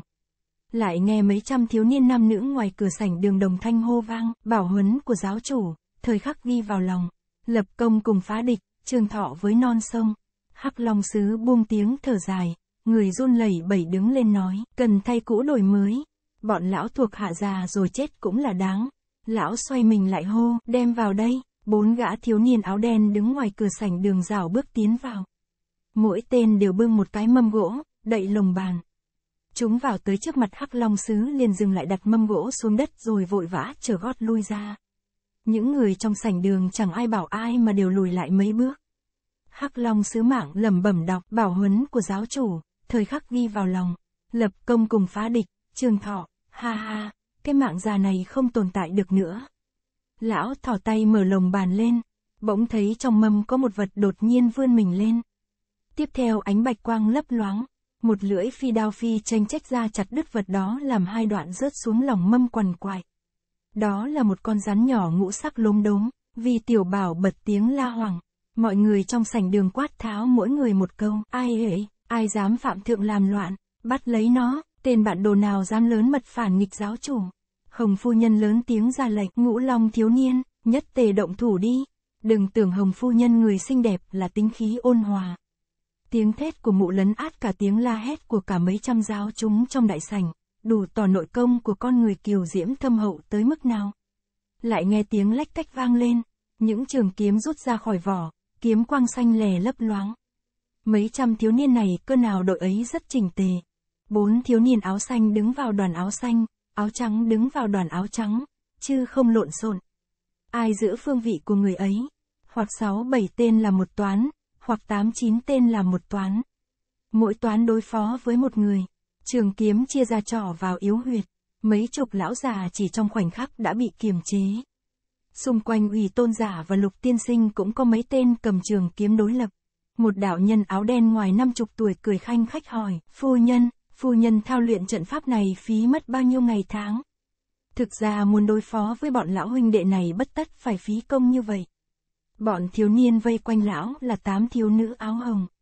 Hai tên dựng trường kiếm chỉ vào trước ngực lão quát, không được vô lễ với giáo chủ phu nhân. Đạo nhân kia cười hỏi, thưa phu nhân, còn ngũ sắc thần long kia là do tay vô căn đạo nhân này hạ sát. Phu nhân định trị tội thì xin cứ động thủ đi, sao lại để liên lụy đến người khác. Hồng phu nhân mỉm cười đáp, đạo trưởng tự mình thú nhận là hay quá rồi. Đạo trưởng ơi, giáo chủ đối xử với đạo trưởng không có gì tệ bạc lại ủy cho đạo trưởng làm trưởng môn sứ xích long môn. Đạo trưởng chỉ dưới quyền một mình giáo chủ mà ngồi trên muôn người. Cớ sao đạo trưởng lại muốn làm phản? Vô căn đạo nhân đáp, thuộc hạ không có ý tạo phản. Hắc Long Sứ là Trương Đạo Nguyệt có công lớn với bản giáo. Chỉ vì thuộc hạ của y làm việc bất lực mà phu nhân hạ sát y, nên thuộc hạ không phục, mới cả gan thỉnh cầu giáo chủ cùng phu nhân lượng tình cho. Hồng phu nhân cười nói, nếu bản tòa không chịu thì sao? Vô căn đạo nhân đáp, thần long giáo tuy do bàn tay của giáo chủ sáng lập ra, nhưng mấy vạn anh em đã vào sinh ra tử đều góp phần công lao. Thuộc hạ còn nhớ ngày trước lúc khởi sự có tất cả 1023 tên lão huynh đệ, mà đến nay kẻ thì mất mạng vì tay địch thủ, người thì bị giáo chủ chu lục, chỉ còn không tới 100 người, thuộc hạ xin giáo chủ rộng ơn tha mạng cho mấy chục người anh em tuổi già. Giáo chủ cách chức hết bọn thuộc hạ đuổi ra khỏi bản giáo cũng là đủ rồi. Giáo chủ cùng phu nhân đã chán trường bọn già nua, muốn dùng người mới thay vào, thì chỉ việc bảo bọn lão phu nhất tề rút lui là xong.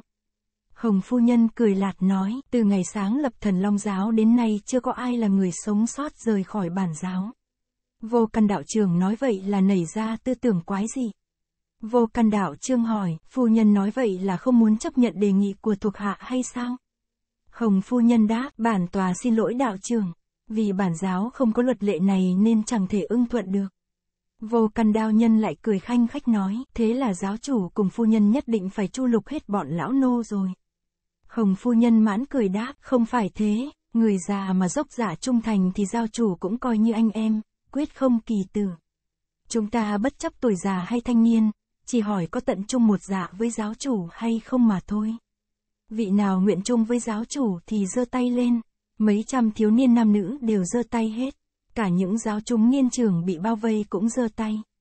Vô căn đạo nhân càng giơ tay trái cao hơn, toàn thể giáo chúng đồng thanh hô, bọn thuộc hạ xin tận chung với giáo chủ quyết chẳng hai lòng. Vì tiểu bảo thấy mọi người giơ tay lên hết, hắn cũng giơ tay theo. Hồng phu nhân gật đầu nói, thế thì hay lắm, té ra mọi người đều tận chung với giáo chủ. Cả chú em mới đến tuy không phải người bản giáo cũng tỏ dạ trung thành với giáo chủ. Vì tiểu bảo lẩm bẩm ta trung thành với con rùa đen, với quân khốn kiếp. Hồng phu nhân lại nói, nếu ai cũng dốc dạ trung thành thì chúng ta đây không có tên phản tặc nào, như vậy e không đúng. Bản tòa cần tra hỏi cặn kẽ, các vị lão huynh đệ chịu khuất tất một chút để cho trói lại. Mấy trăm thiếu niên nam nữ đồng thanh giả ran, một đại hán cao lớn la lên, hãy khoan, hồng phu nhân hỏi, bạch long sứ, bạch long sứ có điều chi cao kiến. Đại hán đáp, thuộc hạ chẳng có cao kiến gì, nhưng cảm thấy vụ này không được công bằng. Hồng phu nhân cười lạt hỏi, cha cha, bạch long sứ chỉ trích ta xử sự bất công ư. Đại hán đáp, thuộc hạ không dám, thuộc hạ đã theo giáo chủ hai chục năm, gặp việc gì cũng hăng hái xông vào. Khi thuộc hạ liều mạng cho bản giáo thì bọn nhỏ kia còn chưa ra đời. Tại sao bọn chúng mới trung thành với giáo chủ, còn bọn thuộc hạ lại không trung thành? Hồng phu nhân cười ha hà hỏi, Bạch Long Sứ nói vậy để kể công ư? Phải chăng Bạch Long Sứ cho rằng nếu không có Bạch Long Sứ Trương Chí Linh thì thần Long Giáo chẳng thể được như ngày hôm nay? Đại Hán người to lớn tức Trương Chí Linh đáp, việc sáng lập ra thần Long Giáo là công trạng của một mình giáo chủ. Còn hết thầy chỉ là kẻ tùy tùng lão nhân ra đi đánh thiên hạ chẳng có ai công lao gì đáng kể. Nhưng, Hồng phu nhân hỏi, nhưng làm sao? Trương Chí Linh đáp, nhưng nếu bọn thuộc hạ mà không có công lao thì bọn lòi con mười mấy tuổi đầu kia chẳng có chút công lao nào. Hồng phu nhân hỏi, vậy thì ta mới ngoài 20 tuổi cũng chẳng có chút công lao nào ư? Trương Chí Linh ngần ngừ một lúc rồi đáp, đúng thế, phu nhân cũng chẳng có công lao. Thuộc hạ đã nói việc sáng lập bản giáo là công lao của một mình giáo chủ lão nhân gia. Hồng phu nhân thùng thẳng hỏi, đã chẳng ai có công lao thì việc sát hại Bạch Long Sứ cũng chẳng có chi oan uổng, phải vậy chăng?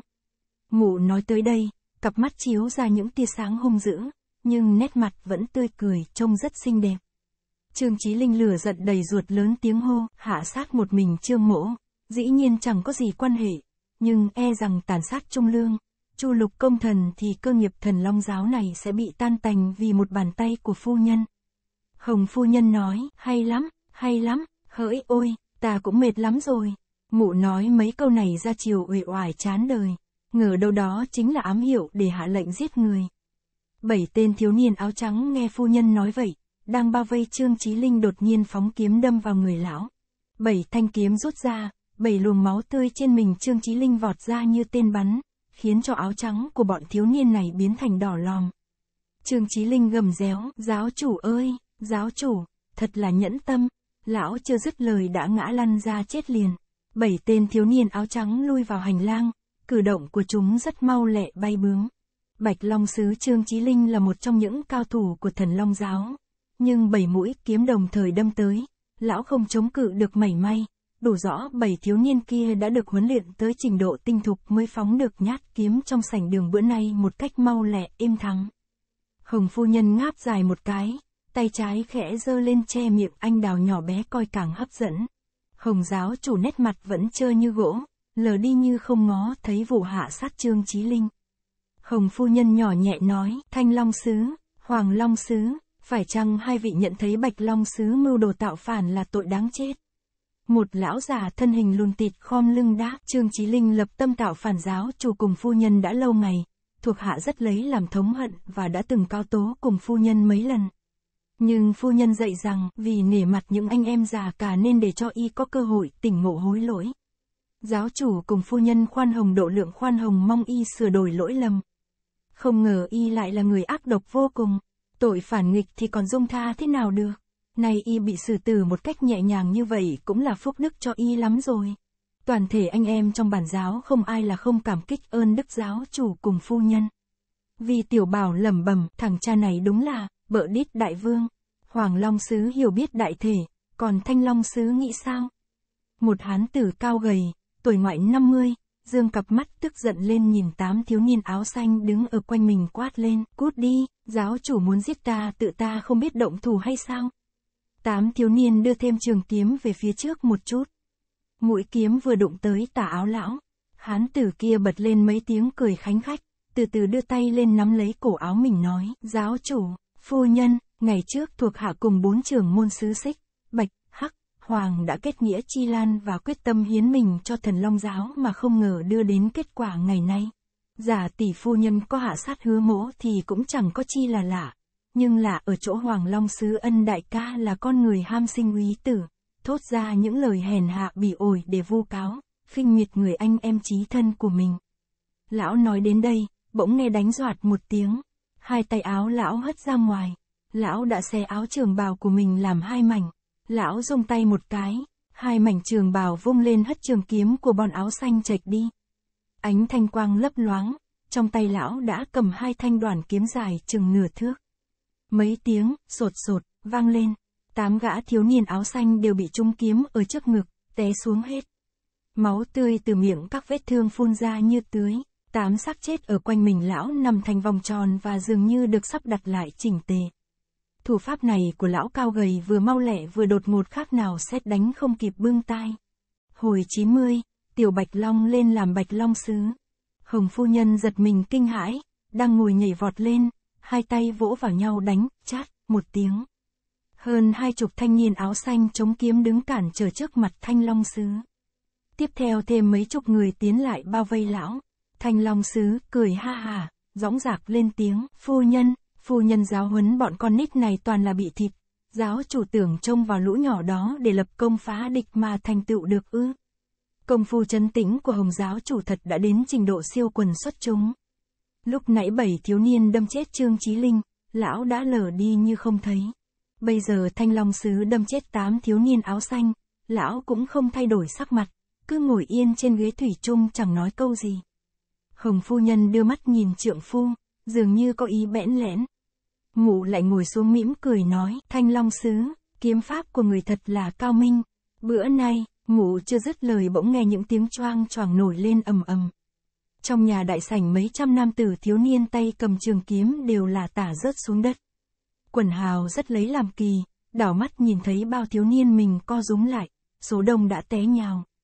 Mọi người đều nhức đầu hoa mắt chân không đứng vững, người nào công lực kém một chút ngã lăn ra trước, còn ai chưa ngã thân hình cũng lảo đảo rồi té xuống sau. Chỉ trong khoảnh khắc, trong nhà đại sảnh, người nằm ngổn ngang. Hồng phu nhân la hoảng ấp úng hỏi, tại, tật sao vậy? Người mù cũng nhũn ra từ trên ghế trúc tụt xuống.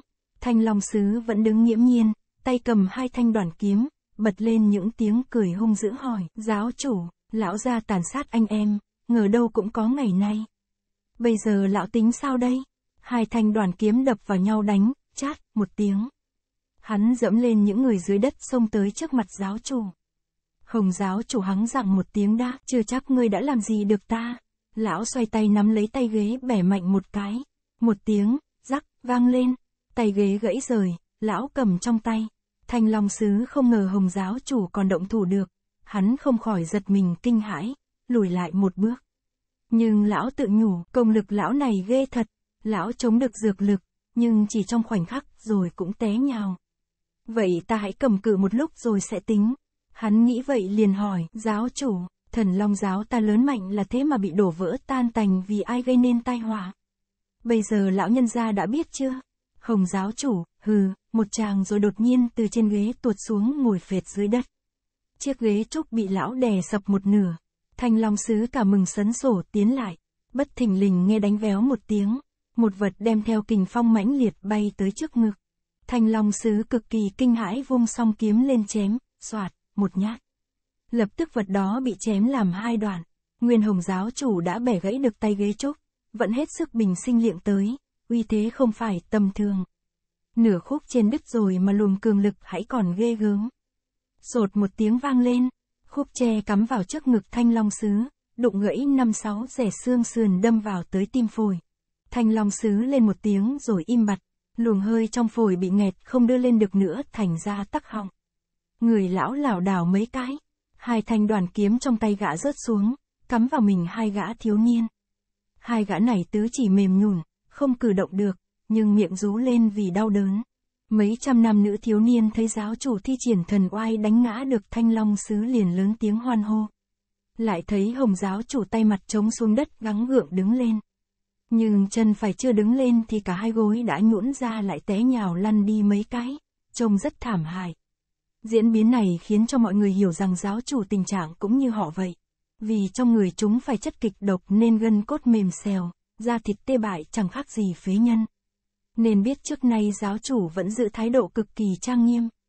Trước mặt giáo chúng ít khi lão nói một câu, tiếng cười thì lại càng hiếm lắm. Hiện giờ tình trạng lão khó coi thế này, dĩ nhiên luồng lực đạo trong mình mất hết. Mấy trăm giáo chúng trong nhà đại sảnh đều ngã lăn ra hết. Chỉ còn một người đứng ngay ngắn, người này thấp lùn thun, nhưng đứng giữa mấy trăm tên nằm lăn dưới đất cung chẳng khác gì con hạc cao nhất giữa đàn gà. Gã chính là Vi Tiểu Bảo, vì Tiểu Bảo người thấy mùi u hương xông vào mũi từng hồi khiến cho tâm thần khoan khoái, toàn thân ấm áp dễ chịu không bút nào tả xiết. Gã đưa mắt nhìn quanh thấy hết thảy mọi người đều nằm lăn dưới đất, gã tuyệt nhiên không hiểu tại sao lại xảy ra diễn biến này. vì Tiểu Bảo đứng ngẩn người ra một lúc, bỗng gã thỏ tay kéo Lục Tiên Sinh hỏi, Lục Tiên Sinh, người ta làm gì thế này? Lục Tiên Sinh càng thấy làm kỳ, ngập ngừng hỏi lại, công tử, Công tử không chúng phải chất kịch độc ư? Vì tiểu bảo cũng thấy thật kỳ quái, bèn hỏi lại, chúng độc ư? Tại hạ, không biết. Gã định đỡ lục tiên sinh đẩy, nhưng chân gã chẳng còn chút sức lực nào, đành ngồi phệt xuống. Lại thấy thanh long sứ một tay vịn cột mình lảo đảo như người say rượu. Lão ho không ngớt, lục tiên sinh hỏi, hứa đại ca, đại ca xử chất độc gì vậy? Thanh long sứ không trả lời, miệng làm nhảm, đáng tiếc, đáng tiếc, sắp thành công rồi lại hỏng, ta không làm gì được nữa rồi. Lục tiên sinh hỏi tiếp, hứa đại ca sử dụng, thập hương nguyễn cân tán, hay là, thiên lý tiêu hồn hương, hay là, hóa huyết hủ, cất phấn. Y hỏi liền ba thứ độc dược. Khi nói tới, hóa huyết hủ cất phấn, thanh âm y run lên, tỏ ra cực kỳ sợ hãi. Thanh Long Sứ bị thương ở lá phổi mé hữu nổi những cơn ho kịch liệt. Lục tiên sinh lại hỏi, tại sao vi công tử lại không trúng độc? À, phải rồi, y đột nhiên tỉnh ngộ. Hai tiếng, phải rồi, y nói rất lớn. Lục tiên sinh lại nói tiếp, hai thanh kiếm của đại ca đã bôi chất, bách hoa phúc xà cao. Diệu kế, thật là diệu kế, vi công tử, công tử thử ngửi thanh kiếm xem có mùi thơm không? Vì tiểu bảo nghĩ bụng, trên thanh kiếm có chất độc, ta đừng ngửi là hơn. Gã liền đáp, ở đây có mùi hoa thơm sực nức. Lục tiên sinh lộ vẻ vui mừng nói, phải rồi, Tứ bách hoa phúc xà cao này hòa với máu tươi bốc lên mùi thơm ngào ngạt. Nó là bí phát để luyện chế hương liệu, người thường ngửi vào chỉ thấy tinh thần khoan khoái. Nhưng bọn tại hạ ở trên đảo Linh xả ai cũng quyên uống rượu hùng hoàng để tránh rắn độc. Mùi hương này đụng vào rượu hùng hoàng làm cho gân cốt người ta mềm xèo, lâu đến 12 giờ cũng chưa tiêu tan. Hứa đại ca, đại ca làm như vậy thật là diệu kế. Trên đảo này cấm ngặt không ai được đem bách hoa phúc xà cao đến. Té ra đại ca đã chuẩn bị từ trước. Chắc là đại ca đã ba bốn tháng nay không uống rượu hùng hoàng. Thanh Long Sứ ngồi phệt trên mình hai gã thiếu niên lắc đầu nói, người tính không bằng trời định. Cuối cùng mình lại trúng phải độc thủ của Hồng An Thông. Hai gã thiếu niên thét lên, tên cuồng đồ này, người thật to gan lớn mật, dám đem cả thanh danh giáo chủ ra mà hô hoán. Thanh Long Sứ cười khanh khách, gắng gượng đứng lên. Hắn lượm một thanh trường kiếm chậm chạp bước đi từng bước tiến về phía hồng giáo chủ rồi lớn tiếng hỏi, danh tự hồng an thông không nói được ư, vậy bây giờ ta giết tên ác tặc này có được hay không? Mấy trăm nam nữ thiếu niên đều bật tiếng la hoàng. Sau một lúc Hoàng Long Sứ cất giọng khàn khàn đáp, đại ca, nếu mà đại ca giết được Hồng An Thông thì toàn thể anh em tôn đại ca lên làm giá chủ thần Long Giáo. Toàn thể anh em hãy hô lớn, chúng ta vâng lệnh của hứa giáo chủ. Một dạ trung thành, trong nhà đại sảnh yên lặng một lúc rồi có mấy chục người hô, chúng ta vâng lệnh của hứa giáo chủ, một dạ trung thành. Nhưng tiếng hô có người tỏ vẻ kiên quyết, có tiếng ra chiều miễn cưỡng, thành ra so le không đều nhau. Thanh Long Sứ chậm chạp bước đi được hai bước lại ho một tiếng. Người lão lảo đảo mấy cái cơ hồ muốn té. Thanh Long Sứ bị thương rất nặng mà miễn cưỡng nói ra miệng muốn hạ sát giáo chủ. Hồng phu nhân bỗng nổi chàng cười khanh khách nói, Thanh Long Sứ, khí lực đại ca đã kiệt rồi, cặp giò cũng không còn một chút hơi sức. Máu tươi trước ngực không ngớt chảy ra, chẳng còn bao nhiêu nữa là hết sạch, hứa đại ca không làm gì được đâu. Hãy ngồi xuống mà nghỉ kẻo mệt quá. Phải rồi, đại ca ngồi nghỉ một lúc chờ miệng vết thương chảy hết máu rồi đại ca chết đi cho được khoan khoái. Chết mà khoan khoái cũng là phước lắm, ngủ càng nói âm thanh càng ngọt ngào, dễ nghe. Thanh Long Sứ đi được mấy bước đột nhiên ngửa người ra té xuống. Hoàng Long Sứ lại lên tiếng, mê hồn đại pháp của phu nhân thật là uy lực vô biên.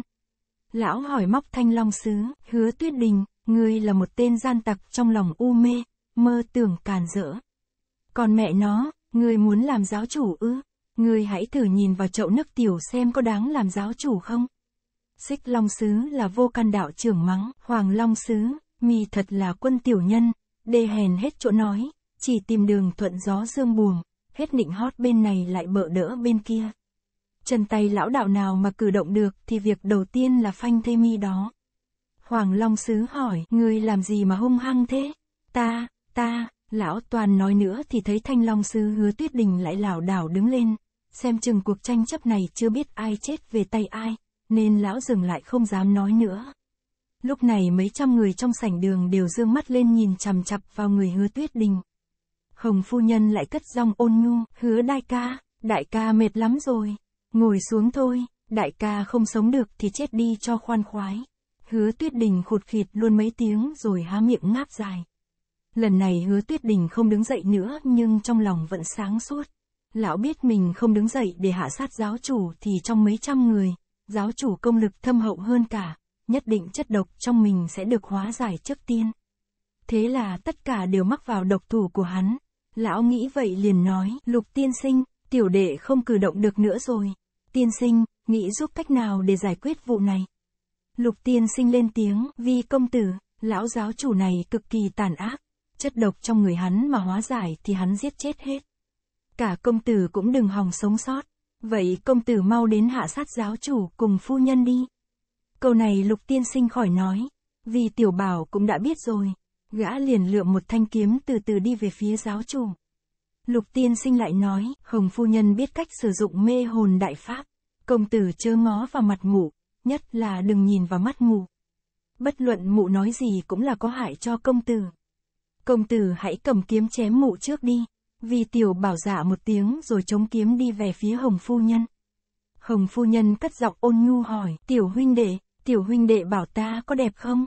Thanh âm mụ cực kỳ quyến rũ tưởng chừng làm cho người ta phải điên đảo thần hồn, gân cốt cũng nhún ngoài ra.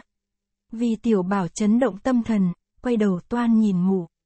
Quỷ tôn giả vội quát lên, đó là, hại nhân tinh, ngó vào không được đâu. Vì tiểu bảo run lên, Gã nhắm chặt hai mắt lại. Hồng phu nhân cười mát nói, tiểu huynh đệ, người cứ quay lại mở mắt nhìn ta. Trong mắt ta có hình bóng của ngươi mà. Vì tiểu bảo muốn mở mắt ra ngó, nhưng cố nhẫn nại giơ thanh kiếm lên trước ngực, tiếp tục đi về phía hồng phu nhân. Đột nhiên bên trái gã có thanh âm trong trẻo cất lên, hảo ca ca, không giết được đâu, âm thanh rất quen thuộc khiến vi tiểu bảo chấn động tâm thần, Gã liền mở mắt ngó về phía phát ra tiếng nói thì thấy một thiếu nữ mặc áo hồng nằm thẳng cẳng dưới đất. Cặp mắt cô xinh đẹp, cô chính là tiểu quận chúa Ngọc Kiếm Bình. Vì tiểu bảo giật mình kinh hãi, không bao giờ gã ngờ tới gặp cô ở đây, còn cô mặc áo hồng như thiếu nữ ở xích long môn thì không có chi là lạ. Gã vội cúi xuống đỡ cô dậy hỏi, tại sao muội muội lại ở đây? Mộc Kiếm Bình không trả lời vào câu hỏi. Cô nhắc lại, ca ca nhất định đừng giết phu nhân, mà cũng không hạ sát giáo chủ. Vì tiểu bảo lấy làm kỳ hỏi, muội muội quy thuận thần long giáo rồi ư? Vụ này là thế nào? Mộc Kiếm Bình toàn thân nhũn ra như người không xương. Cô tựa vào vai Vi tiểu bảo, cái miệng nhỏ bé kề vào tai gã khẽ nói, tiểu muội xin ca ca đừng giết phu nhân, cũng đừng hạ sát giáo chủ. Hảo ca ca, ca ca có chịu không? Sư thư hiện nay ở đây, y cũng cầu khẩn ca ca như vậy vi tiểu bảo chia tay cùng Mộc Kiếm Bình lâu ngày, nay được tái ngộ, lòng gã hoan hỉ vô cùng. Huống hồ chỉ mình cô nằm gọn trong lòng tấm thân mềm mại. Tài gã nghe những lời thánh thót thì còn cự tuyệt làm sao được. Gã khẽ hỏi, tiểu huynh mà không giết bọn họ đi, khi giáo chủ giải độc rồi lại giết ta thì sao? Gã ôm chặt cô vào lòng. Câu này gã nói rất khẽ vào bên tai cô. Mộc kiếm bình đáp, ca ca đã cứu mạng giáo chủ cùng phu nhân thì khi nào hai vị lại giết ca ca. Vì tiểu bảo nghe cô nói có lý, gã liền cho đây là cơ hội để lập công lớn, nhưng cũng nghĩ tới bọn ủy tôn giả, lục tiên sinh, vô căn đạo nhân tất bị giáo chủ hạ sát. Quỷ tôn giả và lục tiên sinh đã có chút tình hội diện với gã, khiến lòng gã cũng hơi áy náy. Còn vô căn đạo nhân là con người hào kiệt mà bị uổng mạng thì thật đáng tiếc. Gã nghĩ cách tốt hơn hết là không giết giáo chủ cùng phu nhân, đồng thời cứu mạng quỷ tôn giả mấy người. Lại nghe Mộc Kiếm Bình khẽ nói, chúng ta đều là thủ hạ của phu nhân, nếu Thanh Long Sư đắc thế lên làm giáo chủ thì tất phải chết hết. Vì tiểu bảo đáp, phải lắm, hảo hiền thê, ta nhất định cứu hiền thê. Gã nói rồi hôn vào má cô. Mộc Kiếm Bình thẹn mặt đỏ bừng lên, nhưng trong ánh mắt lộ vẻ vui mừng. Vì tiểu bảo ôm Mộc Kiếm Bình lên quay lại nói, Lục tiên sinh ơi, không thể hạ sát giáo chủ cùng phu nhân được. Trên bia đá có khắc chữ, giáo chủ cùng phu nhân chọn đời hưởng phúc, thọ ngang thượng đế. Khi nào tai hạ dám hại mạng hai vị lão nhân gia? Huống chi hai vị lão nhân gia thần thông quảng đại, dù ai muốn giết cũng không chết đâu. Lục tiên sinh trong dạ bồn chồn la lên, văn bia đó là của giả, chẳng có chi đáng kể. Công tử đừng nghĩ vơ nghĩ vẩn nữa, mau mau giết hai người đó đi. Không thì cả lũ chết không có đất mà chôn. Lục tiên sinh, tiên sinh chớ có nói những điều phản nghịch phạm thượng như vậy. Tiên sinh có thuốc giải không? Chúng ta mau mau hãy giải độc cho giáo chủ cùng phu nhân rồi hãy tính vậy. Hồng phu nhân dịu dàng nói, phải rồi, tiểu huynh đệ, kiến thức của tiểu huynh đệ quả nhiên siêu quần xuất chúng. Thượng đế phái một vị thiếu niên anh hùng là tiểu huynh đệ xuống trần để phò tá giáo chủ. Thần Long giáo được tiểu huynh đệ thật phước lớn tày trời. Mụ nói câu này tựa hồ tận đáy lòng phát ra, mặc dầu nó có phần tán dương một cách quá đáng. Vì tiểu bảo nghe lọt tai, trong lòng khoan khoái không biết đến thế nào mà kể. Gã cười đáp, thưa phu nhân, nhưng tiểu tử lại không phải người trong thần long giáo. Hồng phu nhân cười nói, trời ơi, tiểu huynh đệ còn quan tâm đến chuyện đó ư. Bây gì tiểu huynh đệ có thể gia nhập thần long giáo ngay. Chính ta đứng ra bảo đảm. Mụ quay lại hỏi giáo chủ, giáo chủ, tiểu huynh đệ đây lập nên công lớn như vậy cho bản giáo. Chúng ta để y lãnh chức vụ gì cho xứng đáng. Giáo chủ đáp, trưởng môn sứ Bạch Long môn trương trí linh phạm tội phản nghịch đã tụ hình rồi. Vậy chúng ta ủy nhiệm chàng thiếu niên này làm Bạch Long sứ là xong. Hồng phu nhân cười nói, thế thì tuyệt quá, tiểu huynh đệ, trong bản giáo trên hết là giáo chủ, thứ đến là ngũ long sứ, thanh, xích, bạch, hắc, hoàng. Trước nay chưa có ai vừa gia nhập bản giáo mà đã bước lên ngôi bạch long sứ ngay. Thế là giáo chủ đặc biệt tôn trong và trông cậy ở nơi tiểu huynh đệ. Tiểu huynh đệ, người họ vi, chúng ta đã biết rồi, còn đại hiệu là chi? Vi tiểu bảo đáp, tại hạ tên gọi vi tiểu bảo. Trên chốn giang hồ còn ngoại hiệu là tiểu bạch long. Gã nhớ nghịch trước Mao Thập Bát đã đặt cho ngoại hiệu này nên nói ra. Gã cảm thấy một nhân vật giang hồ mà thiếu ngoại hiệu là không đủ oai phong. Không ngờ cái ngoại hiệu đó lại đưa đến chỗ tương hợp với chức vị của gã hiện nay. Hồng phu nhân cả mừng nói, tiểu huynh đệ coi đó mà coi. Nếu không phải Đức Thượng Đế an bài thì sao lại có sự trùng hợp như vậy? Kim khẩu của giáo chủ đã tuyên bố quyết không có chuyện hối cải. Lục tiên sinh rất đổi bồn chồn, vội nói, vi công tử, công tử đừng mắc bẫy họ. Dù công tử lên làm bạch long sứ, nhưng một khi họ không ưa nữa là giết công tử dễ như chờ bàn tay. Bạch Long Sứ Trương Chí Linh vừa bị tụ hình là tấm gương sáng cho công tử đó. Công tử nên giết vợ chồng giáo chủ đi, rồi toàn thể anh em thần Long giáo sẽ tôn công tử lên làm giáo chủ là xong. Lục tiên sinh nói câu này khiến mọi người đều sửng sốt. Bọn ủy tôn giả, hứa tuyết đình, vô căn đạo nhân ban đầu cho là câu nói kỳ khôi ngoài ý nghĩ của mọi người, nhưng sau họ nghĩ lại. Nếu không tôn gã lên làm giáo chủ, thì trong thần long giáo chẳng còn chức gì cao hơn bạch long sứ. Tình thế trở nên rất nguy ngập, tính mạng mọi người ở trong tay gã. Chỉ có thế may ra mới dụ được gã hạ sát giáo chủ cùng phu nhân. Họ cốt sao qua khỏi bước nguy nan trước mắt rồi sau sẽ liệu. Họ cho rằng một thằng trẻ nít dù có lên làm giáo chủ thực sự cũng không thoát khỏi bàn tay quần hào lũng đoạn. Sau một lúc suy nghĩ mọi người đồng thanh hô, phải lắm, phải lắm, chúng ta tôn vi công tử lên làm giáo chủ thần long giáo. Vì tiểu bảo thè lưỡi cười đáp, tại hạ không làm giáo chủ được đâu. Các vị nói thế há chẳng khiến cho tại hạ tổn thọ. Và lại hành động như vậy là đại nghịch vô đạo. Bây giờ tại hạ tính thế này. Gã quay sang nói với giáo chủ cùng phu nhân, bẩm giáo chủ, thưa phu nhân, tiểu tử thiết tưởng chúng ta quay về sự hòa hảo là hơn. Câu chuyện bữa nay hai bên nhất thiết bỏ qua không nhắc tới nữa. Bọn lục tiên sinh, thanh long sứ đã mạo phạm giáo chủ, xin giáo chủ khoan hồng đại lượng tha tội cho họ. Gã lại hỏi, lục tiên sinh, tiên sinh hãy lấy thuốc giải cho mọi người uống, rồi toàn thể trên dưới trở lại tình hòa hảo há lại chẳng hay hơn ư. Hồng giáo chủ lên tiếng, được rồi, bản tòa ưng thuận như vậy. Bạch Long Sứ đã khuyên chúng ta trở lại hòa hảo cùng mưu đồ hạnh phúc cho nhau. Bản tòa vui lòng khoan miễn, nhất thiết bỏ hết mọi tội trạng bữa nay không truy cứu nữa. Vì tiểu bảo hỏi, lục tiên sinh, thanh long sứ, giáo chủ đã ưng chuẩn lời đề nghị của tại hạ. Thế là hay lắm rồi. Các vị còn muốn gì nữa? Lục tiên sinh thấy không còn cách nào thúc đẩy được vi tiểu bảo lại giết giáo chủ cùng phu nhân. Liền thở dài đáp, đã đành rằng thế nhưng giáo chủ cùng phu nhân, hai vị lão nhân gia có chịu tuyên lời trọng thệ thì bọn thuộc hạ mới tin được. Hồng phu nhân vừa cười vừa tuyên bố, Tô Thiên này quyết không truy cứu những việc bữa nay, nếu trái lời ước thì nguyện thân xa đàm rồng cho muôn ngàn con rắn cắn chết. Hồng giáo chủ cũng cất giọng trầm trầm tuyên thệ, thần long giáo chủ hồng mỗ nếu còn đem những tội trạng bữa nay của các vị lão huynh đệ ra thanh toán thì phải xuống đầm rồng để muôn ngàn rắn ăn thịt, mảnh xương cũng không còn. Thân xa đầm rồng để rắn cắn chết là hình phạt nặng nhất để trừng trị những người trong bản giáo phạm trọng tội. Mọi người thấy giáo chủ cùng phu nhân đã phát thệ thì dù có vì tình thế bắt buộc cũng không thay đổi được nữa. Lục tiên sinh hỏi, thanh long sứ, đại ca tính thế nào? Hứa tuyết đình chỉ còn thoi thóp thở, gắng gượng đáp, tiểu đệ không sống nổi nữa rồi.